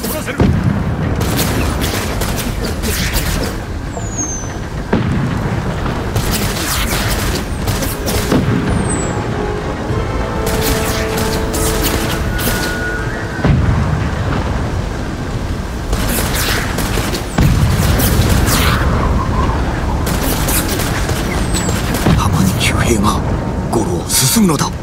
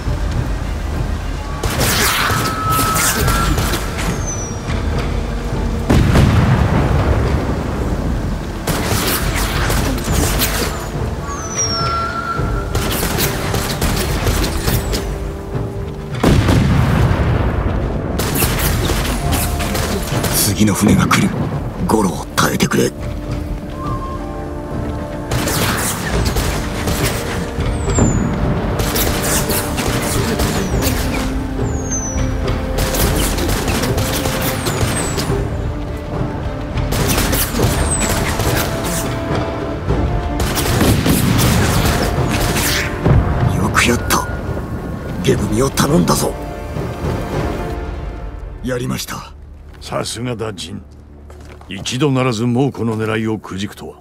叔父上の教えに恥じぬようにと。それどころではない。まこと立派になったものよ。成長したな。あの下踏みには上心もしたためてある。お前を志村の跡継ぎにするとな。叔父上。心中では常にそなたを跡継ぎと思っておったがこの戦が終われば世に知らしめる。いつの日か民はそなたを頭と仰ぐだろう。わしの後を継ぎ地頭となるのだ。将軍様の下事情によってな。私が務めを果たせるでしょうか？たせるとも。援軍が着くまでの間も事を進めておかねばな。お考えが？堺家の鎧を手に入れ槍川に加勢を頼む。義のある友とやらも連れて行くがよユナに会い近江村で鎧を得ます。終わったら我がクバラの陣所に来るがよその後共にハーンから我が城を取り戻し対馬を救う父と子として将軍様も勝利を祝ってくだされよ。離れることになるな。くれぐれも用心しろ。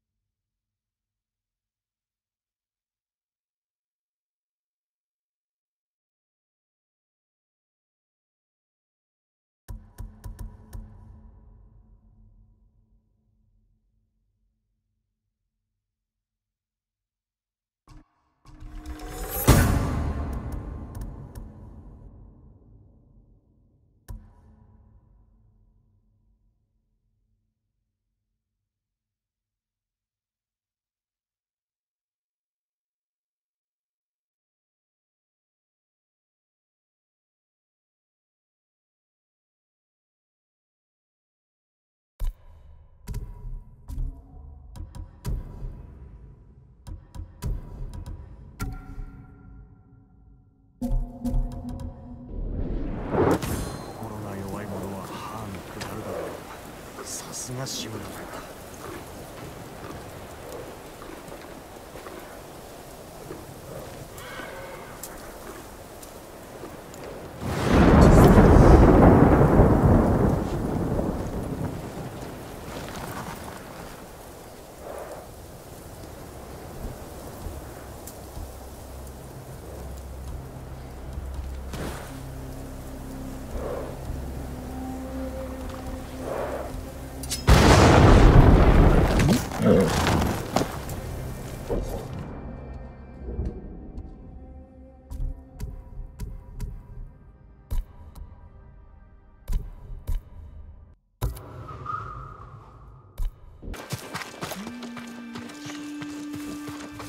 ジン待ってたよ。なぜあの者らは町の外に？猛虎が槍川を囲ってて入れないんですよ。叔父上の宿敵と手を結ぶは難儀かと思ったがなるほどな。向こうも味方が欲しいんだ。うまくいく。ではまず猛虎を打ち払い助力を願おう槍川の者と話したいが町に入れぬのではな。いや入れる。隠れ道があるんだ。それは子供の頃の話だ。もし残ってたってたどり着けないだろう。やるかいはある。それじゃあ猛虎の陣立てを見られる場所へ行こう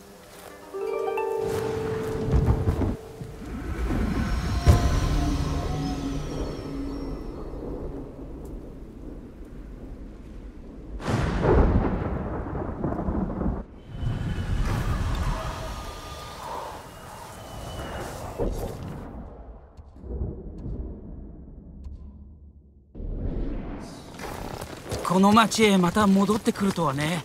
どこを見ても昔が蘇るよ。じゃあ目をつぶってな。槍川の乱の折町にいたのか。その前に町を出てた。ガキの頃さ。親と共にか。まあそんなとこ。この音ってもしや。町へ向かってる。ここは待て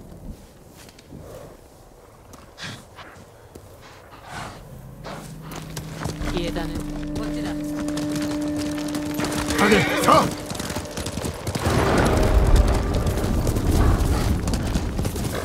あ来るんじゃなかった。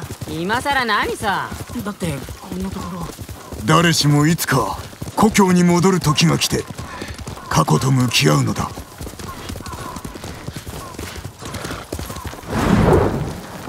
敵に囲まれてるね。槍川はもうおしまいだユナ隠れ道はどこだ？壁沿いに川が見えるだろう。あそこまで行けりゃ案内できるよ。敵陣を抜けるなんて無理だ。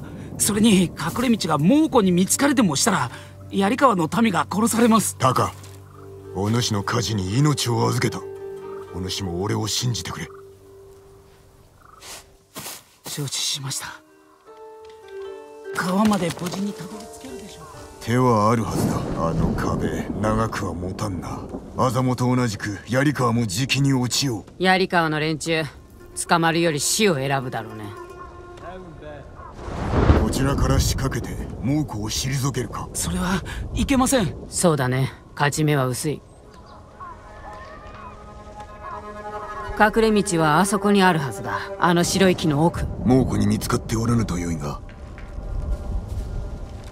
陣立てを抜ける手はないか。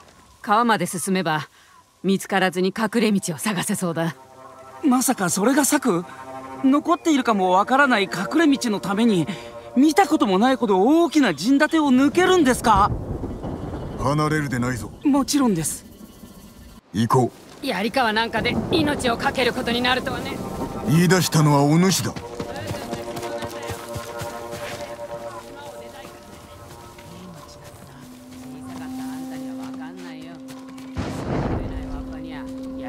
ひどいとこだったよ。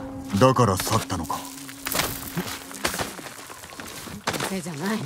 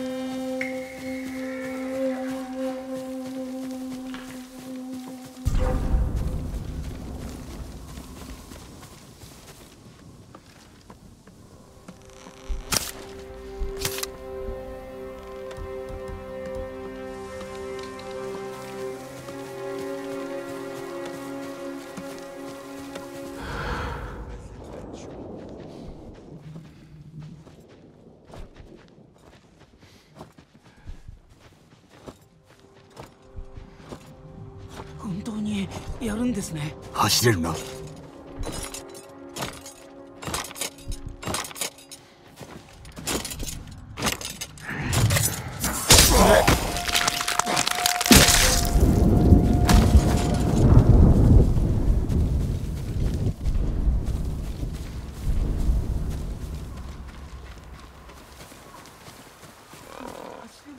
川までついていくんだ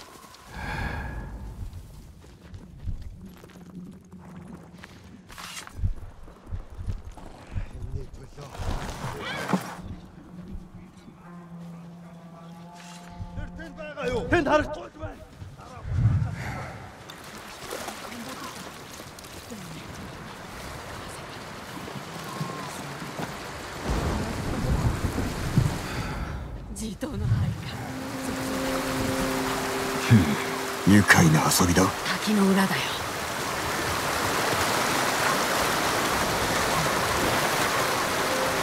まだあるよ。兵糧を溜め込んでおったのか。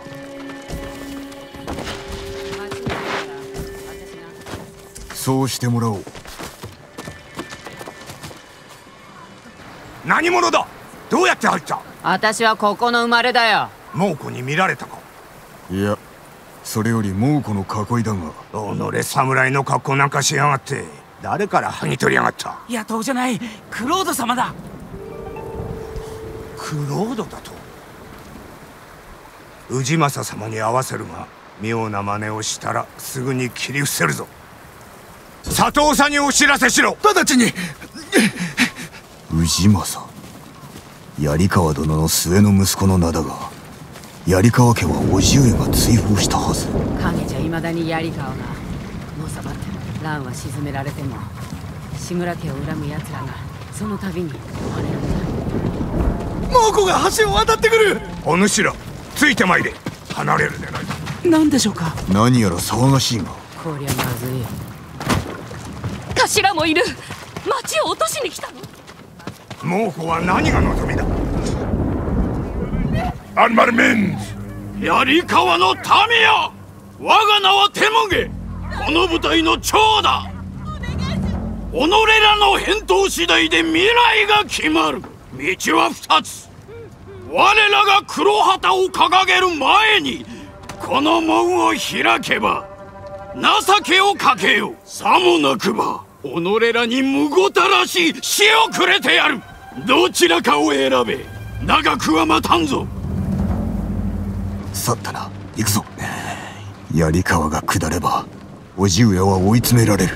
心配ない。やすやすとは降伏しないさ。戦ったら町は血の海だ。槍川とて助けがいるはずだ。手を結び共に猛虎を撃てばよい。槍川は志村様を恨んでいます。生き延びたくば遺恨など忘れねばならん根が深いのさ。佐藤さんがお会いになる。俺はこれで鍛冶屋を見ときたいんだ。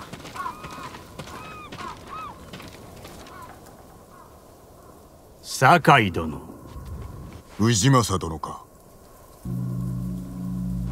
いやはや志村殿の甥子がよもやあのクロードの正体とは。知られれば罰されましょう。かつての我が槍川一族のように。それは反乱の報いであろうが昔のことだろ？今はこの島の危機なんだよ。こちらは下女ですかな？槍川の出だよ。だが地頭の手下になったか？いやこの堺の一味さ。クロードのね。囲いを破るお手伝いをいたそう。その代わり志村殿にご加勢願いたい。猛虎の狙いは本土であろう。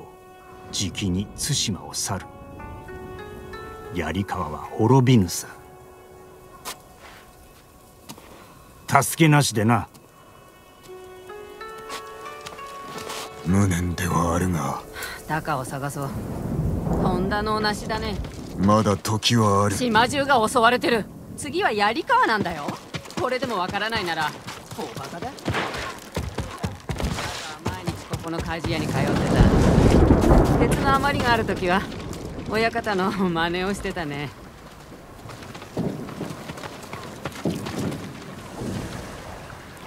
鍛冶屋とは会えたか？代替わりして親方はもうどうでした？氏政のやつは守り抜けると思ってる。腕利きの弓取りらが氏政の命に背き猛虎を討ちに出てから行方が知れぬそうです。そやつらを見つけ猛虎の囲いを破れば槍川と結べるやも元槍川で落ち合おうじゃないか。弓取りを探そう。誠の戦いを見せてやるか。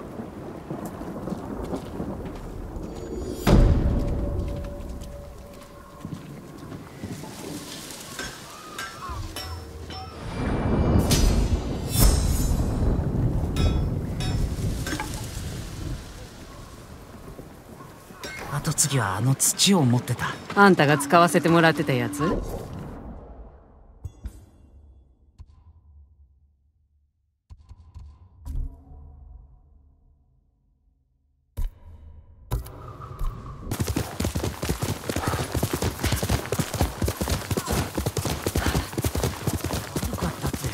口ばっかり。足の指が6本もあったじいさんこの辺り話そらすんじゃない。言うなタカも呼んだのか？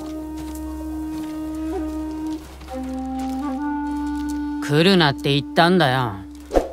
俺にも手伝わせてください。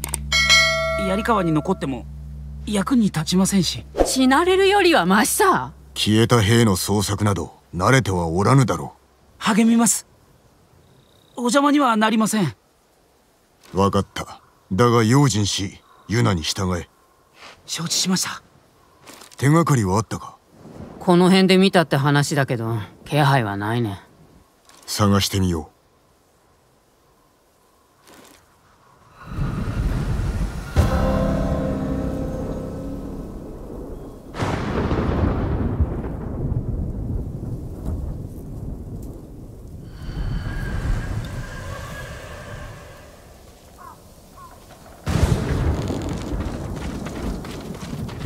猛虎が死んでおる。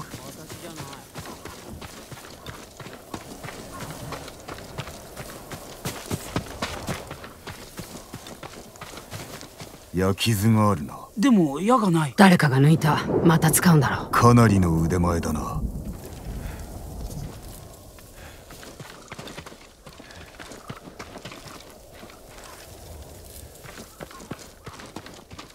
足跡三いや4人だ。どこへ行ったのでしょう？調べよう。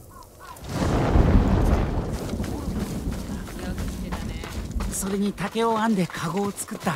なんでコオロギ取りしてたか覚えてる？いや。母さんから遠ざけるためさ。腹を立てってあんたに八つ当たりする。コオロギに感謝しな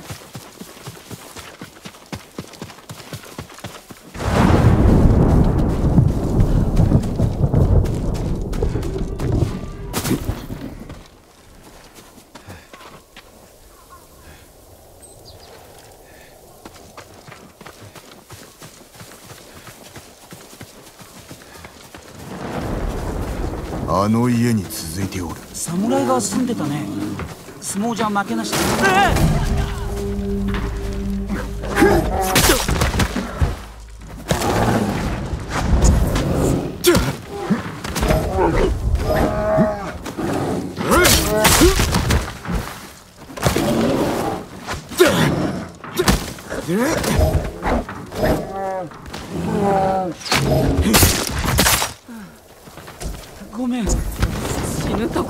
だよ。中を調べよう。私は外を見る。熊が兵糧を食ったか。おかげで死なずに済んだ。ありがたい矢尻に譲る。三河用の皮も。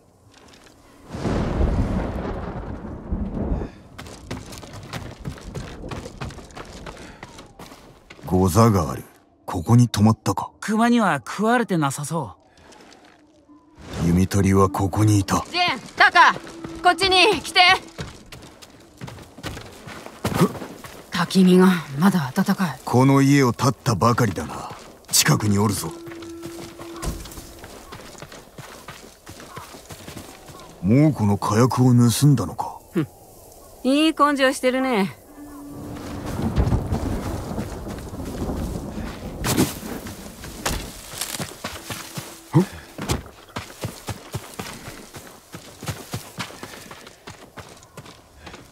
足跡だ。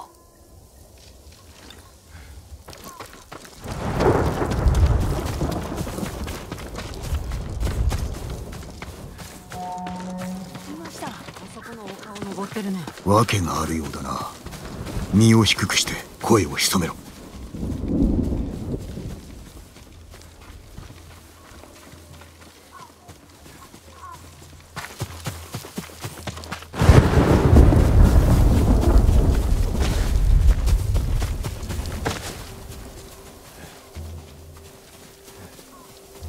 主。侍か。こっちへ来い。槍川の弓取りと見受けるが。数は減った。兵糧を奪うため野営を襲おうとしたもののあえなく見つかってな。他にはいないの？捕まった。ここまでおったが。我らも手を貸そう。うん。腕は立つようだな。わしは大黒。酒井陣志村じゃない。なら手を貸してくれよ。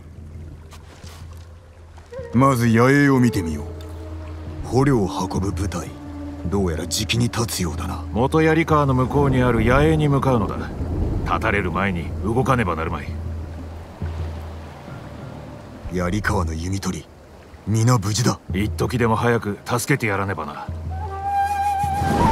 行き先はつかめた。先回りして罠を仕掛ける方がいい。奇襲に向かない地形だね。元槍川はどうです？道の両脇に屋根がある盗んだ火薬も役立ちそうだ。これは使える。なかなかの策士ですな。よし。猛虎より先に動くぞ。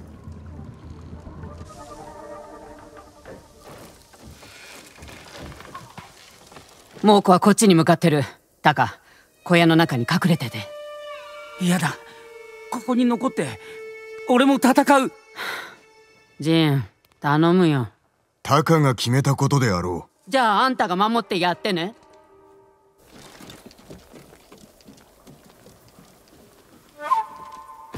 怖いか？いえそんなこと少しだけ。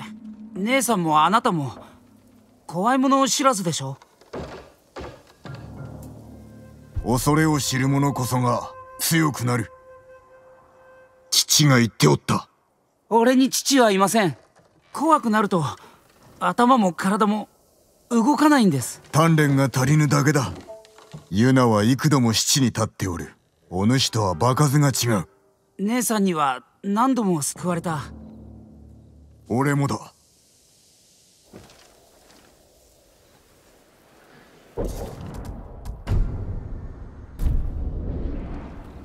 来たな。猛虎が近づいたら樽をいる。酒井様動けません。お主ならできる。恐れる心を力に変えろ。やってみます。今ですか？まだだ。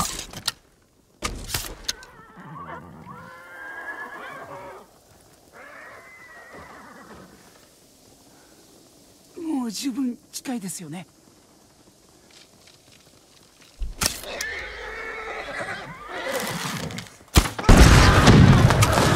情け無用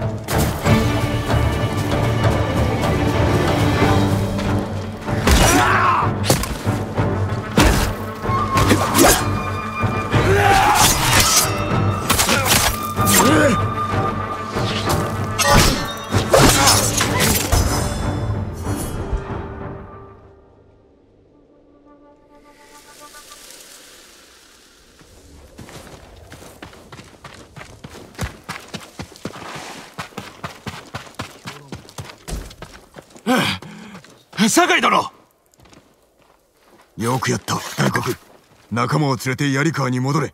直ちに。いやはやまさかあなたがあのクロードとは思いもしなかった。共に囲いを破ってはくれぬか。氏政殿次第だ。わしが取りなそう。噂通りだな。稀に見る業のものじゃないか。タカ悪いけどジンと話があるんだ。槍川で待ってるやったよ。タカが死んでもおかしくなかった。落ちかけたし。しかし見事にやってくれたぞ。置いてくればよかった。言うな。心持ちはわかるがタカは赤子ではない。あの子は戦えない。素質はある。あんたは何も知らないだろう永遠にかばってやるつもりかタカのことは私が決める口を出すんじゃないよもう戻らなきゃ囲いを何とかするんだろう町で会おう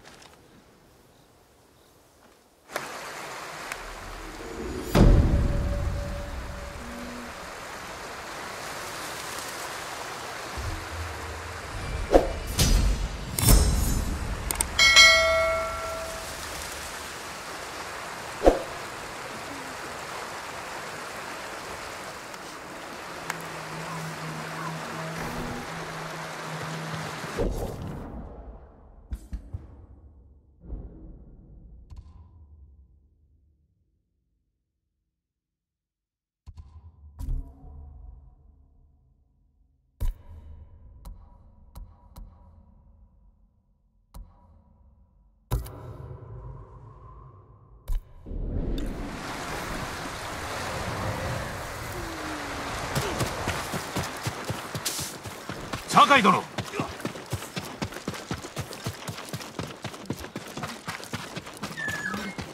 もし太刀のお手入れをいたしませんか？また頼むぞ。お侍様お譲りいただけるものはございますか？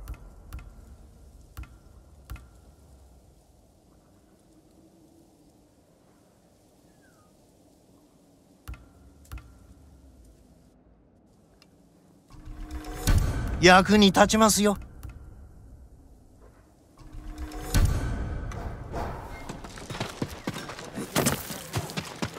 太刀についてのご用があればお役に立ちましょう。矢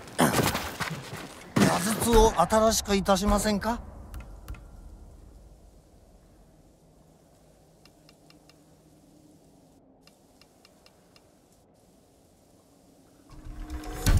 さあどうぞ。恐れながら数が足りませんね。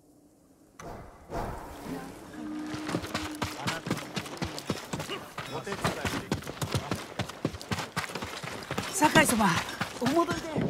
太刀の切れ味を鮮やかにいたしましょう。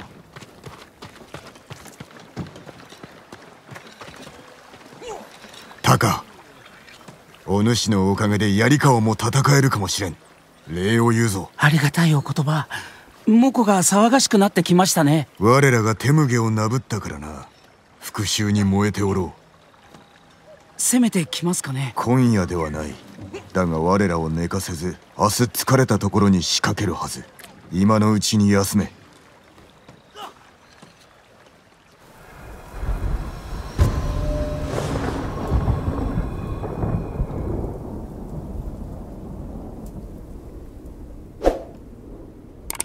そうだ。氏政様の館で姉さんが話したいって。よし心得た。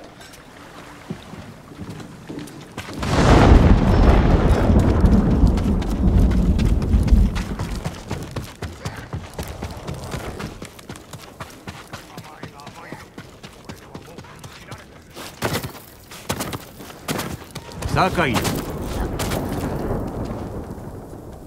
町の守りは進んでおるようですお主の働き大黒から聞いた。礼を言う。おじ君への恨みは変わらぬがな。敵は猛虎。手勢なき今あなたが頼りです。猛虎の餌としたいのだろう。槍川の民は勇猛で腕が立つと聞く。それを示す時では。考えておこう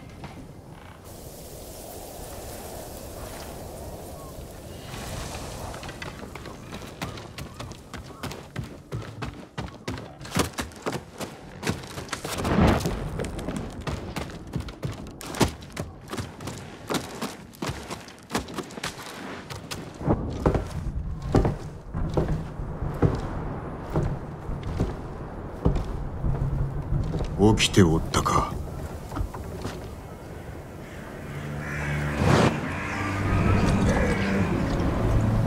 百姓だけで侍が負けた相手に勝てる？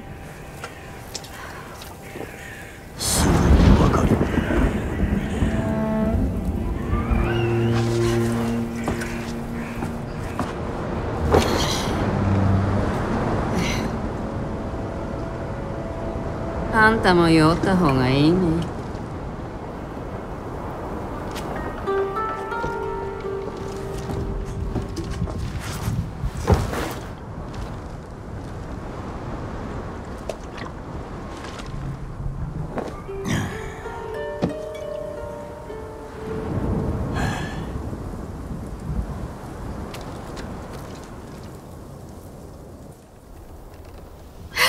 ケンジのやつ。その日はわらじ一足で過ごしたんだ。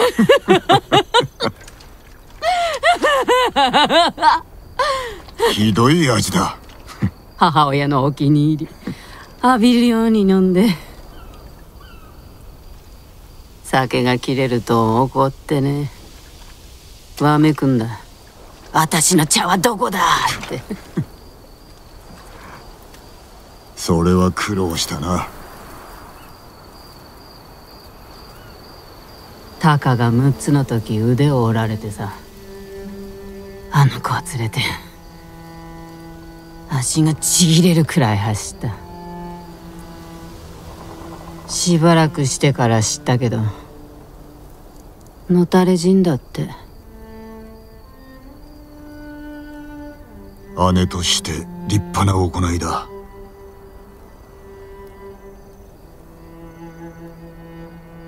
時として。逃げることが何よりも勝る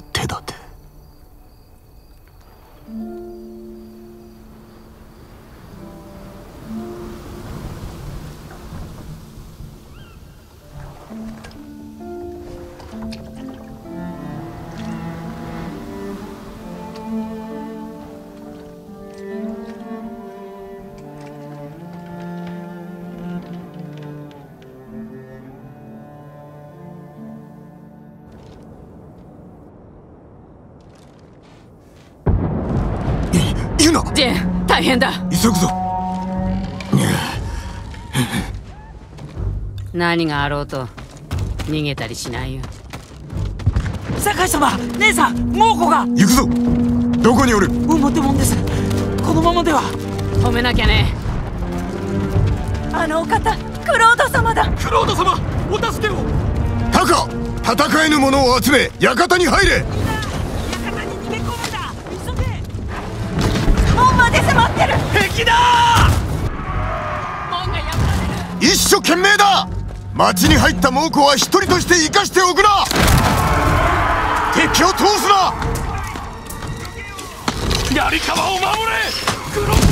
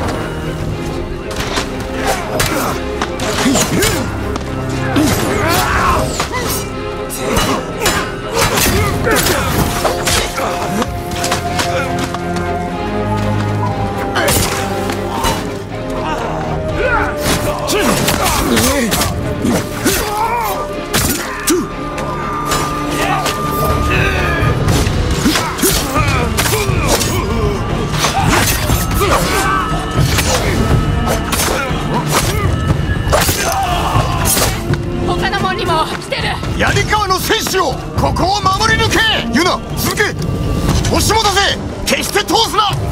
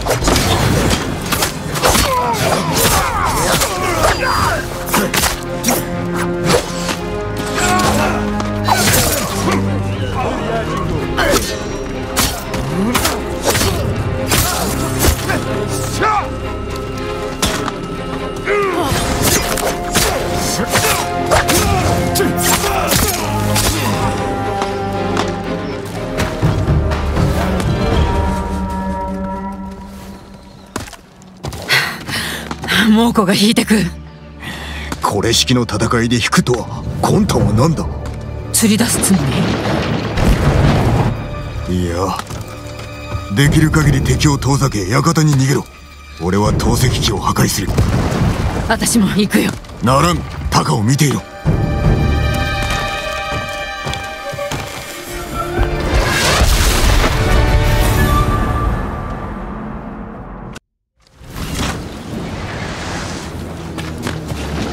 まずは敵陣をすり抜け投石機を壊さねば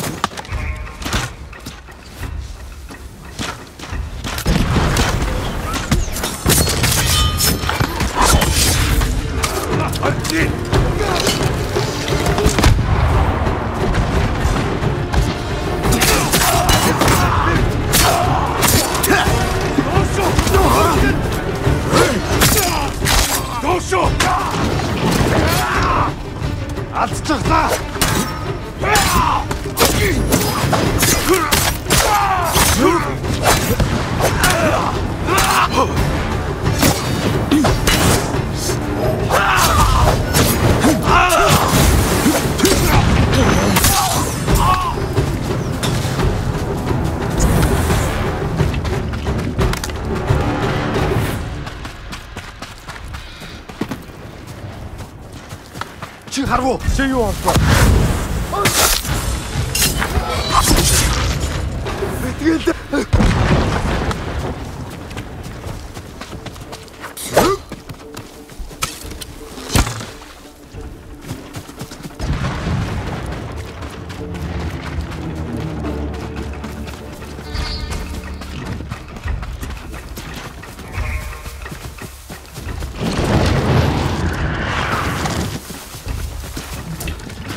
火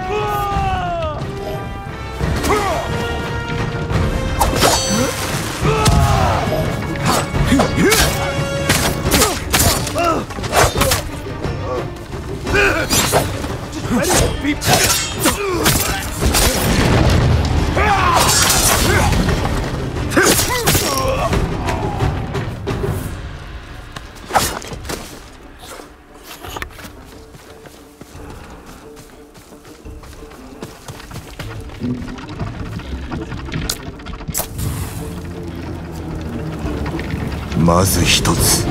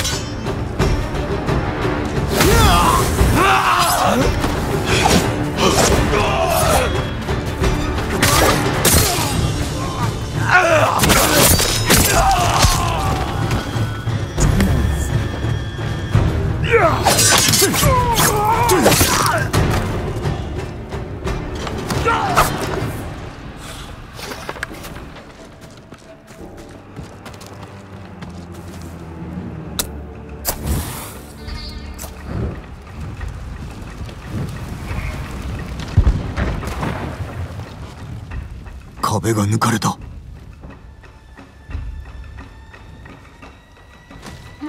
まだ手立ては残っておる町に戻るにも難儀しそうだ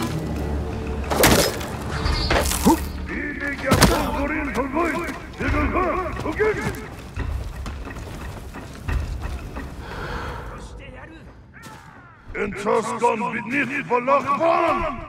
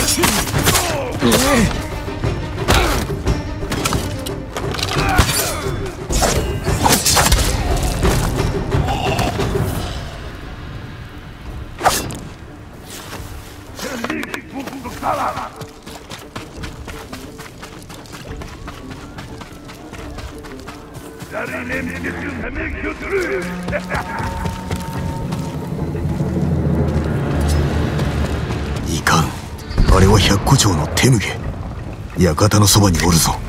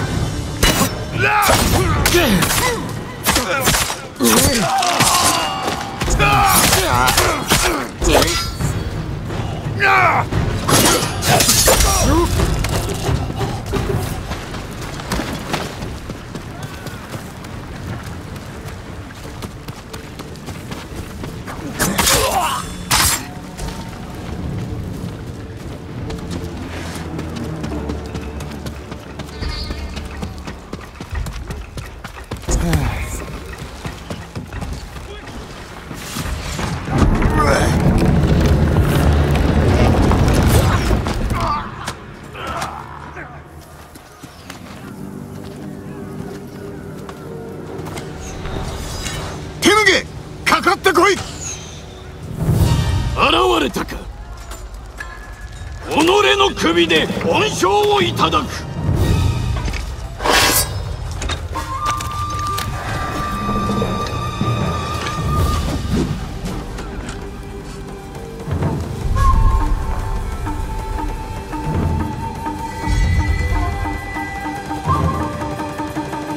我が名は酒井仁。この島を荒らす遺跡に天誅を与える者。己の血で畑を潤せ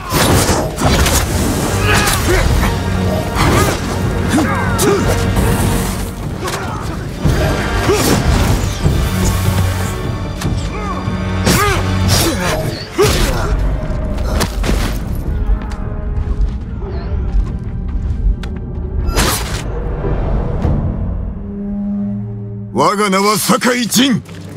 この島を荒らす遺跡に天誅を与える者。己の血で畑を潤せ。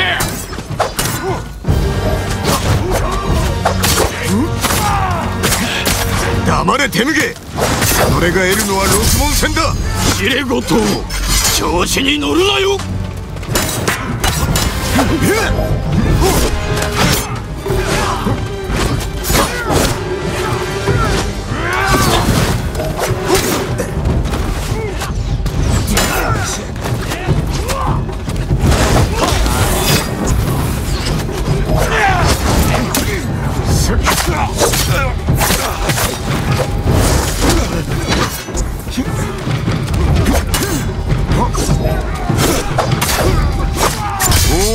切り刻んだと誇っておったらそれもここまでだ。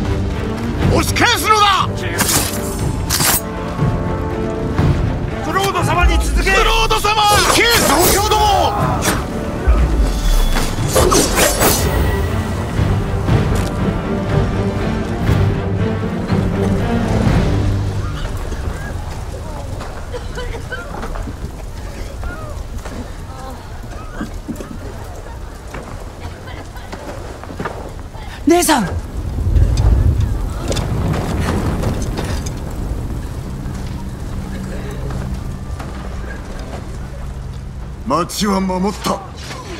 次は志村殿に加勢し対馬を守ろう。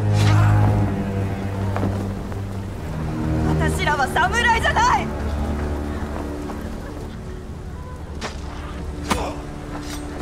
誰が猛虎を退けた？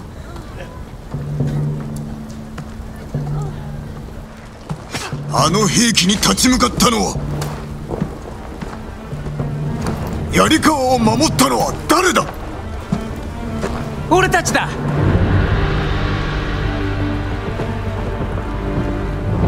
あんたたち黙ってもうこの好きにさせる機会。たとえ侍でなくともお主らは戦える。我らで遺敵を打ち払い故郷を救おう。お主らも立ち上がれ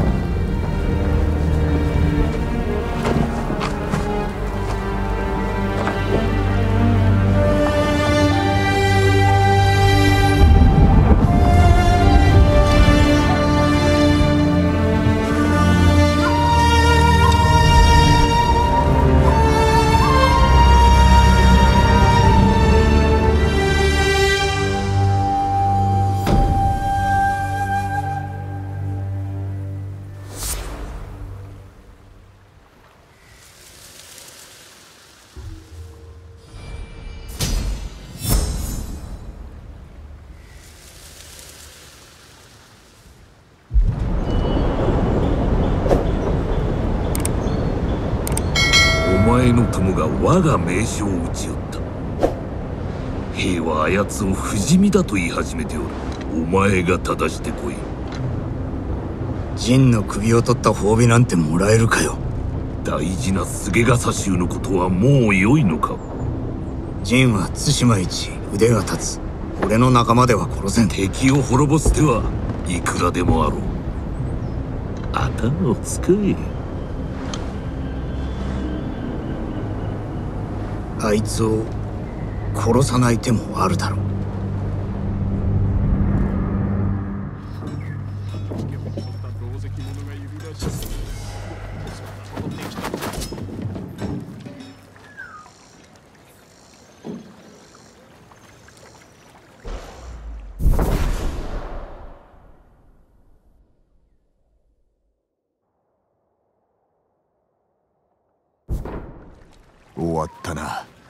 で槍川も加わる。だが叔父上の城を取り戻すにはまだ足りぬ。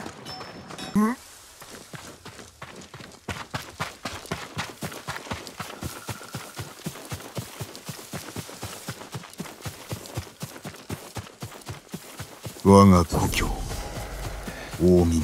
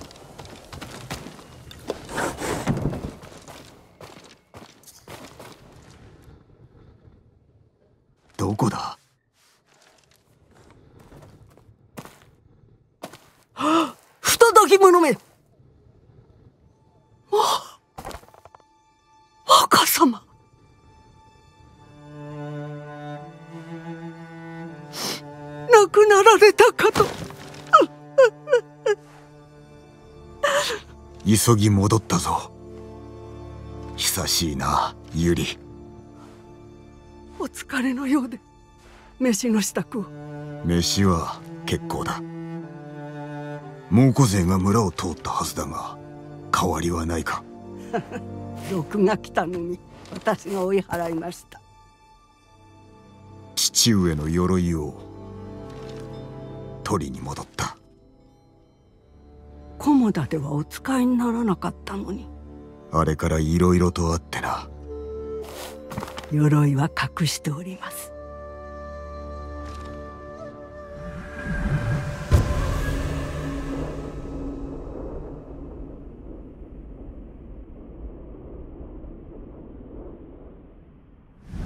さあこちらへ。ああ体が重い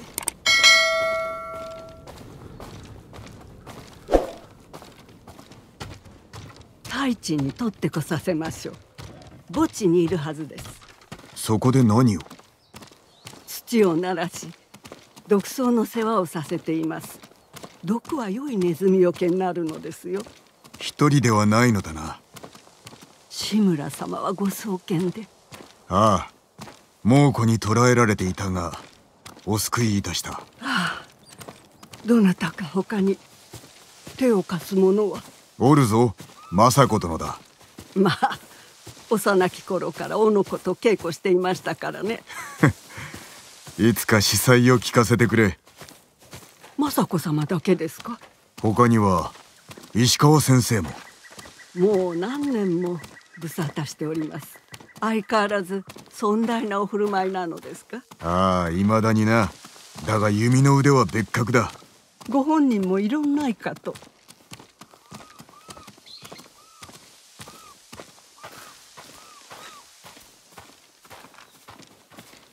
酒井様お戻りで。急ぎなのだ。百合の世話をしてくれておるそうだな。世話されてるのはこちらの方です。太一や鎧を持ってきておくれ。頼む。俺は墓に参ろう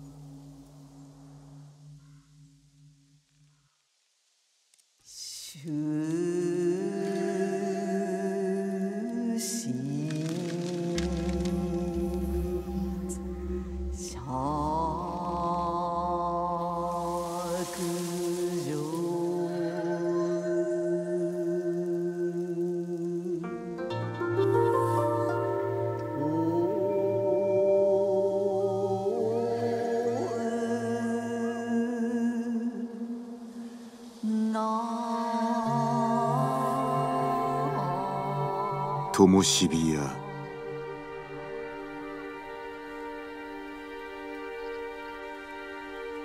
玉のを消えて遠ければ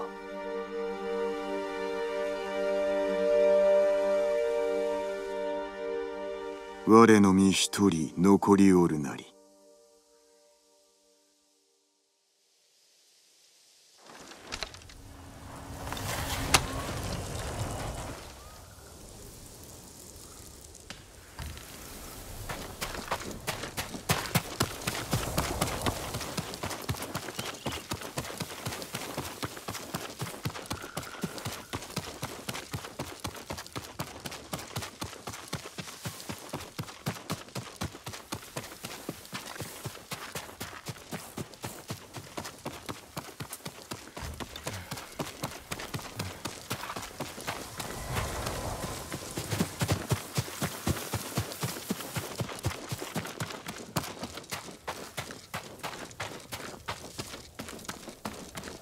鎧は中にあります。そうか。助かった。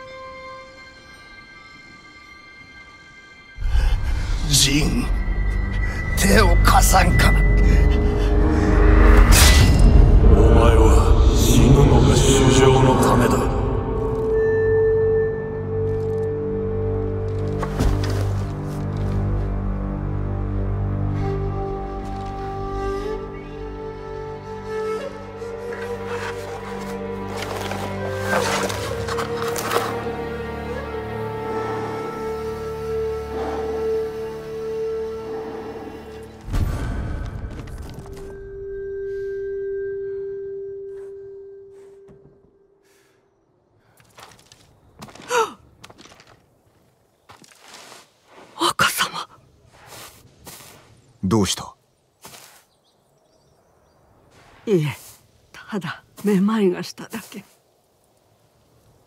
今若様がてっきり。出てこい卑怯者め。中へ入れ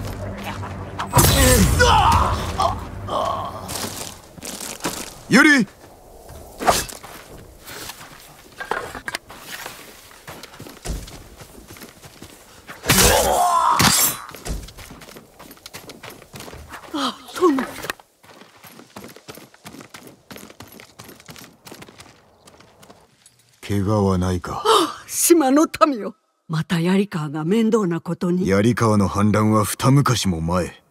あやつらは猛虎の手下だ。そうでしょうとも。あのような戦いぶり。まこと恐ろしい。はあ休ませてください。湖の木へ参ろええ。ぜひ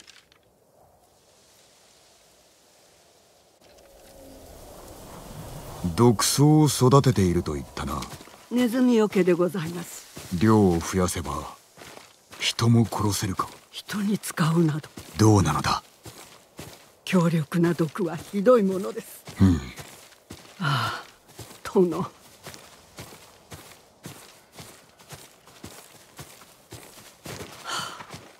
あしばし座りましょう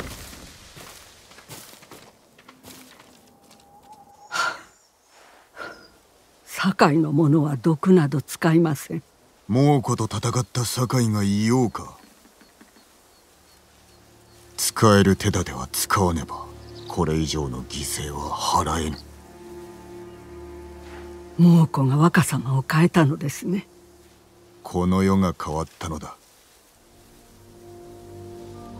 母から教わったのは薬草と死にすら至らしめる毒草食べさせねばなりませんがいかにして毒を盛るのです。吹き針を使う。唐国の僧がある源氏の武者に伝えた武器だ。どうだユリ良き心を失われますな。もちろんだ。お生まれになる前から仕えてきた身です断れましょうか。まずは筒の素材がいるな。うん。湖の向こう岸漁師の家のそばに足が生えているはずです。昔足を束ねて小さな船を作りましたね。龍蔵とな紐すがら壇の浦の戦ごっこをしておった。ご用心を。夜に明かりがついておりました。誰かいるはずです案ずるな。足を取ってすぐに戻る。さあさあ早く足を。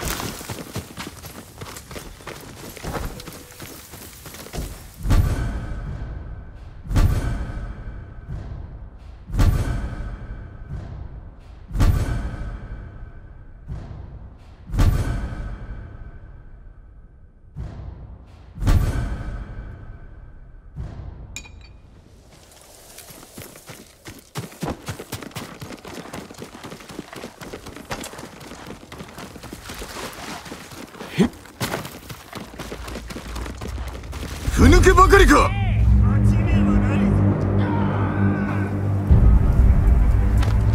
お前を殺せば名を残せるかもな。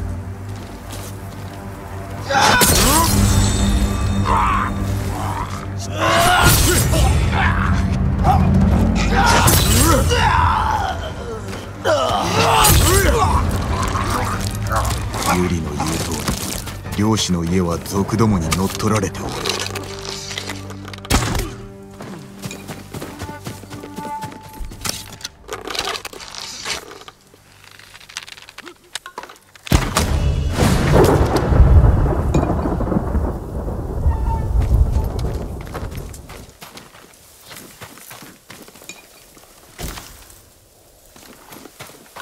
やすそうだ。ユリに届けよう。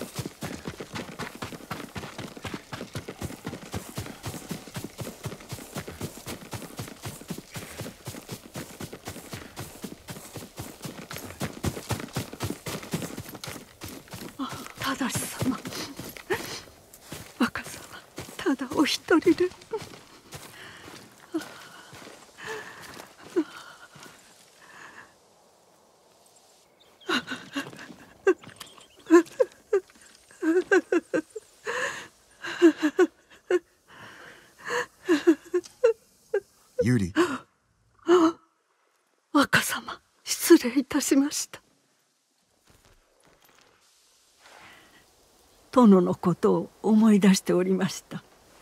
俺は忘れたい。殿なりの情があったのですよ。もう良いだろう。吹き筒と針が揃った。あとは毒だけだ。では参りましょう。こちらへどう？薬草を育てるために作った小さな野営があります。そして毒草も獅子をも殺す強さです。猛虎を殺せる強さにしてくれ。よし！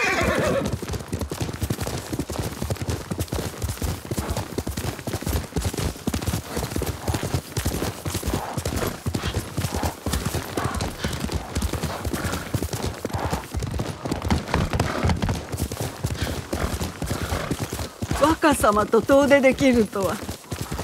馬の乗り方を教えてくれたな。あの子馬で。若様は姿勢よく蔵にまたがって将軍様のようでした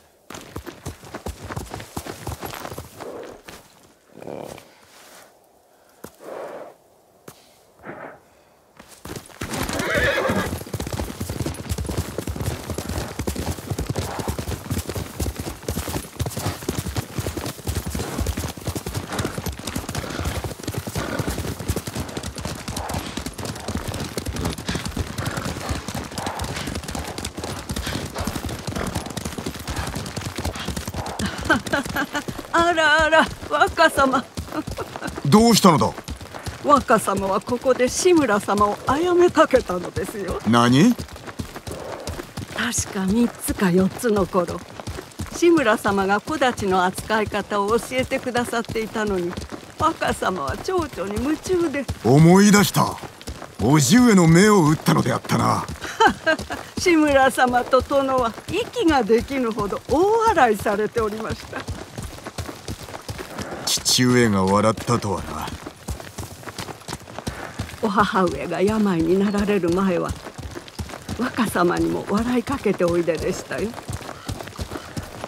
こちらです。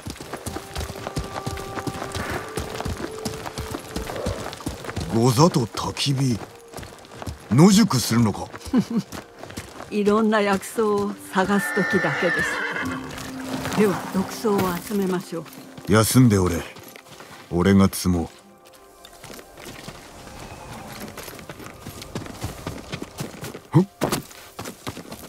種は毒で。すう子供扱いはするな。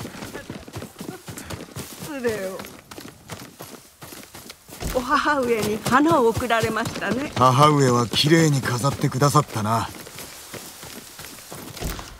それで十分こちらへお持ちください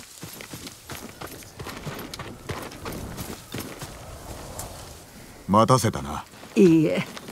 まず種を抜き取り実を砕き糊状にしたら針を浸します。効き目は強いのか？納得いただけるかと。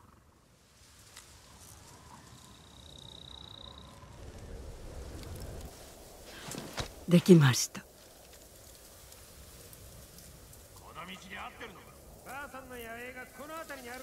若様誰か来ます。そこにおれ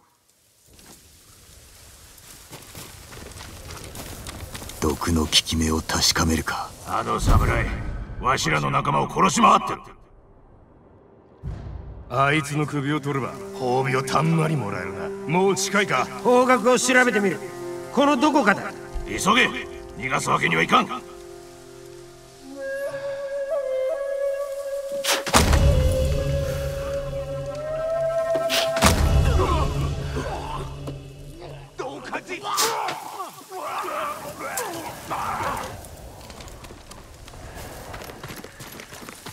怪我はありませんか？案ずるな。始末はつけた。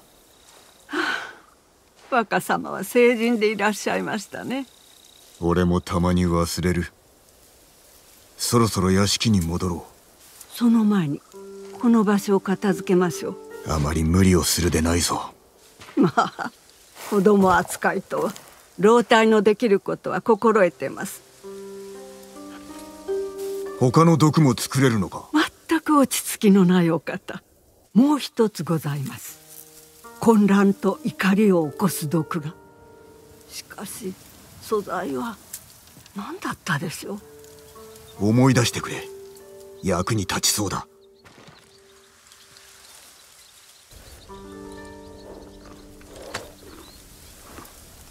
いい子だ影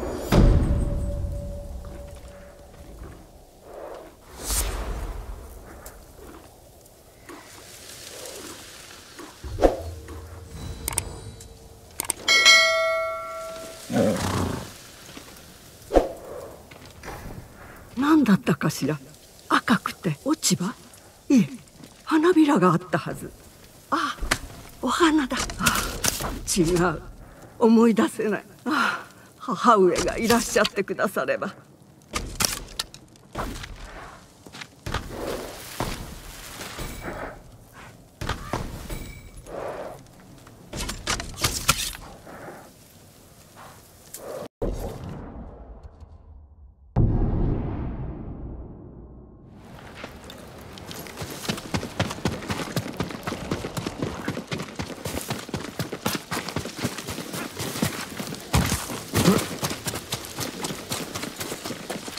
己の腕の一部と。おお酒井。お前の働きで城を奪えるだけの兵が集まった。後ほどユナにお会いください。褒美の支度は済ませてある。本土からの遠兵がじき島に着く。だがその前に早馬が届いてな。石膏がハーンの下地を手に入れた龍蔵に当てたものだ。菅笠衆が我が陣に攻め入るようだ。龍蔵は今どこに？この近く高野山。お前が行かずともよいのだぞ。かつての友です。私が切らねば。では任せよう。こちらは戦支度を済ませておく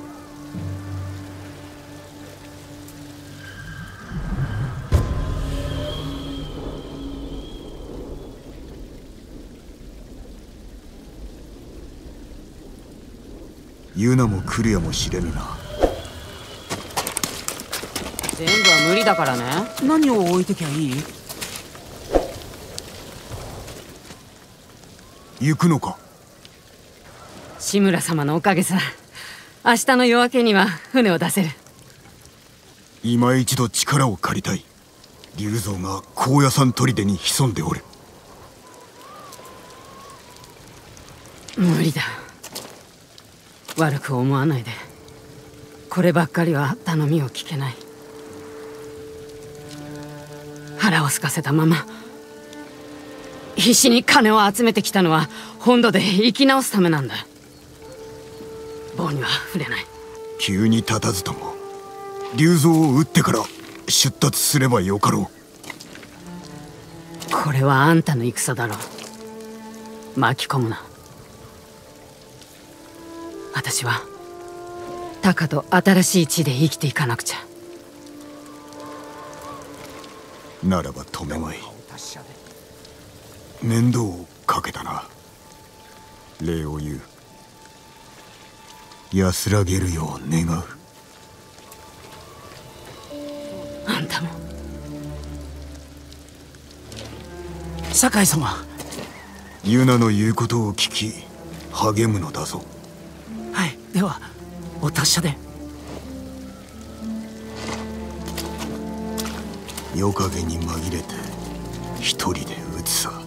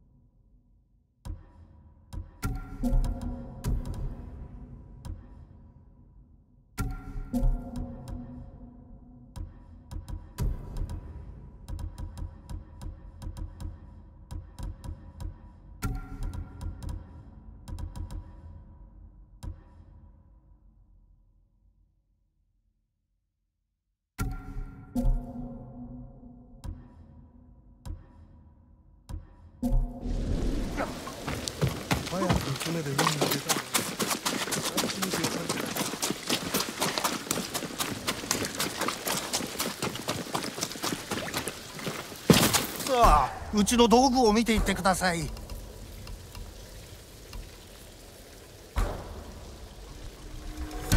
これほどの品はありません。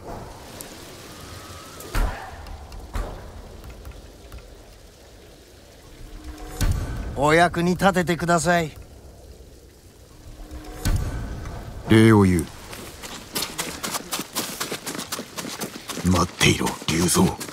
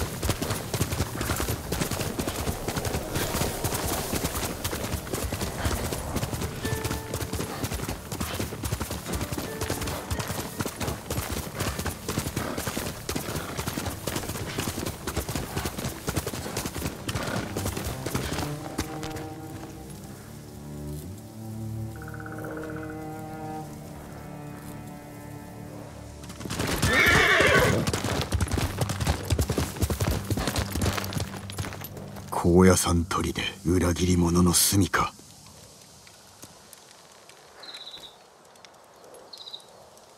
砦を探るか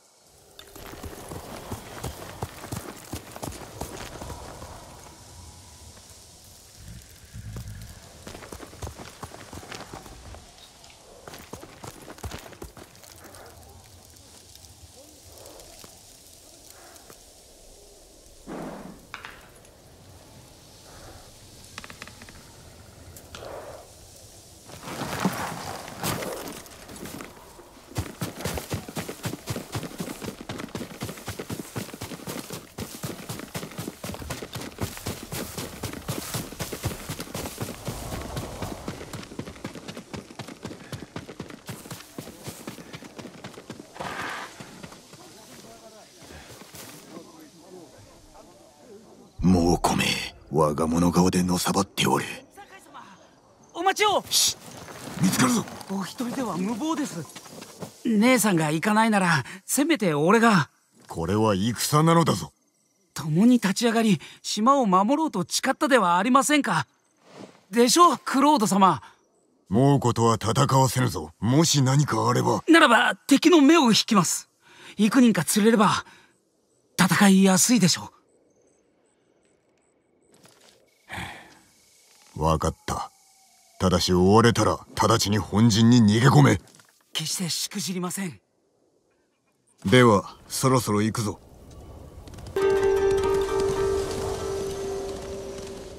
こっちだ!ついてこい!汚い野良犬ども!志村様に所在を告げてやる!お侍が押し寄せてくるぞ!みんな一網打尽にされてしまえ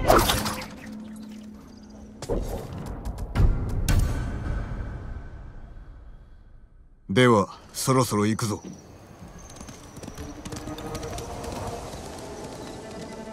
こっちだ!ついてこい!汚い野良犬ども!志村様に所在を告げてやる!お侍が押し寄せてくるぞ!みんな一網打尽にされてしまえ!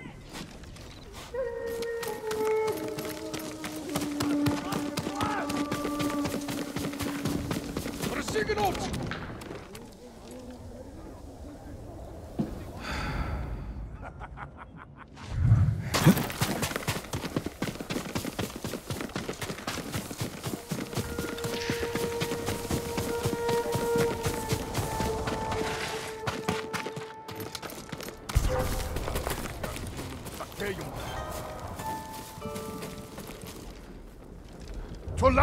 の精を出せ。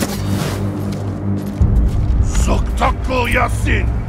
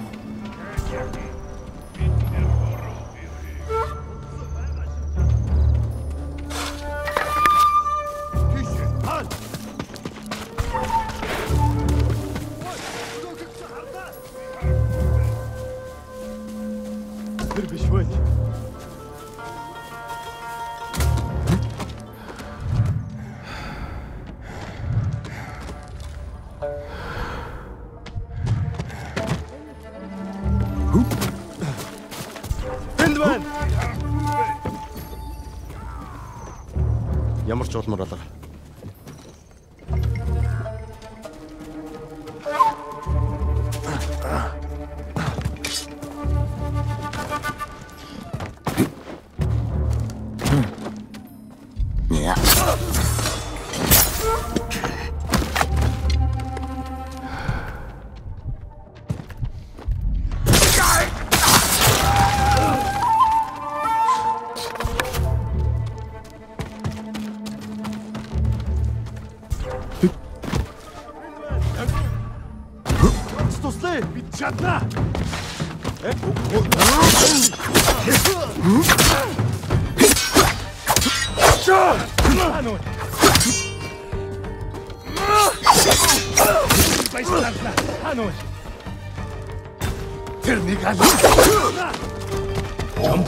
Schwimmen!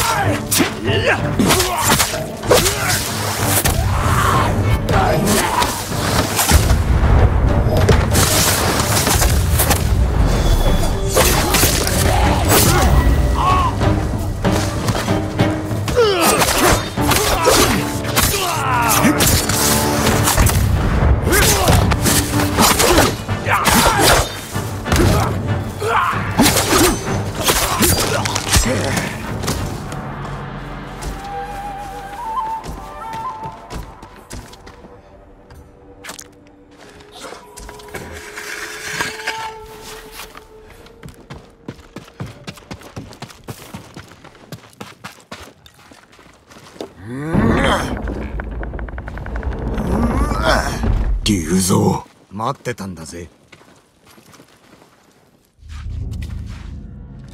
なぜ来たかわかるな。ああ居所はあえて漏らしたからな。ハーンと会ってくれ。聞く耳は持たん。よくも裏切ったな。島を守りたくないのか。切り合う意味なんてないんだぞ。いや竜蔵。意味はある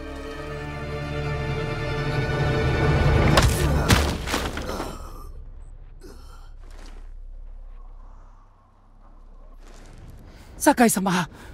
酒井様目を開けてください。タカなぜだ？あまりに遅いので何かあったかと思い助けに来たんですが見つかって。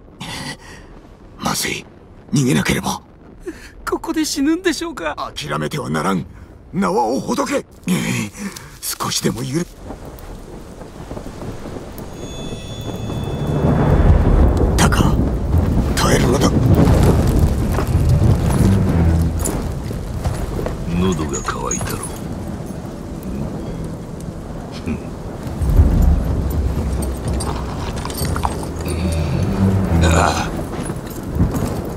乳酒馬の父の酒だ。我が相場のな。昨日足を折ったゆえ兵に食わせてやった。情けより実を取る。我らは似ていると思わんか？俺は武士だ。いや一介の武士ではなかろう。クロードだ。下るよう民を説き伏せろ。さすれば兵を引く己に従う気はない。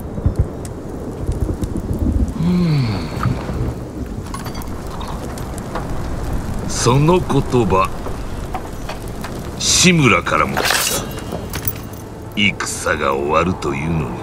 もうこの区別にはならぬ。誉れ高き一族の中で日陰の身となる辛さよくわかる英雄となるべき我らがその機会すら得られぬクロードは英雄だ。聞いたか？民は己に従う。なぜ救ってやらんのだ？同士討ちをさせる気か？竜蔵のように。だが無駄だ。さすがはクロウドこやつの身は案じておらぬか殺せ。逃がしてやる。うん。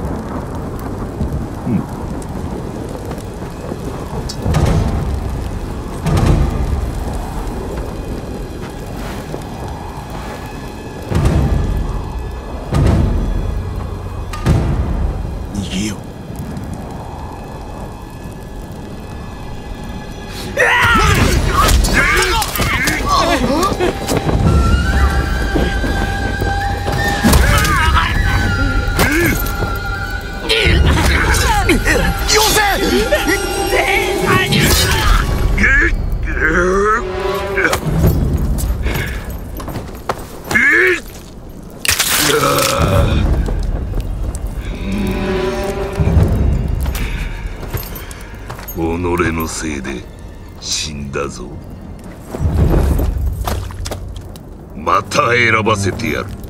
今度は過つなよ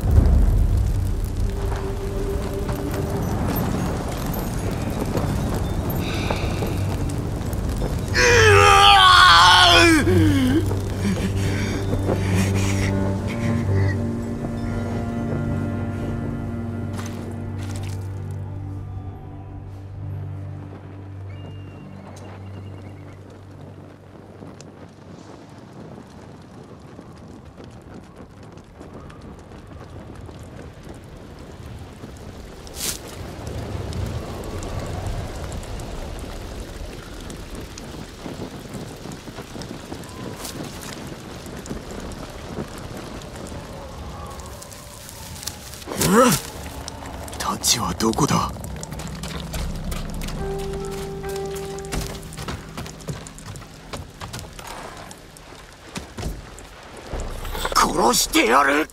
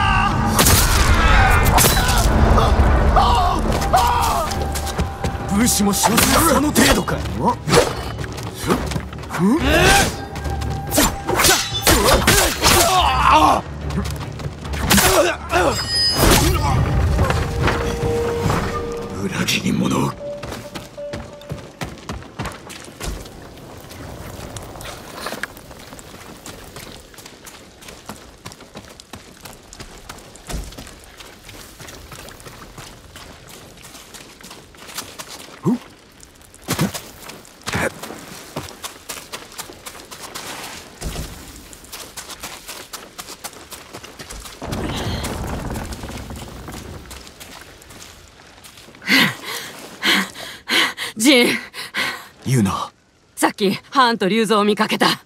タカはどこ？いるんだろあんたを追うって文があったんだ。どこなの？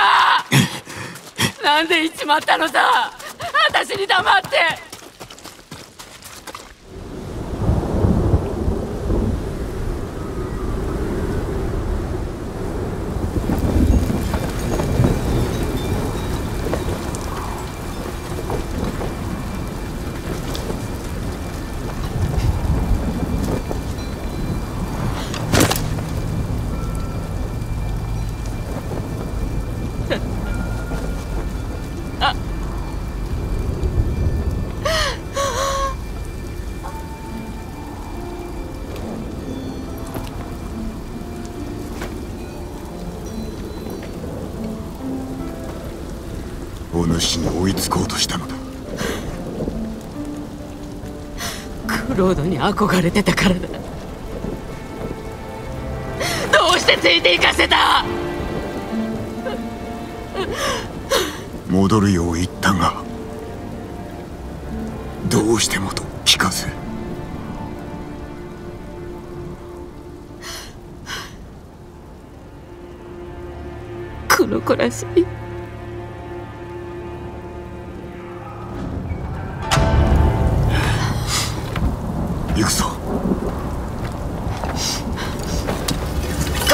置いてけない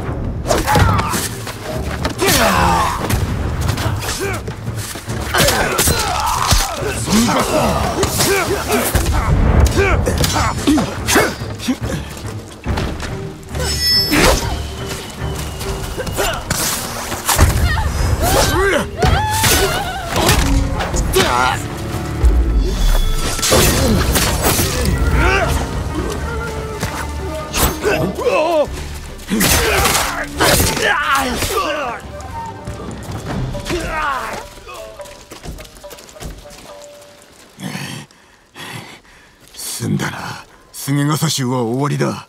あとは龍蔵殺してやる。はあもう今は次に備えよう。タカを埋めなくちゃ。手伝おう。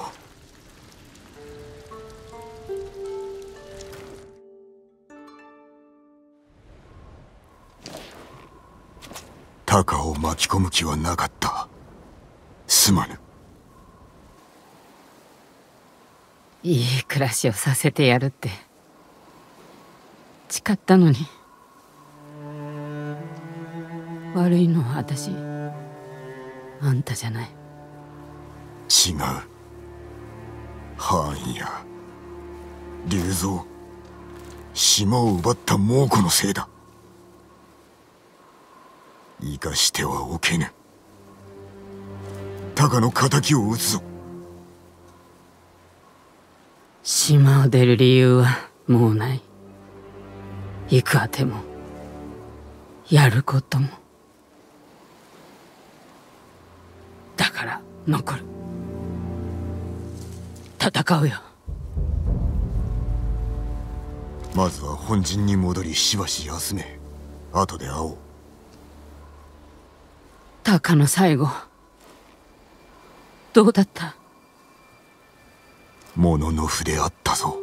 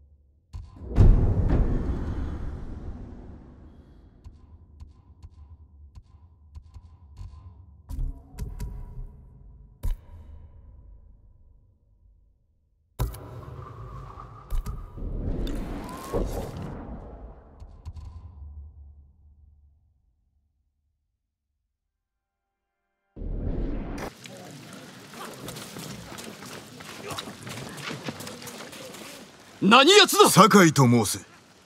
本土の武士とお見受けする。いかにも小賀貞宗と申す。本土の御家人です。よくぞ対馬まで。下級の時ゆえに下文が届くとすぐに我らは出立を命じられました。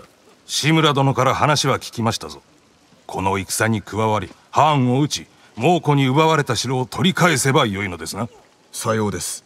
恐れながら人に会わねばなりませぬ。南の門でお待ちしましょうその後志村殿のところへ。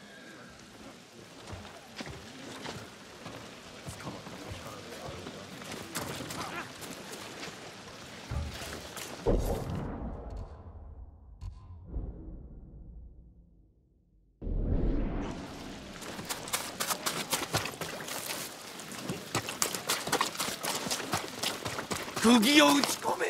しっかり打ち込め。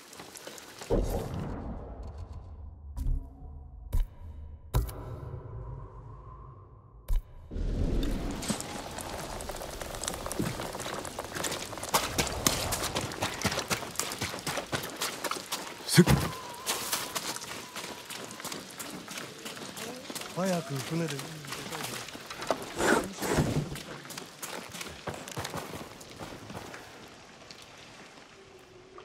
いよいよだな援軍もおる備えは万端と言えよ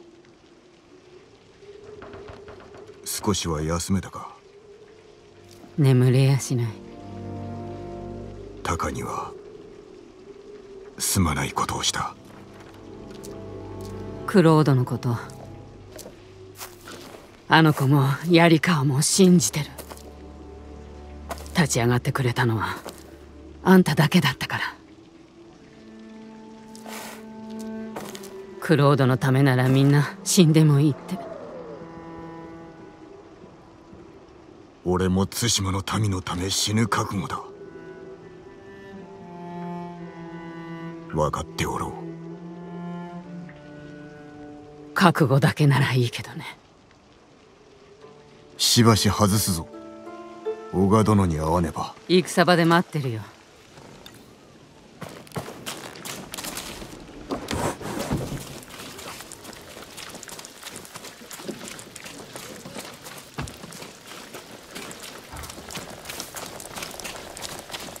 車輪をよく見て。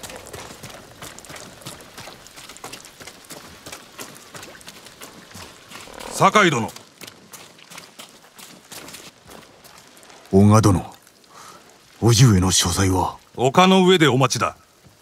道中小賀家のものでお守りして信ぜよ。痛み入ります。ハーンを待たせる気はありませんさようか。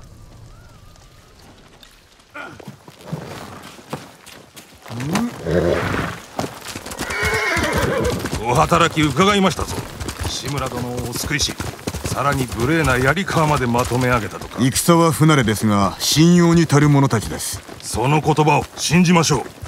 時に民から二つ名で呼ばれているそうですなクロード武士が全て撃たれ信じる者を欲したのでしょう。だが我らが来た。今こそそうしたまやかしは捨て去り本来の掟に従うべき時が来たのでは。今は対馬とこの島に住まう民を救う時ハーンを撃つまではお待ちください。いかにも心得た。志村殿おいご殿がお付きです。陣上におる。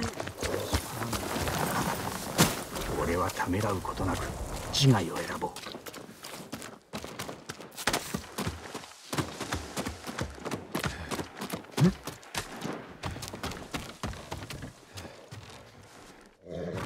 良い働きであったな。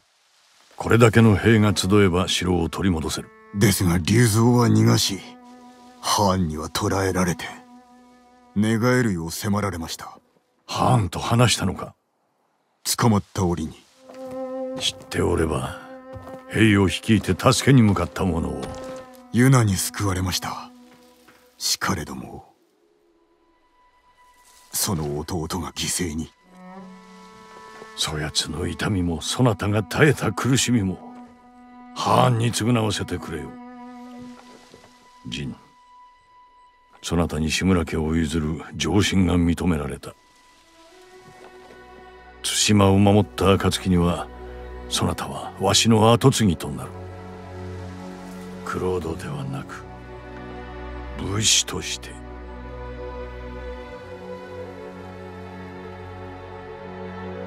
ありがたく存じます。叔父上。今日は叔父と甥いとして戦に赴くが明日は共に勝利を祝おう父と子として。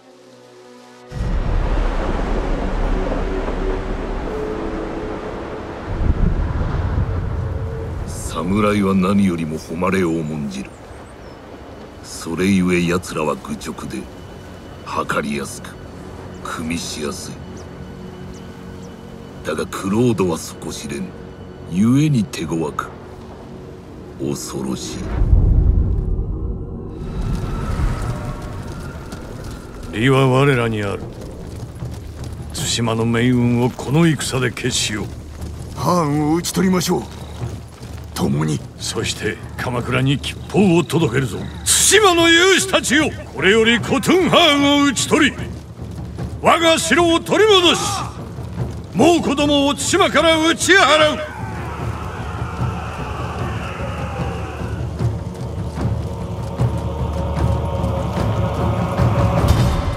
志村殿に続け。進め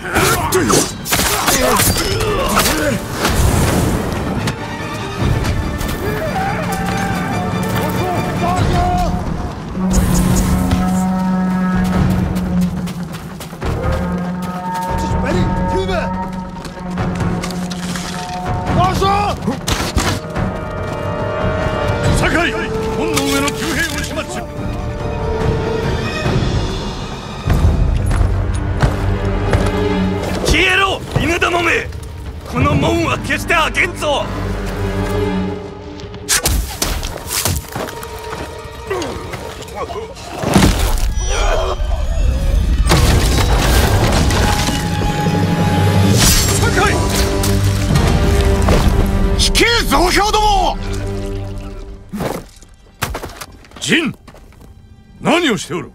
道を開けと。かような手を。使えと命じたか。誉れある武士であることを忘れるな。これでは鬼だ。あやつらは猛虎です。我らの武具は恐怖ではないぞ。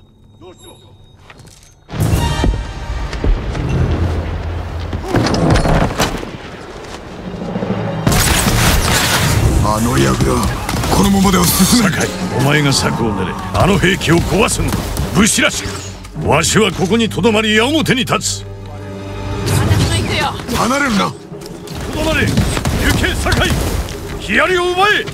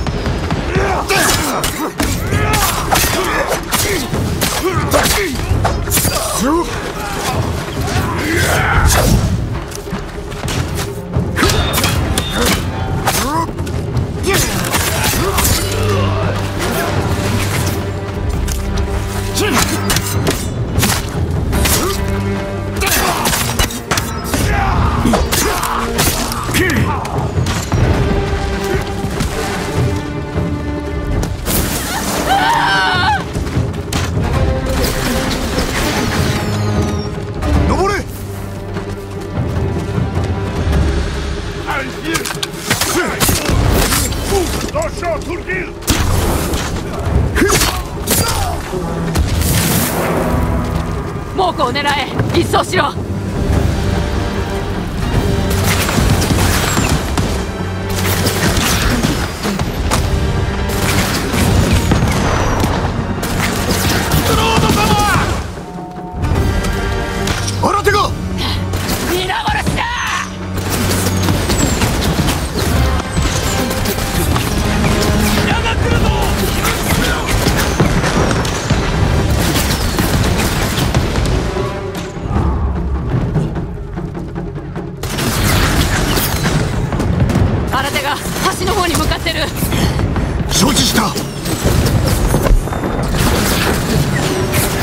れ以上できることはないね。では皆の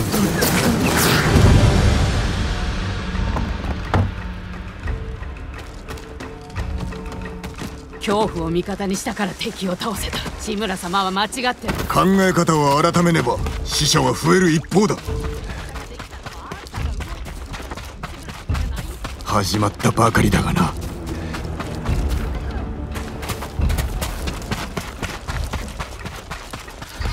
Herbutsat erne, champekti!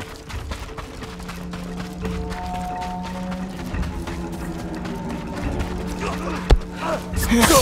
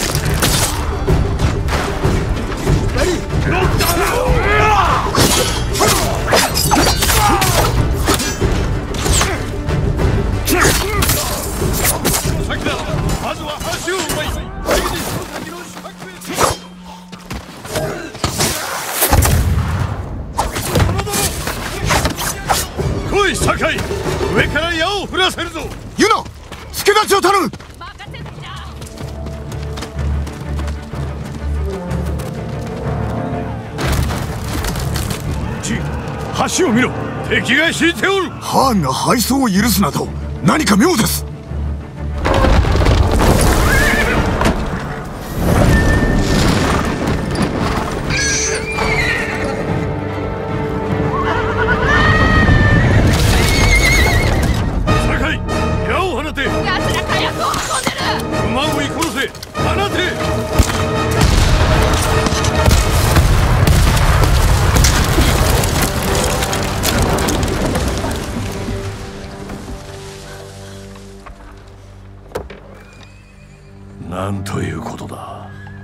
て行かせた。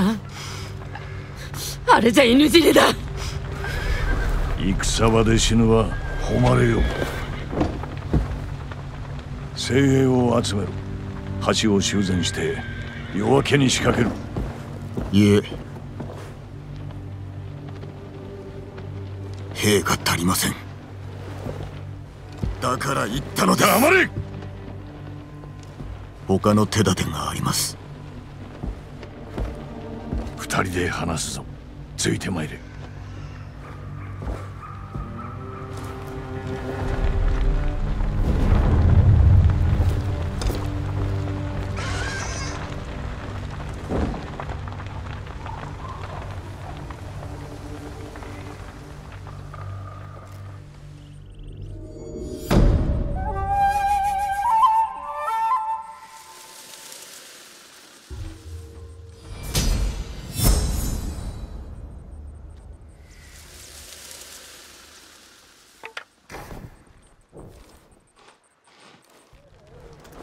猛虎は守りに入った。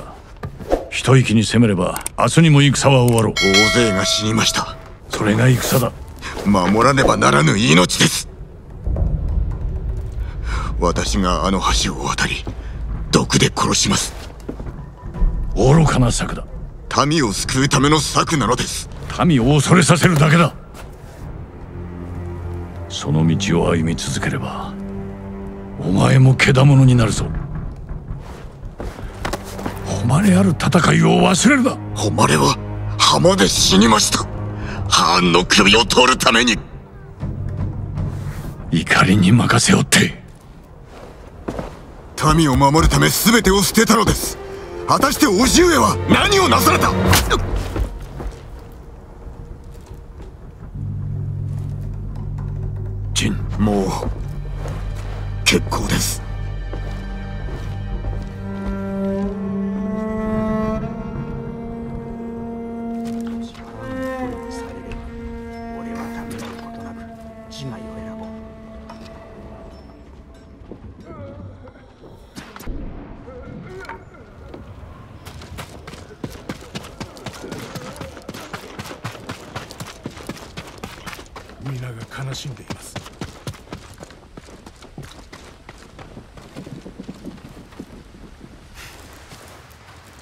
志村様のゲージで橋が修繕されてる。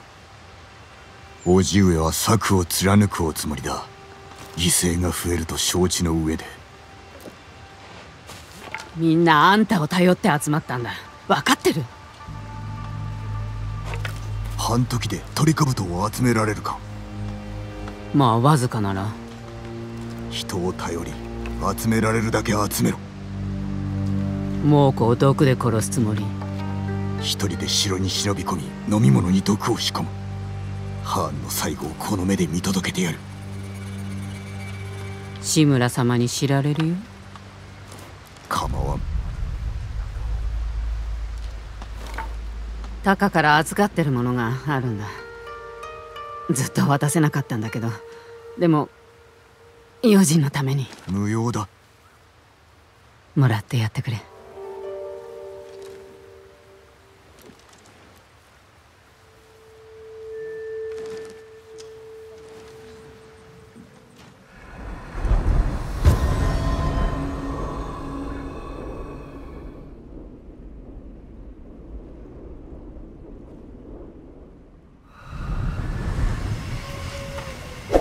急いでトリカブトを集めた。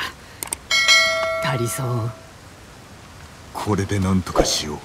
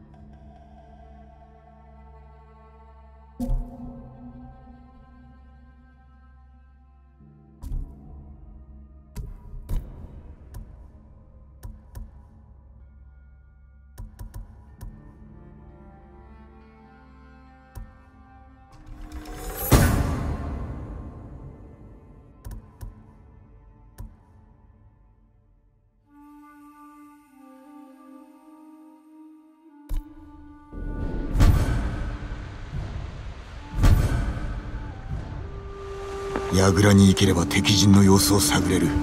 毒を仕込む案も浮かぶはずだ。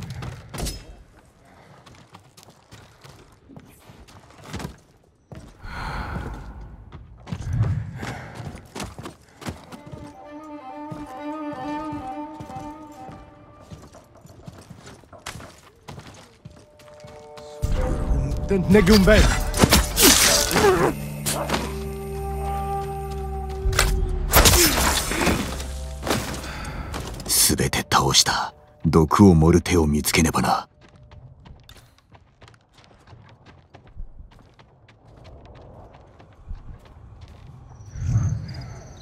あの道守りが薄く潜める場所も多い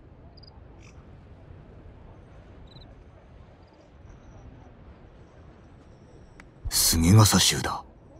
龍蔵やはりここにおったか。宴を開くようだ。もうこの酒に毒を漏れそうだ。死にきれぬ兵も出るだろうが後で一人ずつ殺せばよい。守りは堅牢で火薬もある迎え撃つ備えは万端ということか。気づかれずに酒のところへ行かねば庭を抜けた方が良いな。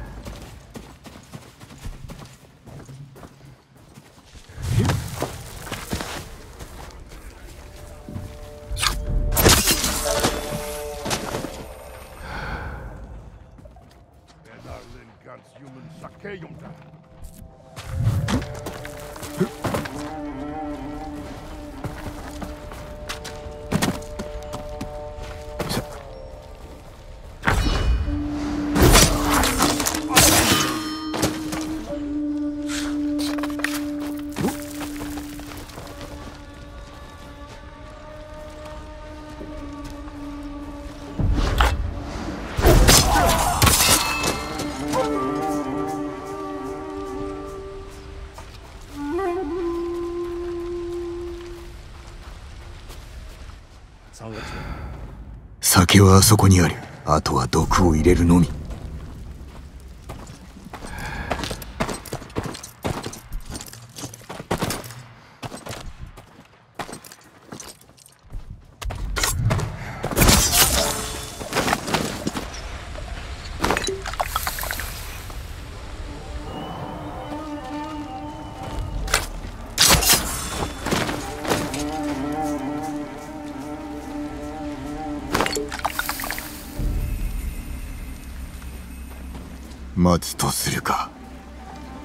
待つと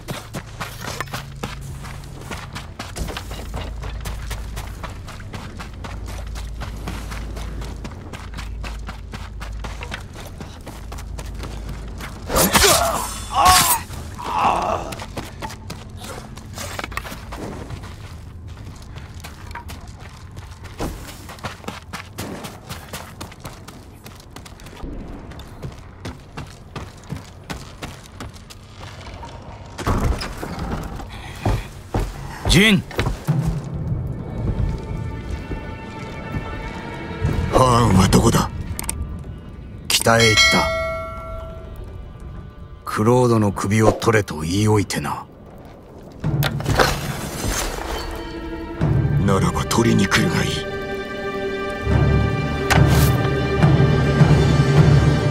い。いやお前が助かったのは俺がハーンに頼んだからなんだよ。奴はタカを殺した。俺の仲間も死んだ。もう味方はいない。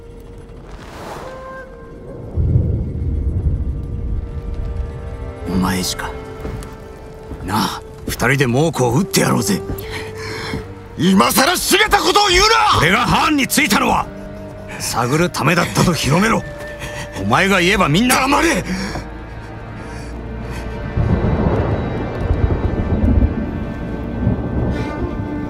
前ほどの友はいなかった。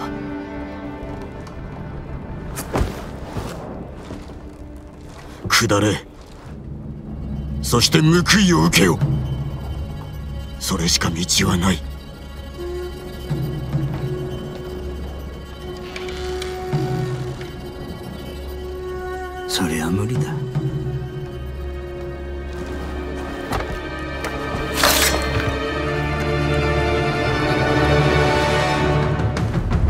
なぜ下らなかった。おじごの手で殺されたくない。さ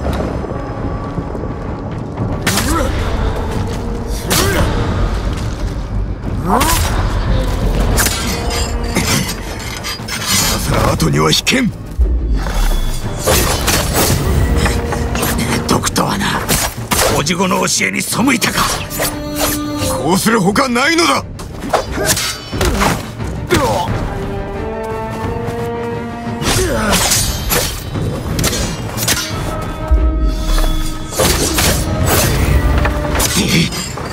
なぜ寝返った？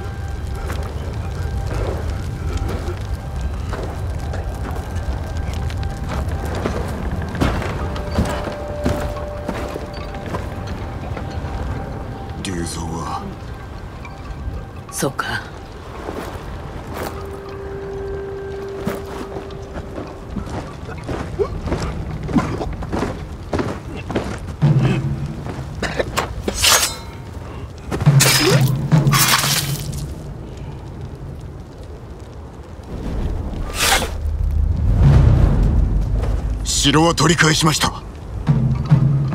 藩は神谷方へ。すぐに立てば足に背いたな。民を守るために下まで。これが誉れある戦いと言えるか。おかげで勝てたろ？民を恐れさせ世を乱してか。これは戦です。それでは猛虎と同じではないか。誉れはどこにある？誉れでは民を守れぬのです。鎌倉に咎められることになる。だがまことお前の咎か。全てはあの下人目の企てであろう。叔父上。九郎殿名を捨てこの諸行の咎はあの女に負わせよ。皆に伝えよ。お前の名は志村陣将軍様の御家人である。わしの息子だと。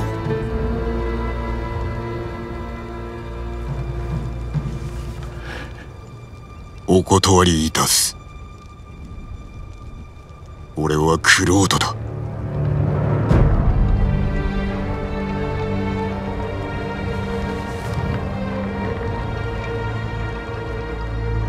裁きを受けてもらう。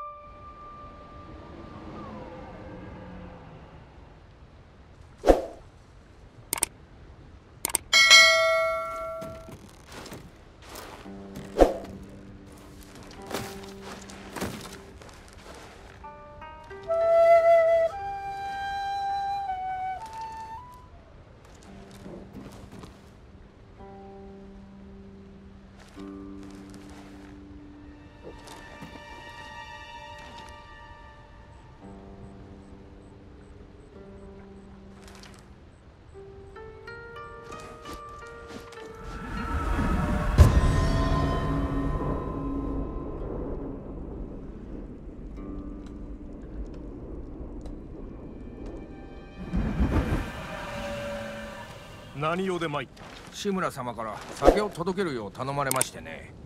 皆さんへのご褒美だとか。捕虜の番をしておるのだ。ここから出られるわけないでしょぐずぐずしてたらお仲間に飲み干されたりして。そういえば島に着いてから水しか飲んでおらんな。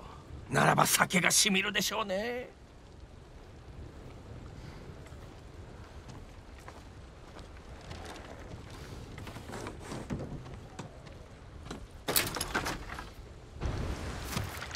賢治何をしておる？見ればわかるでしょう。逃げましょう。逃げれば民を束ねることはできなくなる。叔父上も失望される。ここに残れば本土へ送られ裁きにかけられます。その下事が届いたんですよ。あっしらにはあなたしかいないんです。ユナにも。あなたしか。無事か？あなたの太刀を持って雪の中ハーンを追っとります。クロードを待ってるんですよ。お許しを叔父上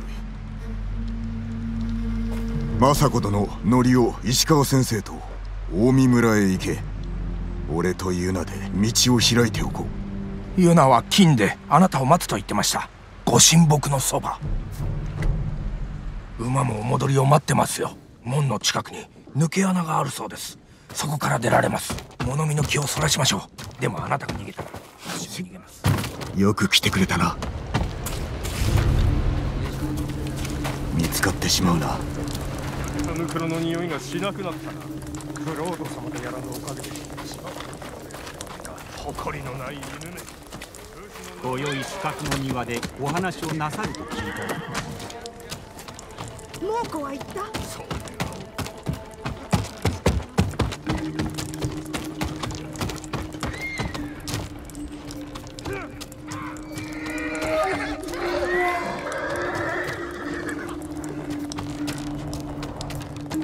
あ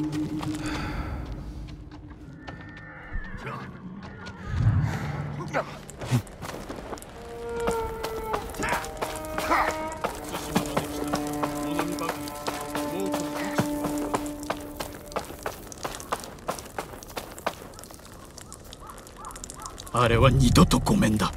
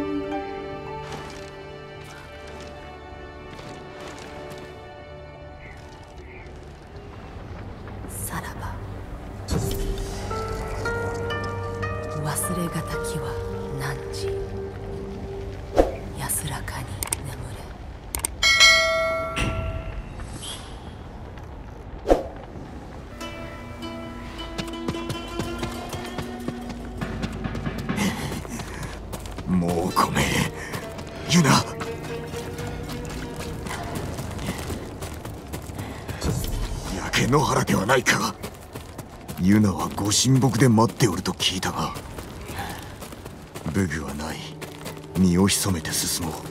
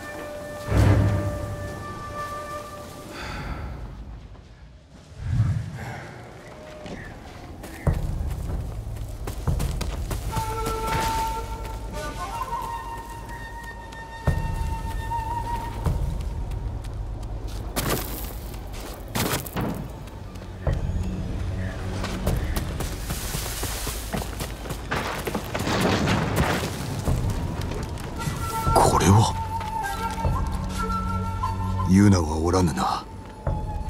だがこの者らひとところに集められたの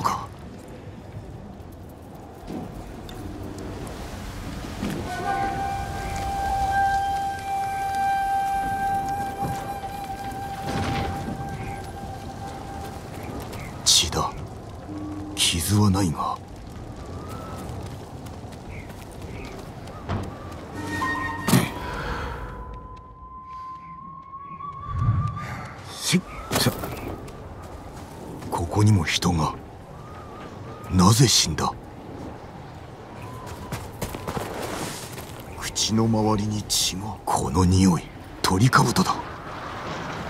猛虎も毒の作り方を学んだ。これが因果応報か。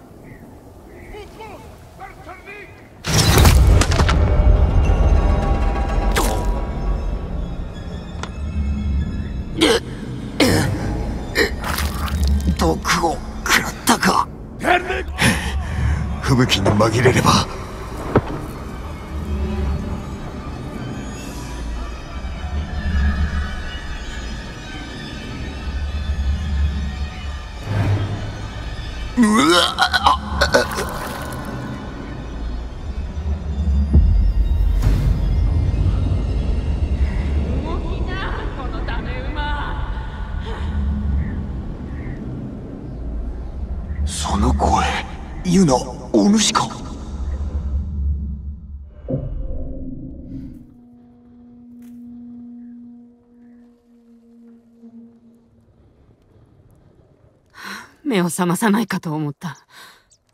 生きておるとはもうこの毒矢を食らってしまった。誰が教えたの？わからねえ。だが作り方を知られたようだ。奴ら金の連中で試したんだ。あの村が焼かれる前血だまりの中で死んでる家族を見た始末をつける手は一つ。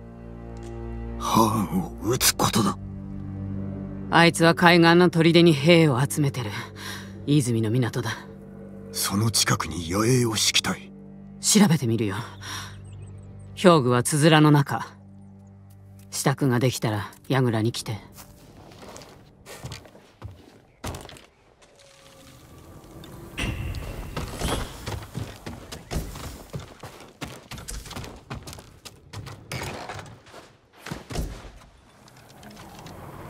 ユナと話そう。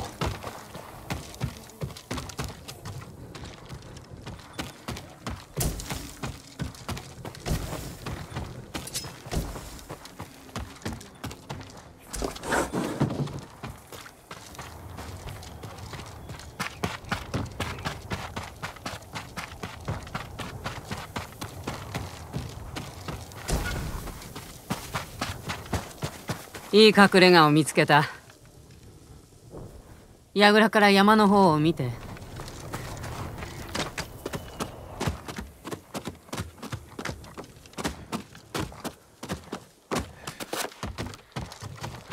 隠れ家山の近くか。上岳寺の仏塔寺は壁に囲まれその上ハーンの砦にも近いな。そうことは優しくないよ。今は猛虎のものだ。取り返せばよい。馬屋に行こうか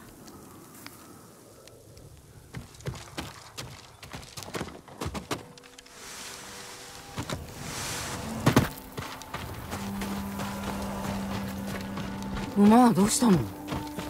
逃亡の折追っ手の矢を受けて影は死んだ。気の毒に。今は新しい子で我慢して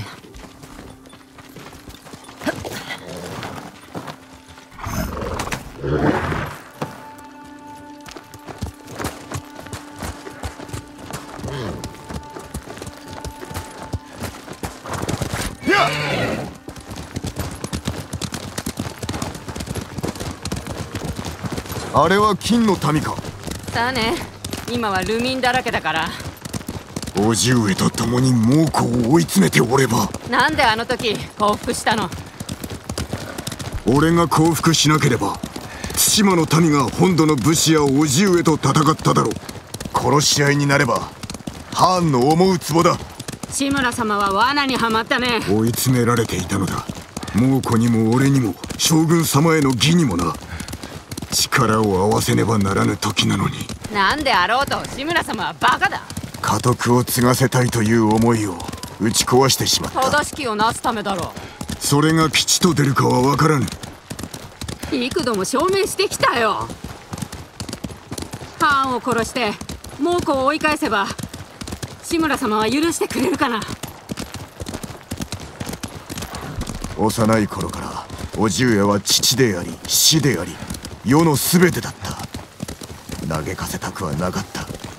いつか和解できればと願う。いずれにせよ許されたとて俺は変わらん。私のせいだと思われる。俺が選んだ道だ。いかなる始末になろうと悔いはない。たとえ罪人と呼ばれようとも。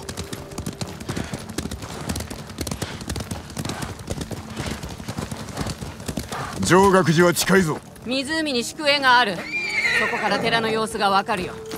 馬を降りろ。歩いて行く。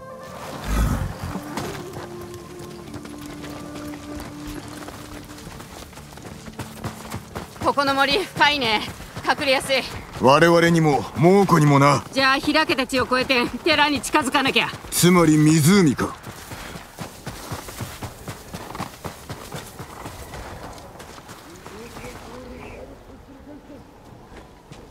のろし術あれで敵襲を知らせるのか？捕虜がおるぞ。あれじゃ凍え死ぬ。助けよう。まず宿営次に寺を制す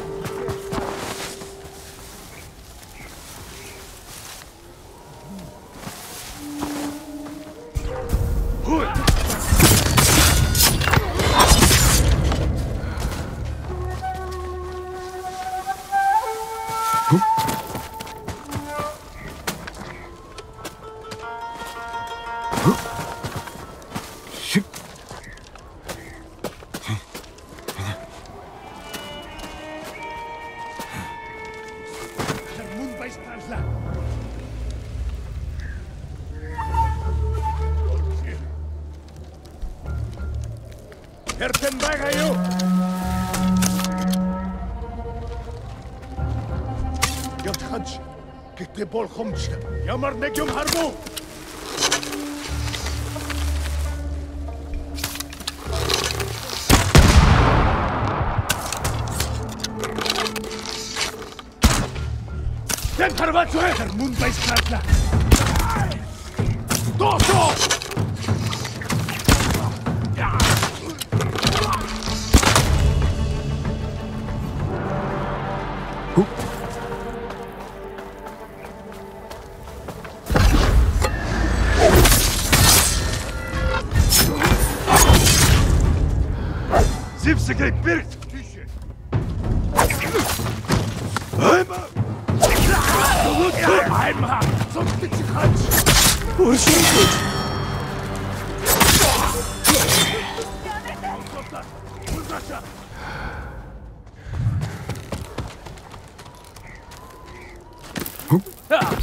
してこんなことするんだよ。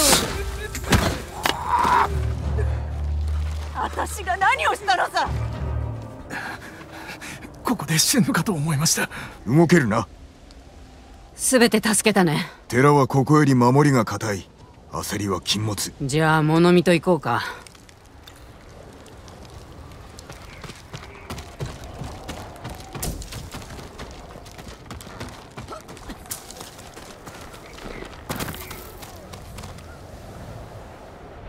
物見役の旧兵。見つかったら狙い撃たれる。ならば誘い出せばよい。え？のろし術を打ち上げおびき寄せて一網打尽にする。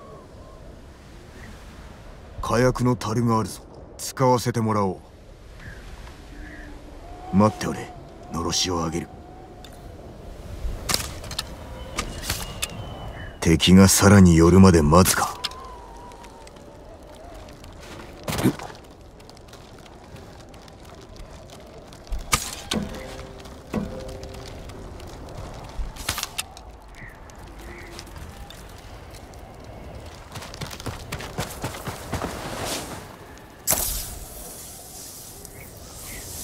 これで気を引ける。では戻るか。あいつら氷の上に来た。始末する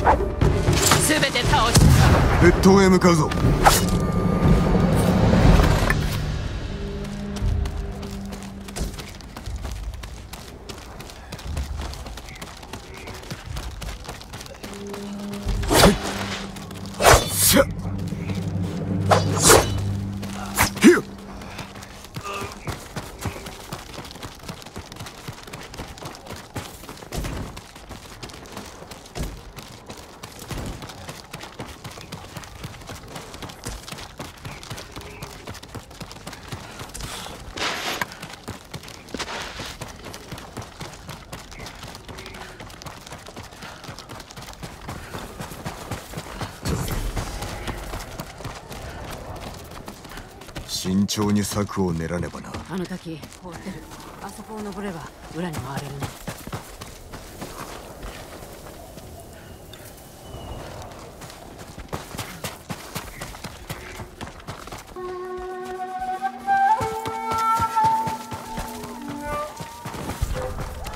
片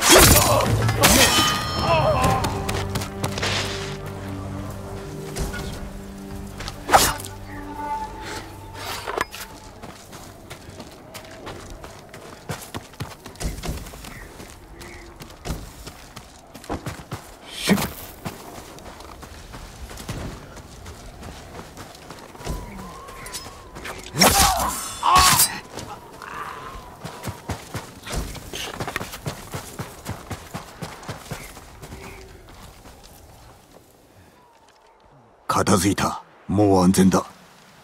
芸人として死ぬかと思いました。もう終わったぞ。また会えるのだろう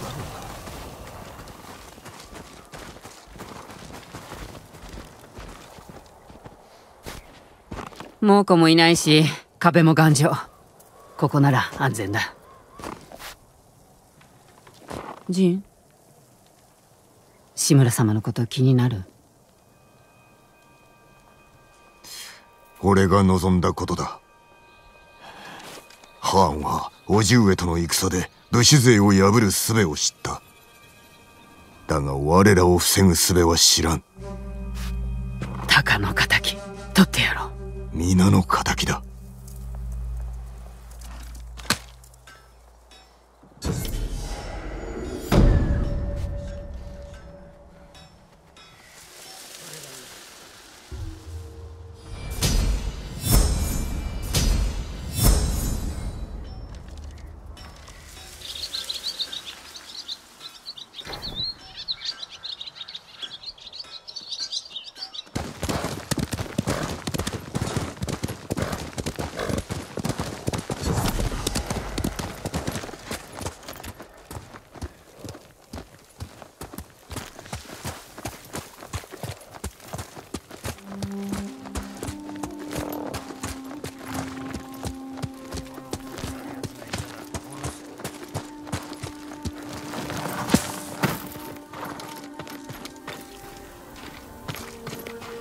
そこのお方温まってってくれ。役立つものばかりです。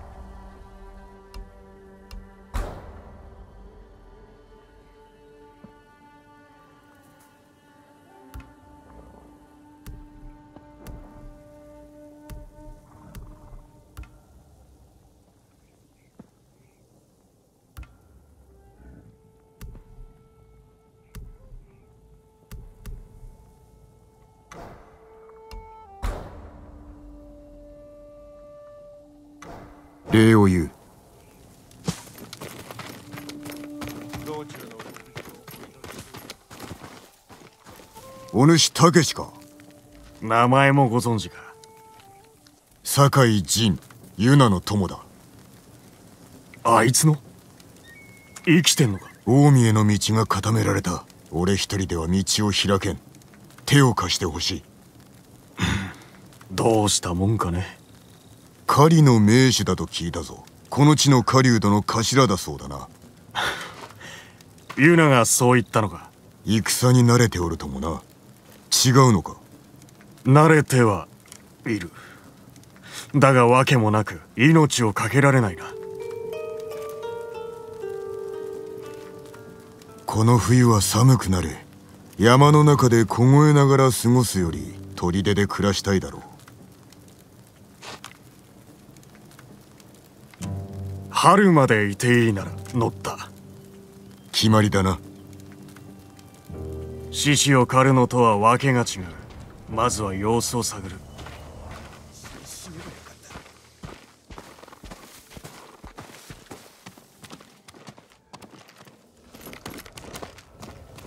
猛虎の射手が門を守り絶え間なく騎兵が往来してる。我らが北から攻めればユナたちが南から乗り込む手はずだ。ユナも一緒か？なるほど。砦は崖際にあるな登って入れそうだ。砦に材木を送る木こりの宿営だな。猛虎が現れてからはもぬけの殻だ。崖登りの腕は？増えてではない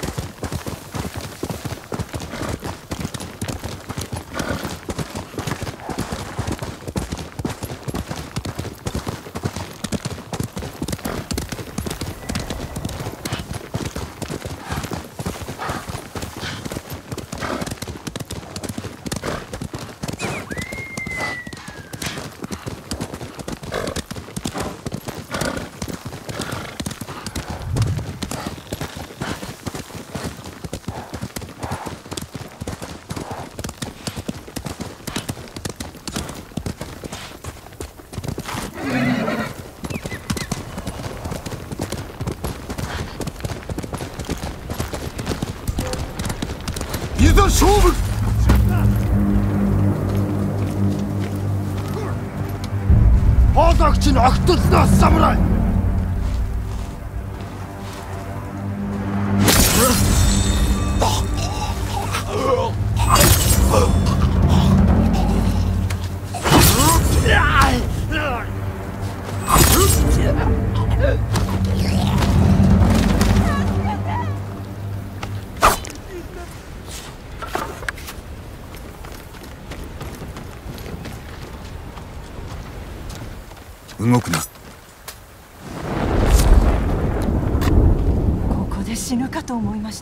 中気をつけよどうぞ。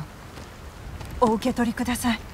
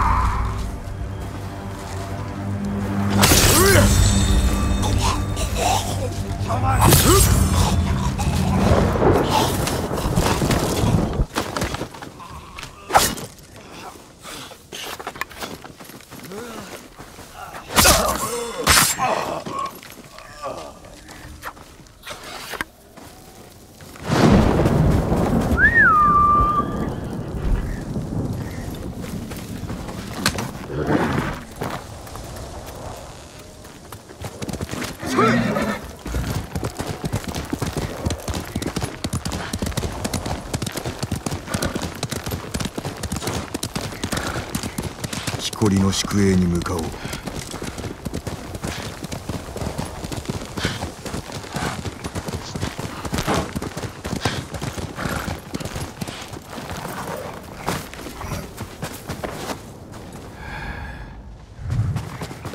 酒井様こっちだ。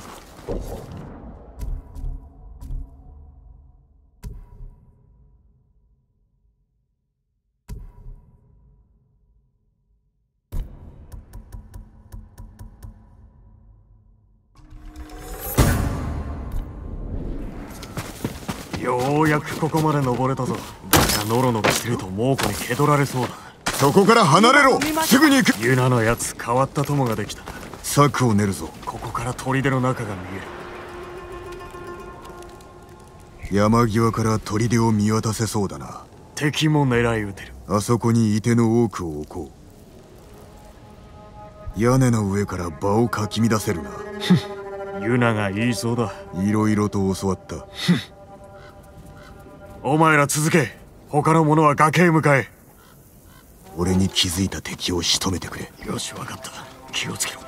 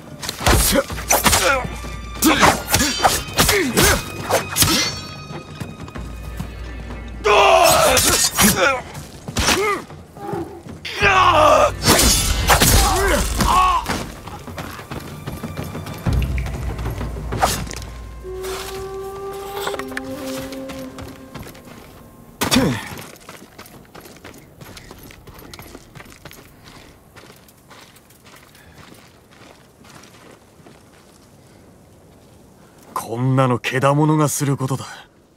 それが猛虎だ。木こりは抗ったのだろうな。一人残らず殺してやろう。騎兵が来るぞ。ここなら挟み撃ちにできる。隠れろ。聞こえただろ。散れ。合図したら矢を射ろ。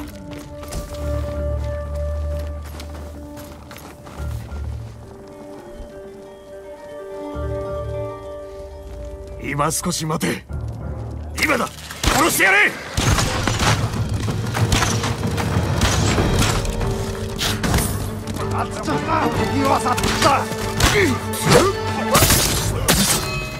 お前ら集まれ。走り急ぐぞ。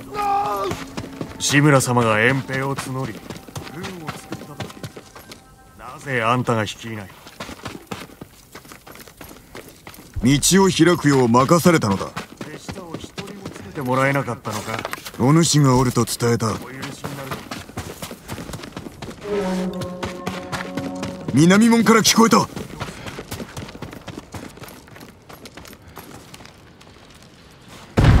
言うなまさかあいつが？向こうに行かねば。橋の様子を見るぞ。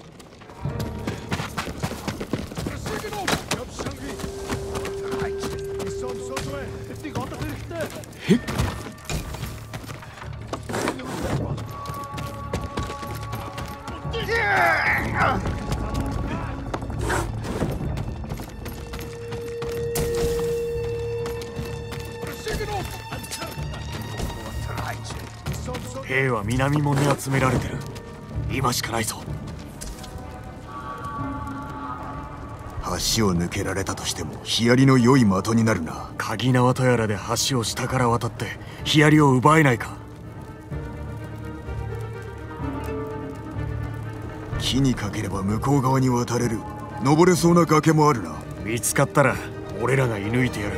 足を攻めようが攻めまいが危うきことに変わりはない俺らは指揮に従うよ。では備えておけ。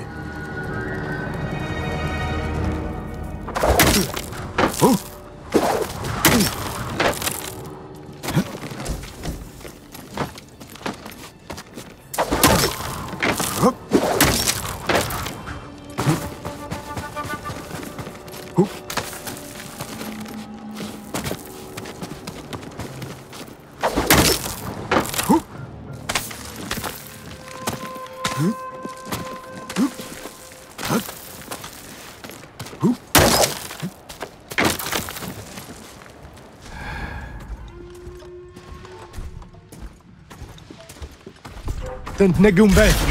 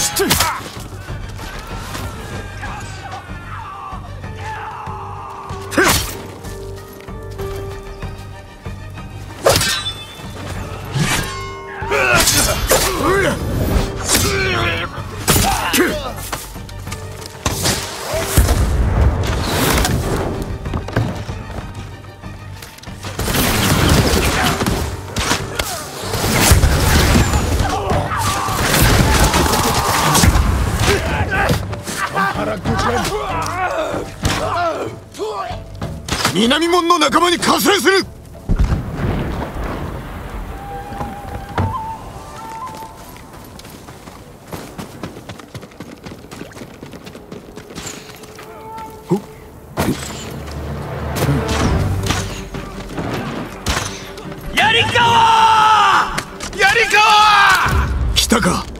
槍川の戦士も一緒だ今は戦え！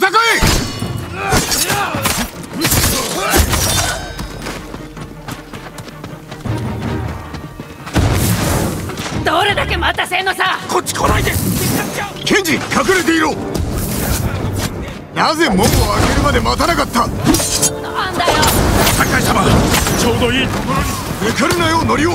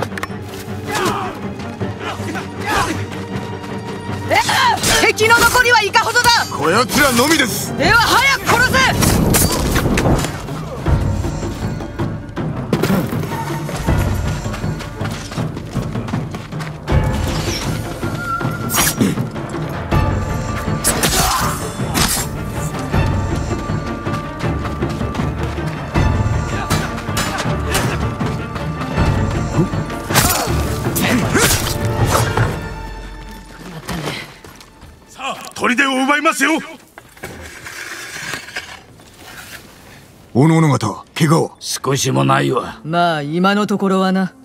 無事です酒井様。こんなに寒いだなんて聞いてませんよ。いずれ慣れるさ。上学に迎えるよう武具を整えておけ。お主たけしと何があった？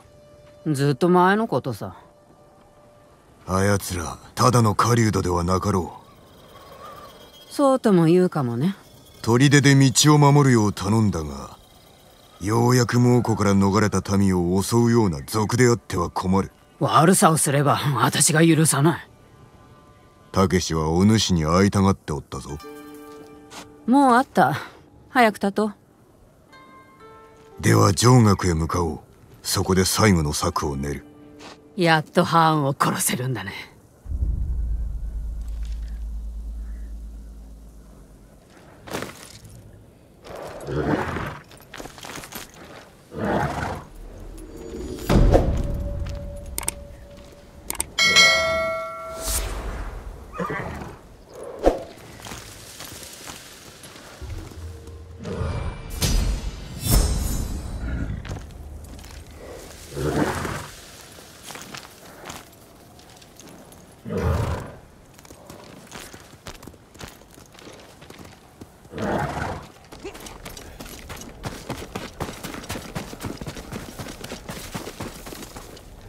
ここも人手が増えて嬉しい限りだね。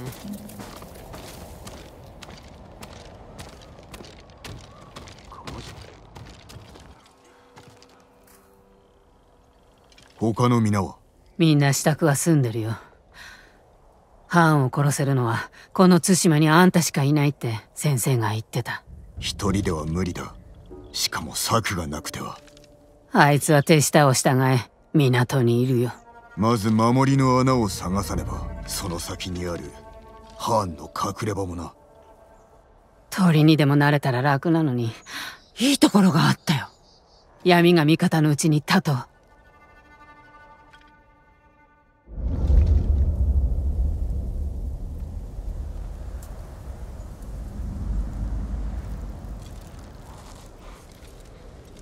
泉の港かがり火台からならよく見える。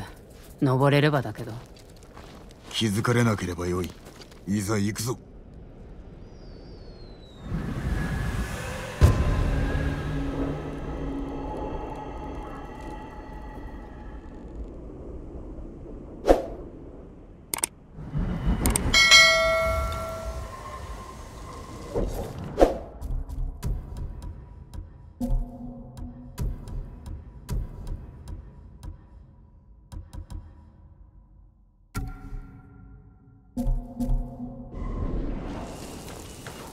なぜハンは泉に来たの？対馬から本土に渡り蹂躙するつもりなのだろう。今を逃せば止められなくなる。この花って？俺の毒の元となる花だ。猛虎が積んでいったんだね。我らを殺すために。毒を使ったこと悔やんでるから。危険を承知で大勢の命を救ったのだ。もっと大勢が死ぬことになる。その前にハーンを止めるほかないハーンを殺さなきゃ。すぐ。に攻め入るのは無謀。崖側から回り込むぞ。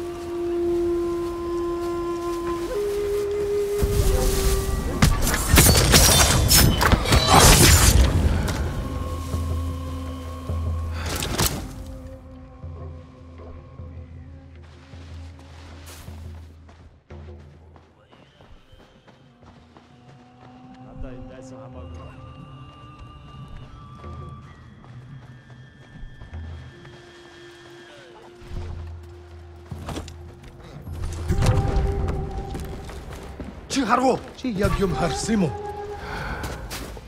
Бид тэрийг олох хэрэгтэй. Юуч биш байжээ.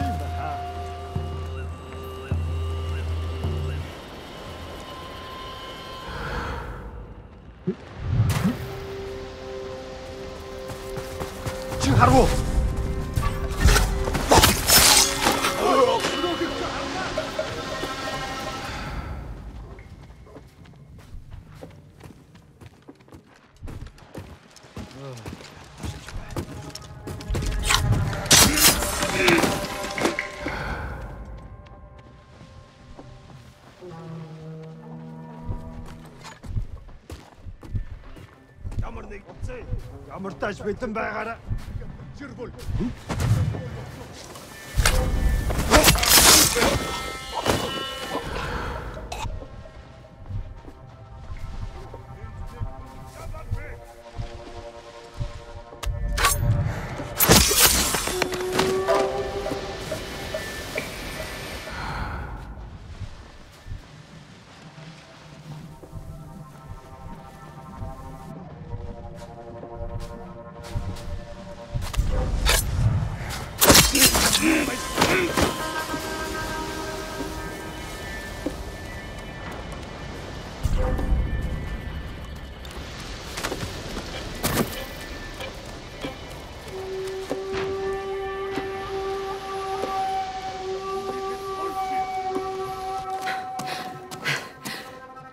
樽の中身は何だろう？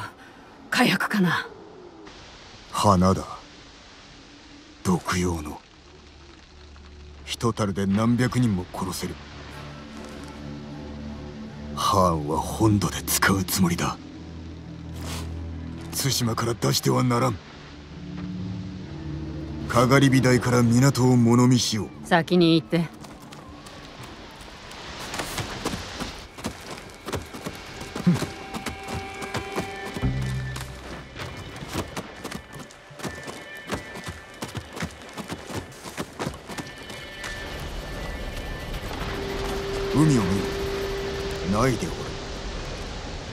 嵐の前の静けさ。こちらの利になるやもな。今は火を消したままにしておくぞ。猛虎の船の目指す印になってしまう。奴らが去ったらつけよう。さあ物見と行くか。こっちだ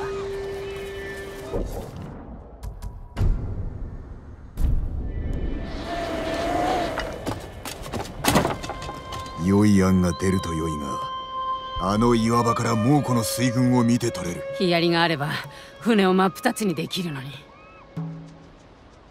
あの辺りに兵はおらんな。開けてて守れないから。だが不意打ちには申し分ない。あそこに旧兵を置ける。猛虎を丘に誘い込むのなあ騎兵に囲まれてしまうだけか鳥が弧を描いておる。何かが来るのを怖がってるみたい。嵐だ。じき陸に降り立つのだろう。港の長の屋敷。あれがハーンの隠れ家かもな。船着き場にも水軍にも近い。賢いね。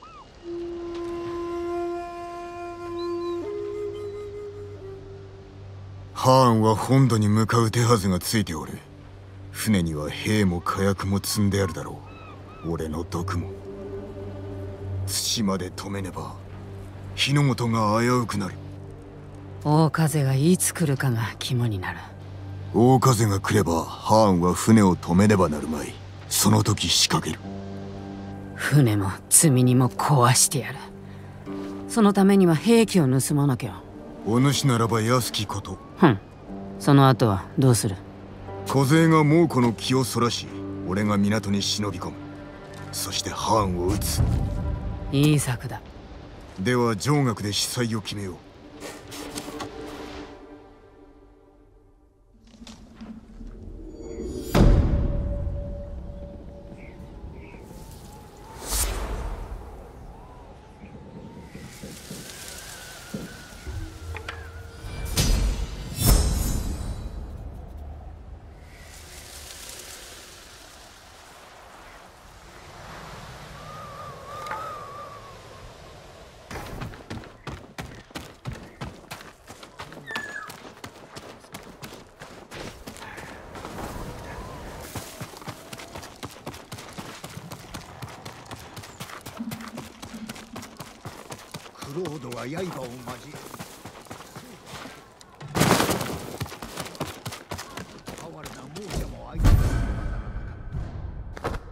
いい知らせがあるよ。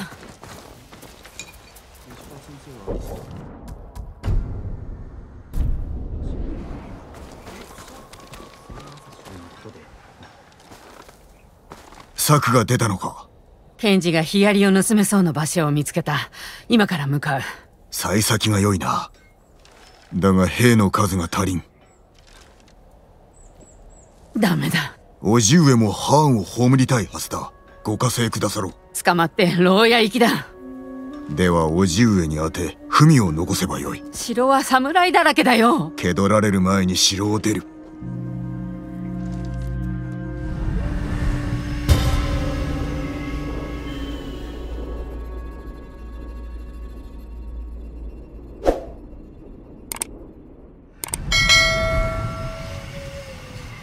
よし叔父上への文が書けた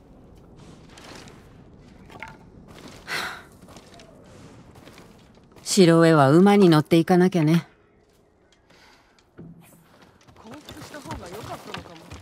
死んだ馬にはかなわないけどこいつらも使ってやって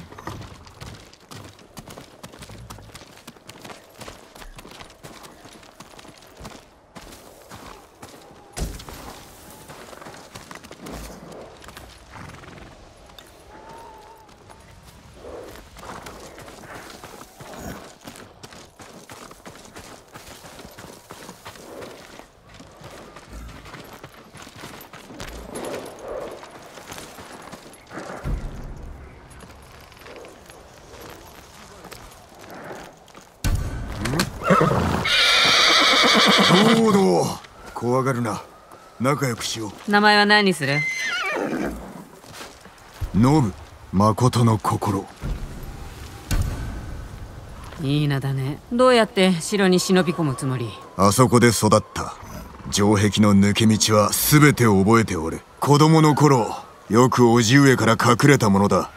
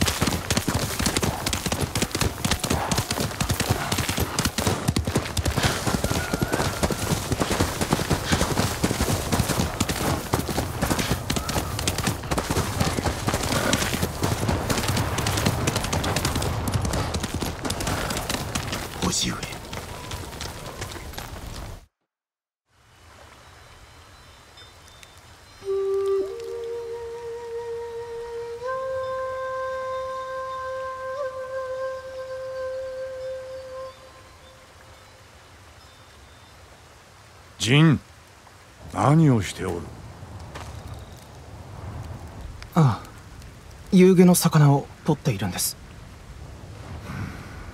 素手では取れぬと分かっておろうに。叔父上にご子息が生まれたら私は捨てられますか？ジンよれ。思い違いをするな。わしは生涯続くこの道をお前と歩んでゆくぞ。何があろうと。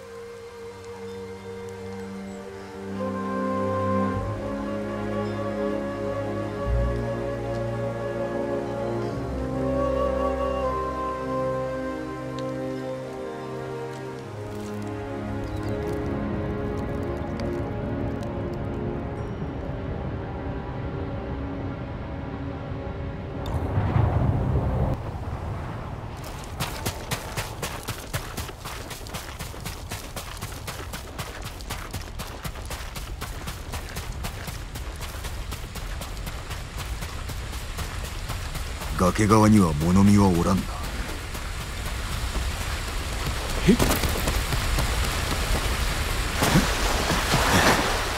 また冷たくなった。どうかご用心を。お侍が目を光らせてせっふっふっふっふっふっ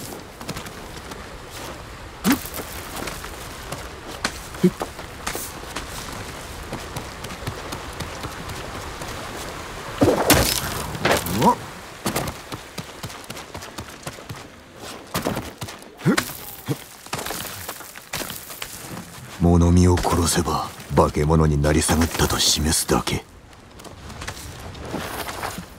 志村殿が後ほど主角で演説されるそうだ。士気を高めるためだ。いよいよハーンと。刃を交える時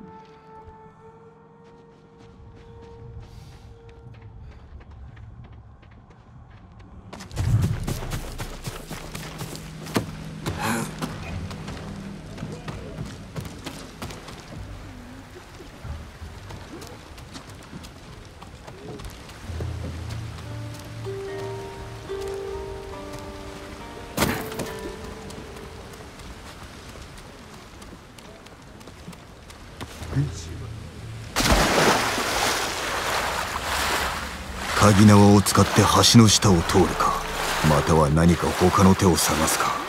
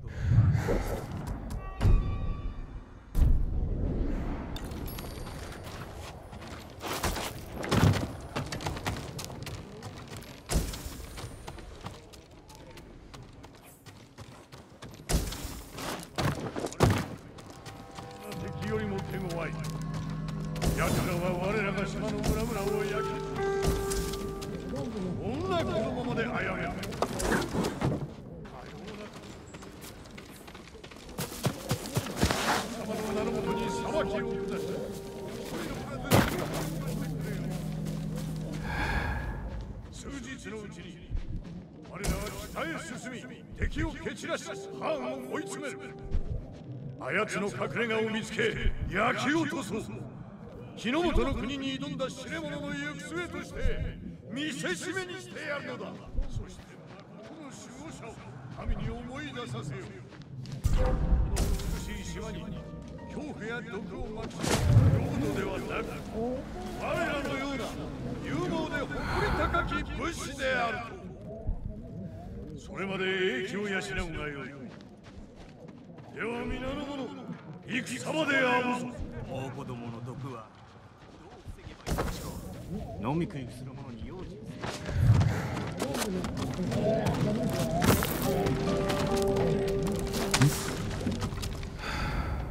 叔父上気取られてはならん。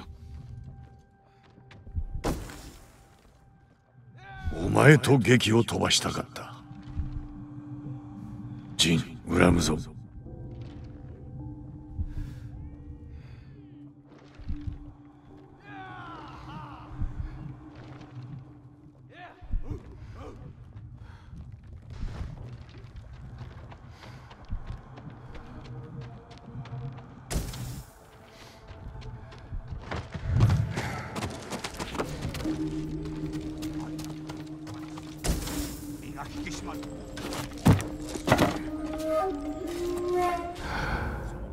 本土を危うくさせてはならぬから。猛虎は酒井殿と同じ毒を作れるようになったとか。わしの前でその名を口にするな。お許しください。あやつのせいで敵は民を毒で殺す術を得たのだ。クロードは島に災いをもたらした。次こそは逃しません。城内をくまなく見張り何かあれば知らせよ。承知いたしました。世を通して見張りましょう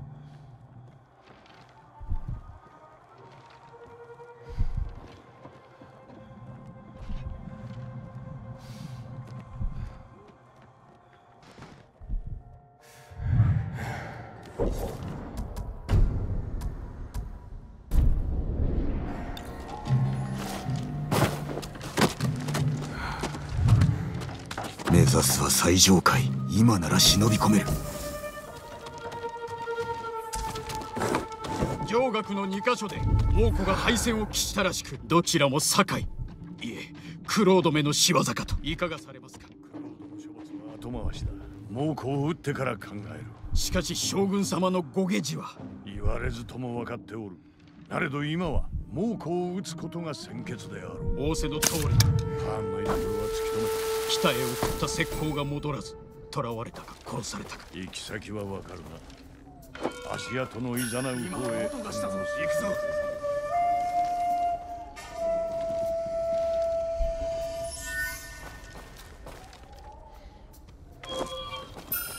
ん？なんだ？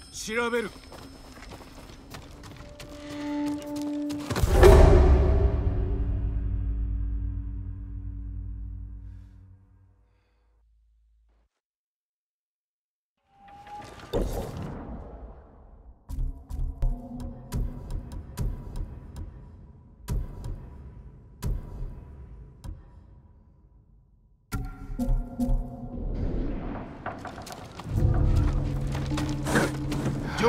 2カ所で猛虎が敗戦を喫したらしくどちらも堺。いえクロードめの仕業かと。いかがされますか？クロードの処罰は後回しだ。猛虎を撃ってから考える。しかし将軍様のご下事は言われずとも分かっておる。なれど今は猛虎を撃つことが先決である。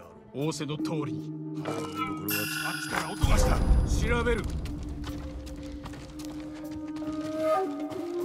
隠れても無駄だ。何かいるぞ逃げここまでだ。だが油断するなよ。お目に留まりそうなところに。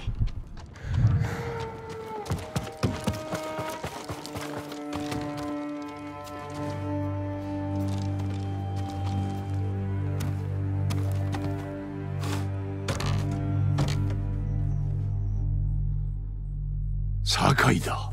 出会え。叔父上お目にかかれぬことをお許しください。ハーンの水軍は泉に集まりました。本土を制するに足るだけの兵と毒を積んで。しかし大風が来ればその時こそ猛虎を撃ち船を沈める時。何とぞご加勢を。そしてまたまみえんことを。父とことは申さぬまでも歩む道をたがえた武士として。叔父上がいかがお考えになろうとも身内には変わりませぬ。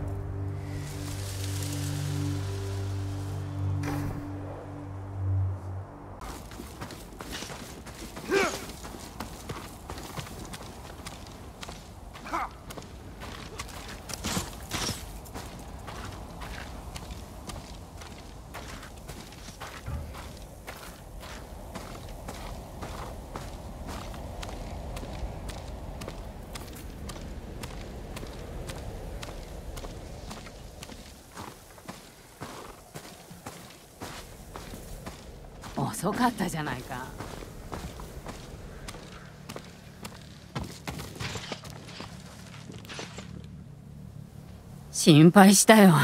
捕まったかと思った。文を届けるのに手間取ってな。読んでもらえた。ハーンとの戦に加勢するって。そう願うが待っておるいとまはない。風が強くなってきた。朝には大風が来るな。ヒアリは無事に奪えたか。痛手を負わせられるほどにねそれとクロードに従うため城を抜けた兵を見つけた。万端だ。夜明けと共に攻めるぞ。そう伝えるよ。みんなに会ってきて。話を聞きたがってる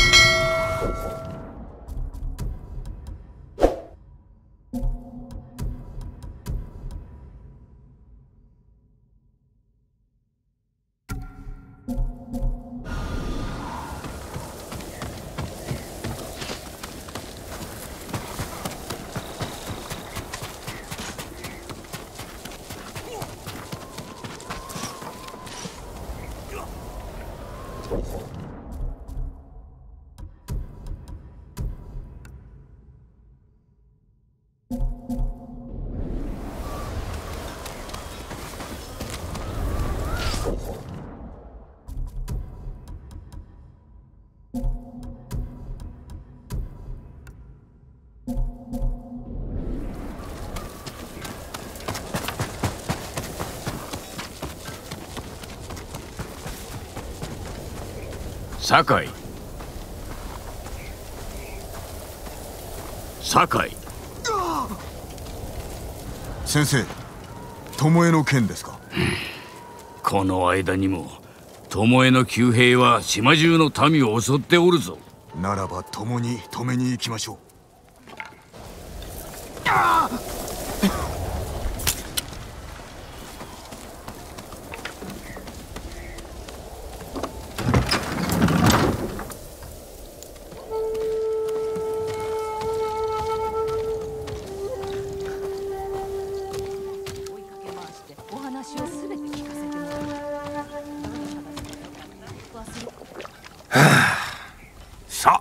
よいよですね。機嫌が良さそうだな。当然ですよ。一日中酒を飲んでますからね。あまり飲みすぎると明日起きられなくなるぞ。戯れはさておき明日は力の限り戦います。鷹のためにも。頼むぞケンジ。体の中を食い尽くすって聞いた安則はあまり飢えてないよな。なんでだ？ジン。ご一族の仇を追う最中ですが今がハーンを撃つ好機。奴は夫を殺し二人の息子を奪った。私もハーンを葬りたい。天誅を下しましょう。その後に犯人探しを続ける。助立ちいたします。お休みを。明日は長くなります。もしくは短いか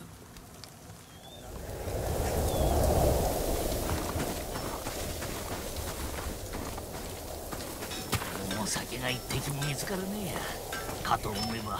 秋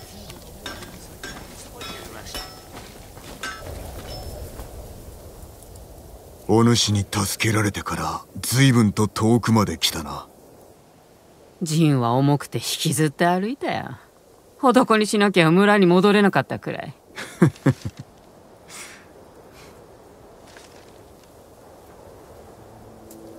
全てはお主のおかげだユナ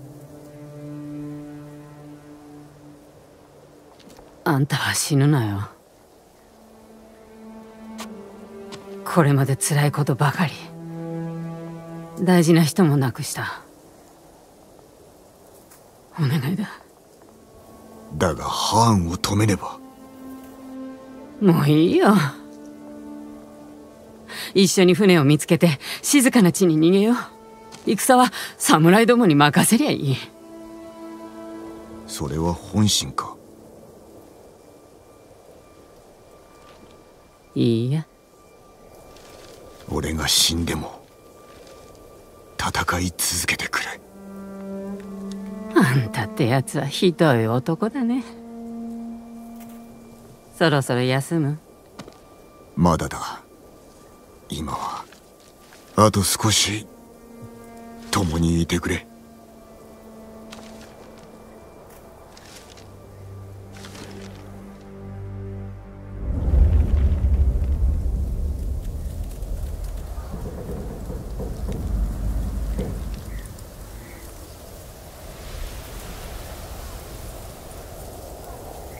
いよいよだ。この時を逃せば二度とハーンを撃てなくなる。ケンジヒヤリの手はずはいかに？いつでも矢の雨を降らせられますよ。よし。ユナの合図で放つがよい。猛虎は束になってヒヤリを奪いに来るだろう。我らはそこを叩く。火薬も旧兵も定められた場にある。さあ参ろう酒井。皆の者武運を。いざジン志村様はいないね。じきに大風が来る。我らも始めるぞ。合図の矢は放てるな。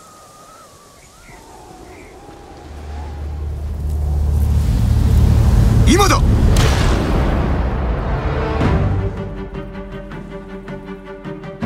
猛虎が来るぞ！全てなで切りにしろ！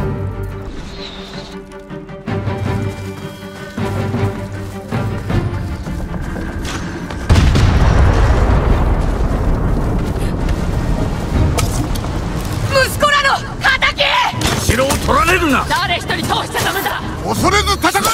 進め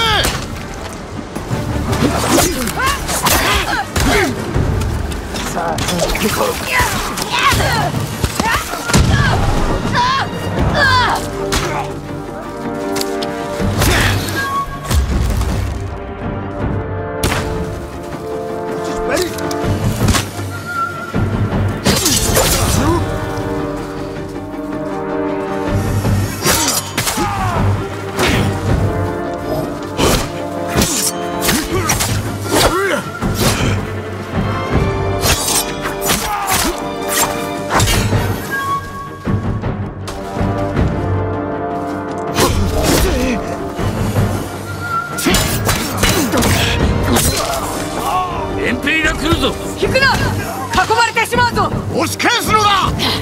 皆殺し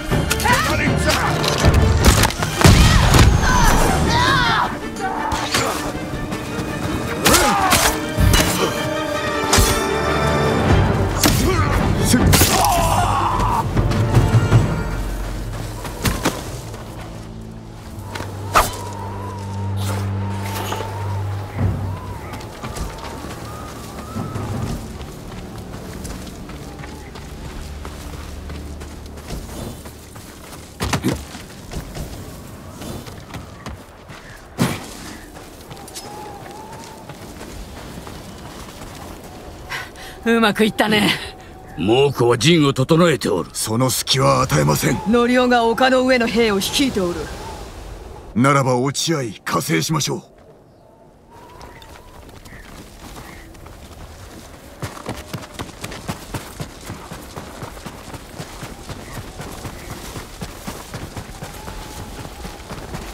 皆さんご無事で。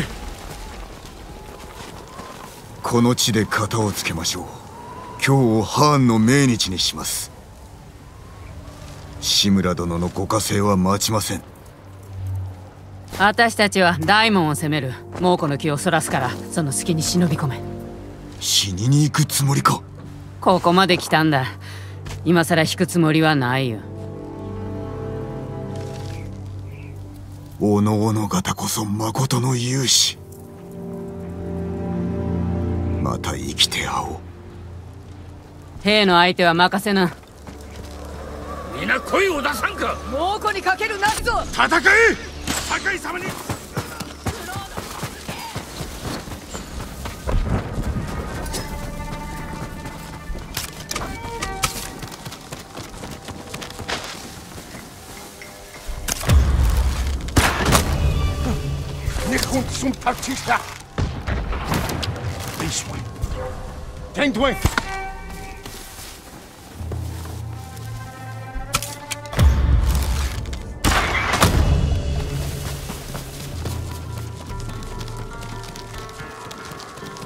屋根に登らねば敵陣を見渡しハーンの居所を探る。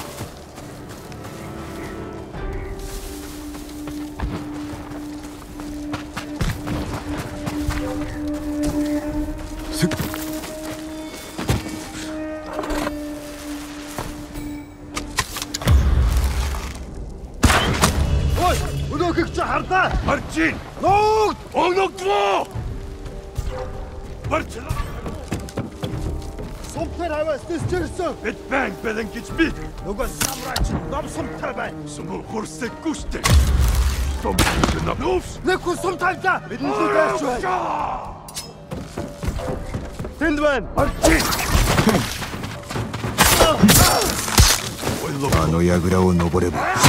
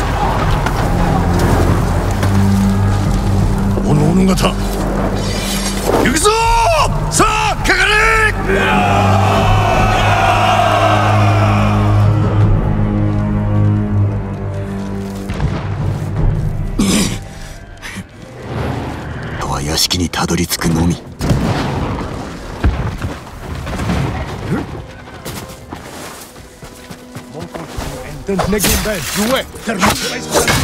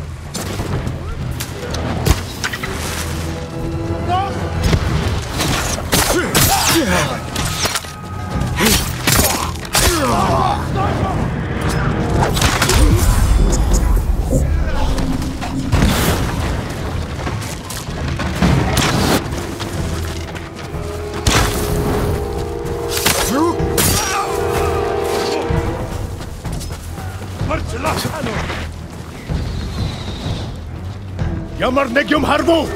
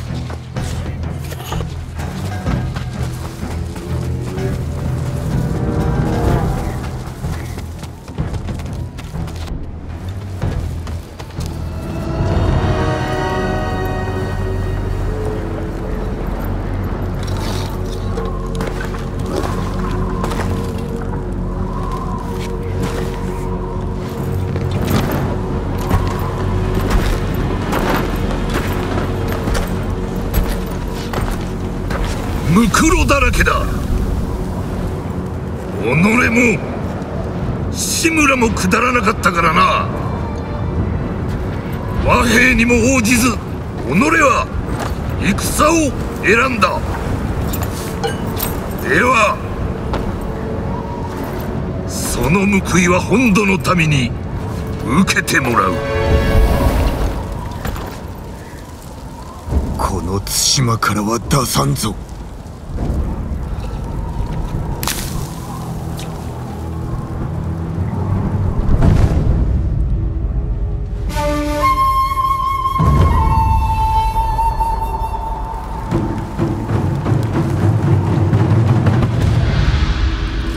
対馬の民の無念思い知れ。敵討ちとはわらべのような浅さ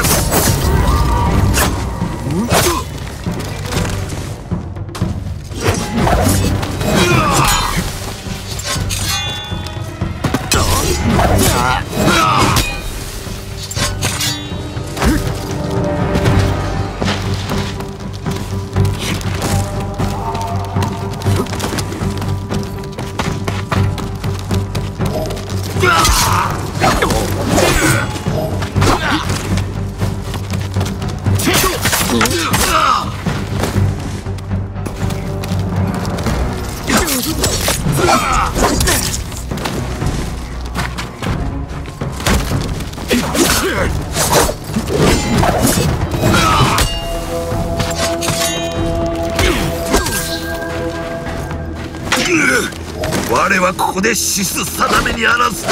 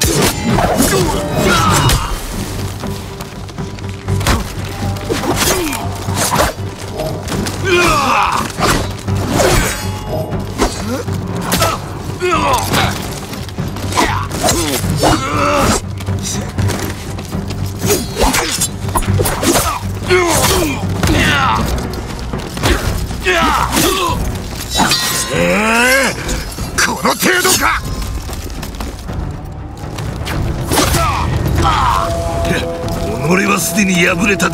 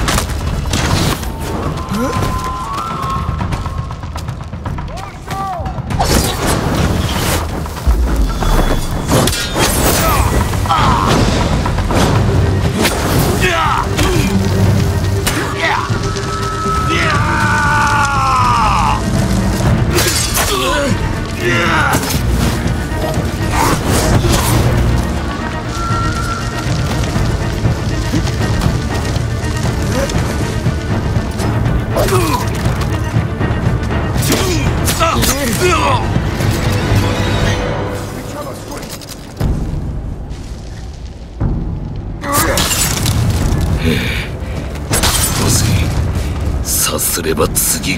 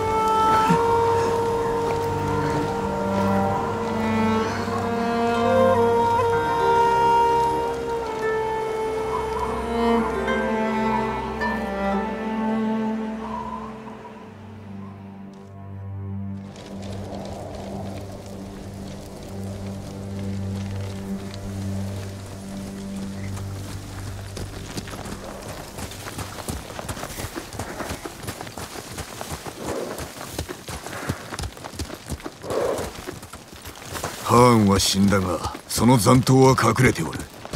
奴らを追いやらねば誠の平和は戻らん。猛虎が去ったらどうなるんだ？また生きていくだけだ。もう先のことも想像できないし自分が誰かもわからなくなった。民には希望を猛虎には恐怖を与えろ。それで侍に追われろって？武士の心を変えられるのはお主だけだ。戦い続けろ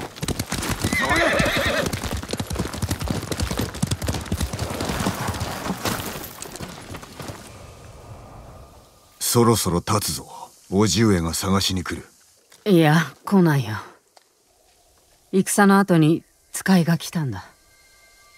和睦の申し出か？あんたに会いたいとさ赤い葉が落ちるしんとした湖のそばで。大巫女。よく稽古をつけてもらった地だ。ついてこうか。唯一の家族だ。一人で会わねばそうだね。高を思うとまだ胸が痛む。髪についた煙の匂い。小さく笑う顔。酔いつぶれた姿さえ懐かしい。あいつは私の全てだった。あだけども人きりだ。そうではない。俺がおる。クロードは島のみんなのもんだろ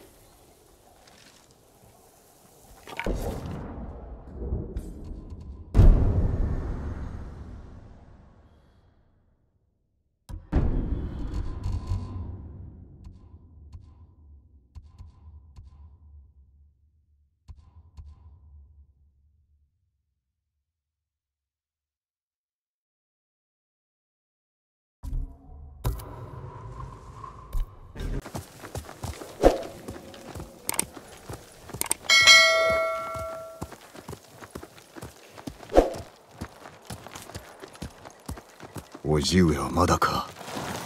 船着き場で待とう。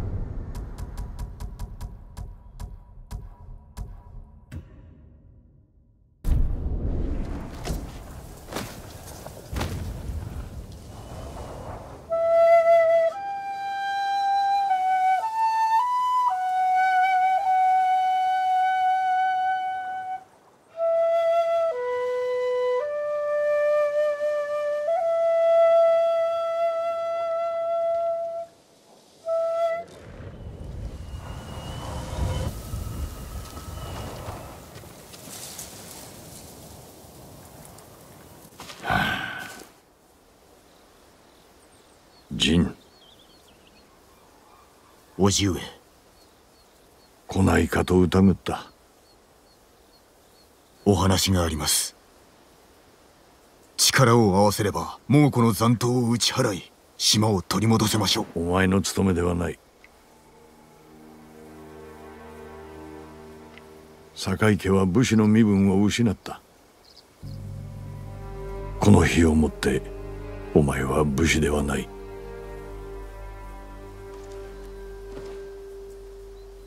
民のため好みを尽くしました。悔いはありません。新たな武家が本土から使わされる。領地や屋敷も失われよう。故郷に別れを告げても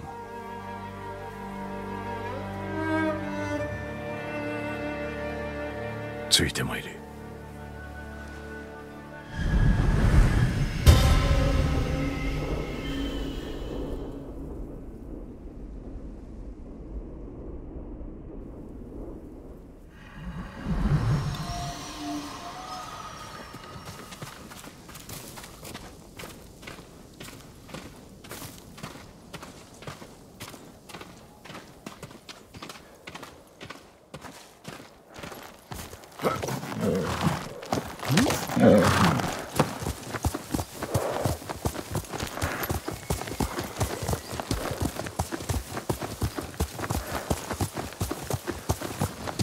変わらず地頭を務めるのですか？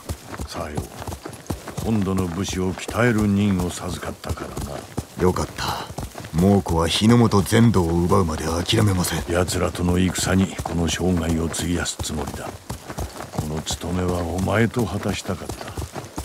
父と子として。それより5歳をめとって家族を作られては。今さら何を申す。ぬかるみにはまったようだそこもと手を貸そう。そんな滅相もございません。遠慮いたすな。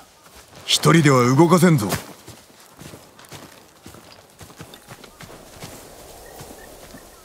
ありがとうございます。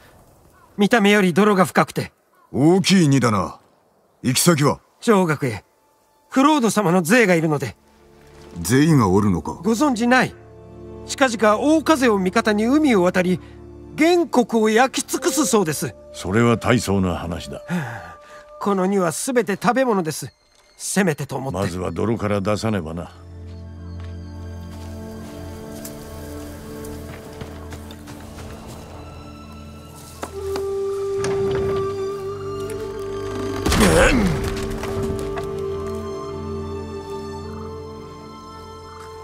このご恩は忘れません。上学までの道のりは長い。ぬかるみに気をつけよ。猛虎にもな。そうします。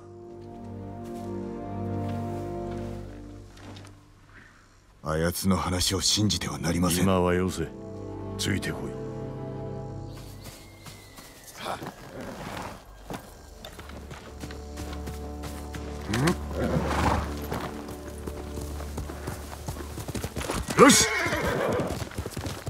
税などおりません日ごとにお前の大義に民が集まっておる将軍様は案じておいでだこのわしもなそれは無用の思案か新しい武家が来たら民は神戸を垂れるのだろうクロードの名のもと背を向けるのでさようなことはさせません言って聞かせますお前が手本を見せたのだわしに背いたことで民は主を裏切ることを学んでしまった。お前もいつの日か背を刺されるとは思わんのか。さあ馬を降りろ。ここからは歩く。御意のままに。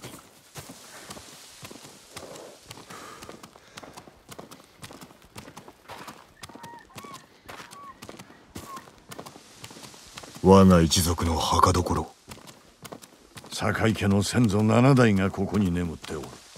お前の母もな。父上も。手を合わせてやらんとな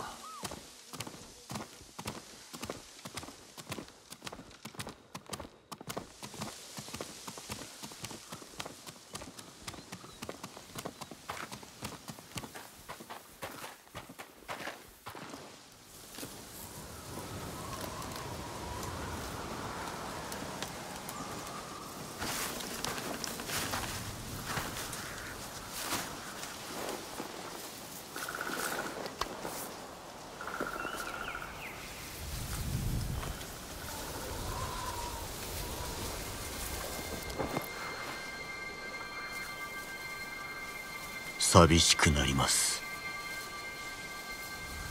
そうだな。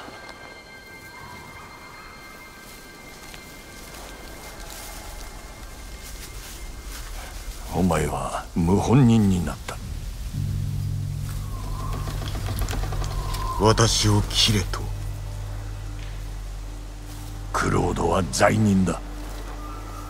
武士に逆らうよう民をそそのかし。己を守るためです。毒でかもうこの手に渡ったのだぞ。あのままでは民を犬死にさせていました。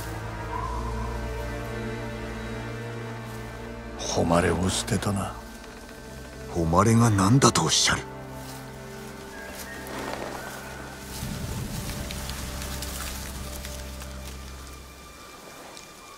残念だ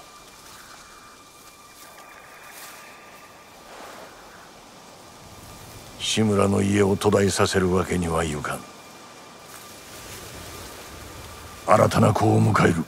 この首を土産に。その首は我が戒めだ。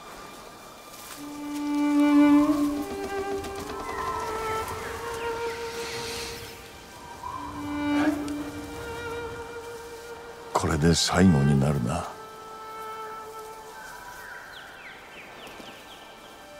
日和だ。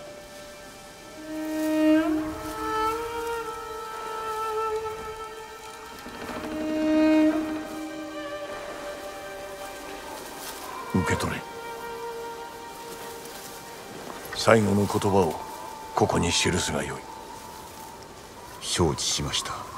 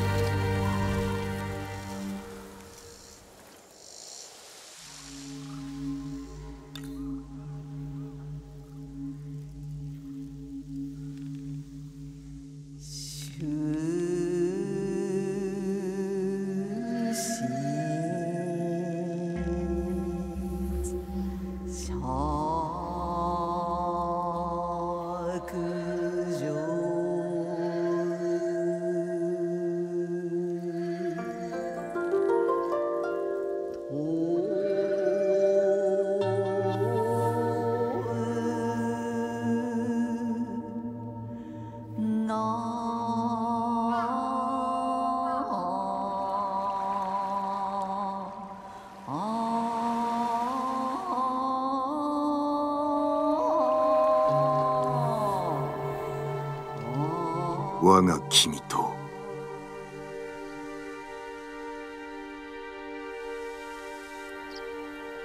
兄願わざる天命に。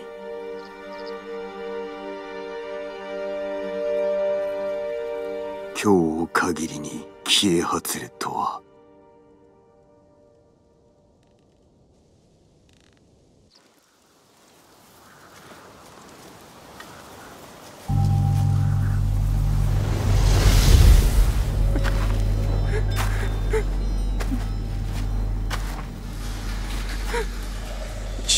母も見ておるぞ。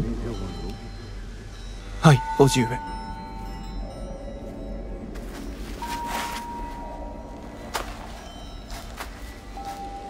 鍛えてやる。酒井家でも古今無類の武者へとな。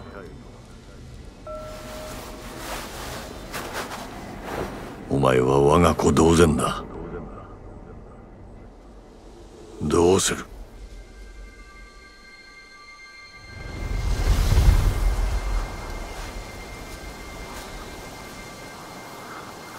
やります。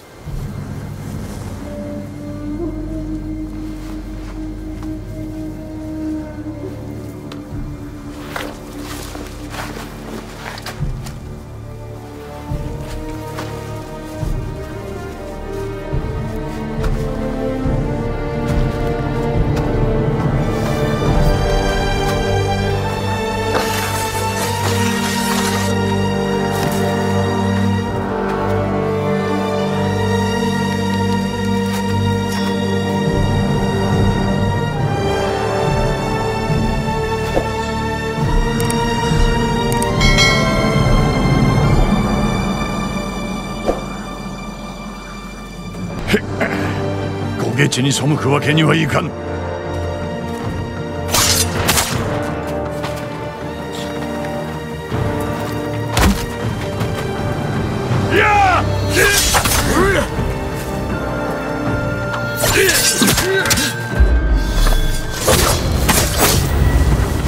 お前に傷つけられた仮面は二度と戻らぬ。私を切れば傷は増す一方。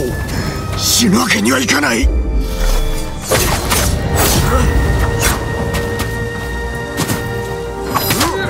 私の過ちを正すおつもりか。お前に恨みはない。これはわしへの戒めだ。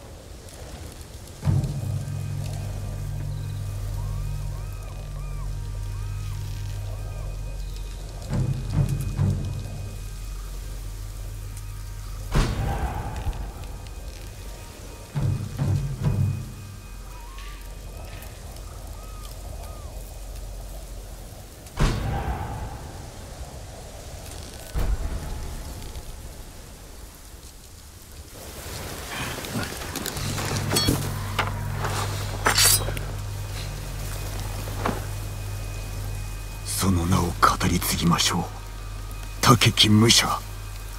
里木長。我が父。息子よ。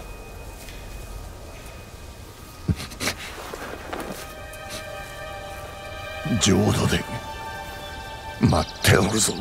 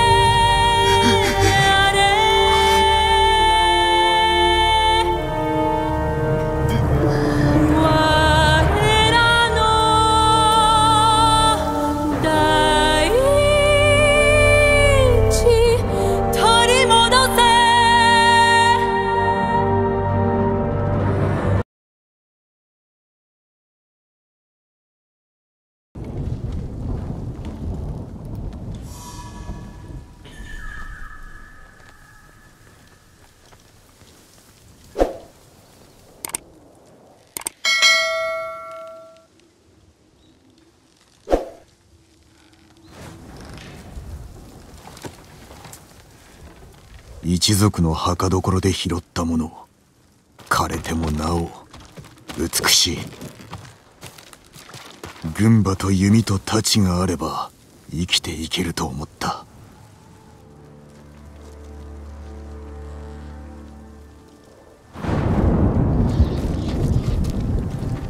叔父上いつか会いましょう。連綿と続く一族の家紋。俺の代で絶やすわけにはいかん。いつの間に作ったのだろうな。ユナには借りができた。返せぬほど大きな借りが賢治の秘蔵の酒。怪しいものだがいずれ酒を酌み交わしたい。甘い匂いがするが太刀にも勝る武器だ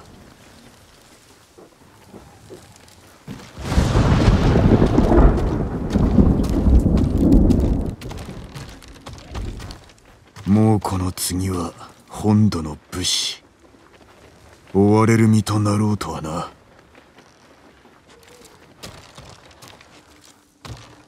あなたの息子になることをずっと夢に見ていた。ユナの小刀。刃は錆びている。壊れておらぬのが不思議だ。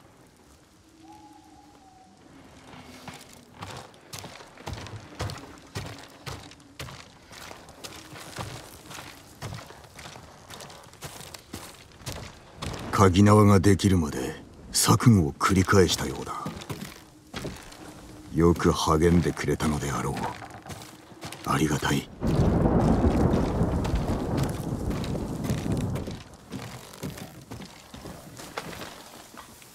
ジン。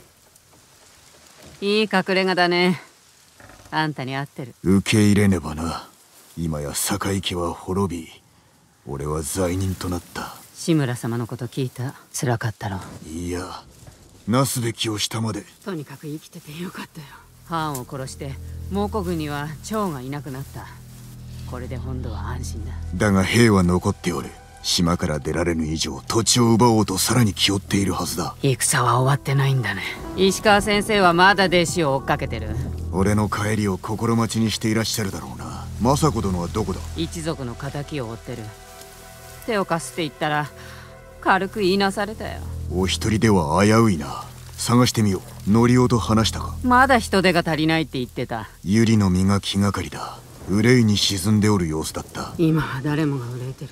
お主とは大綱での用を済まさねばならんな。そうさ。忘れないで。あんたが対馬を守れ。忘れるわけがない。そうだね。これからは二手に分かれようか猛虎を退けるのも手早く済むだろうからなまた会おう。それまで達者で。ああ。達者でな。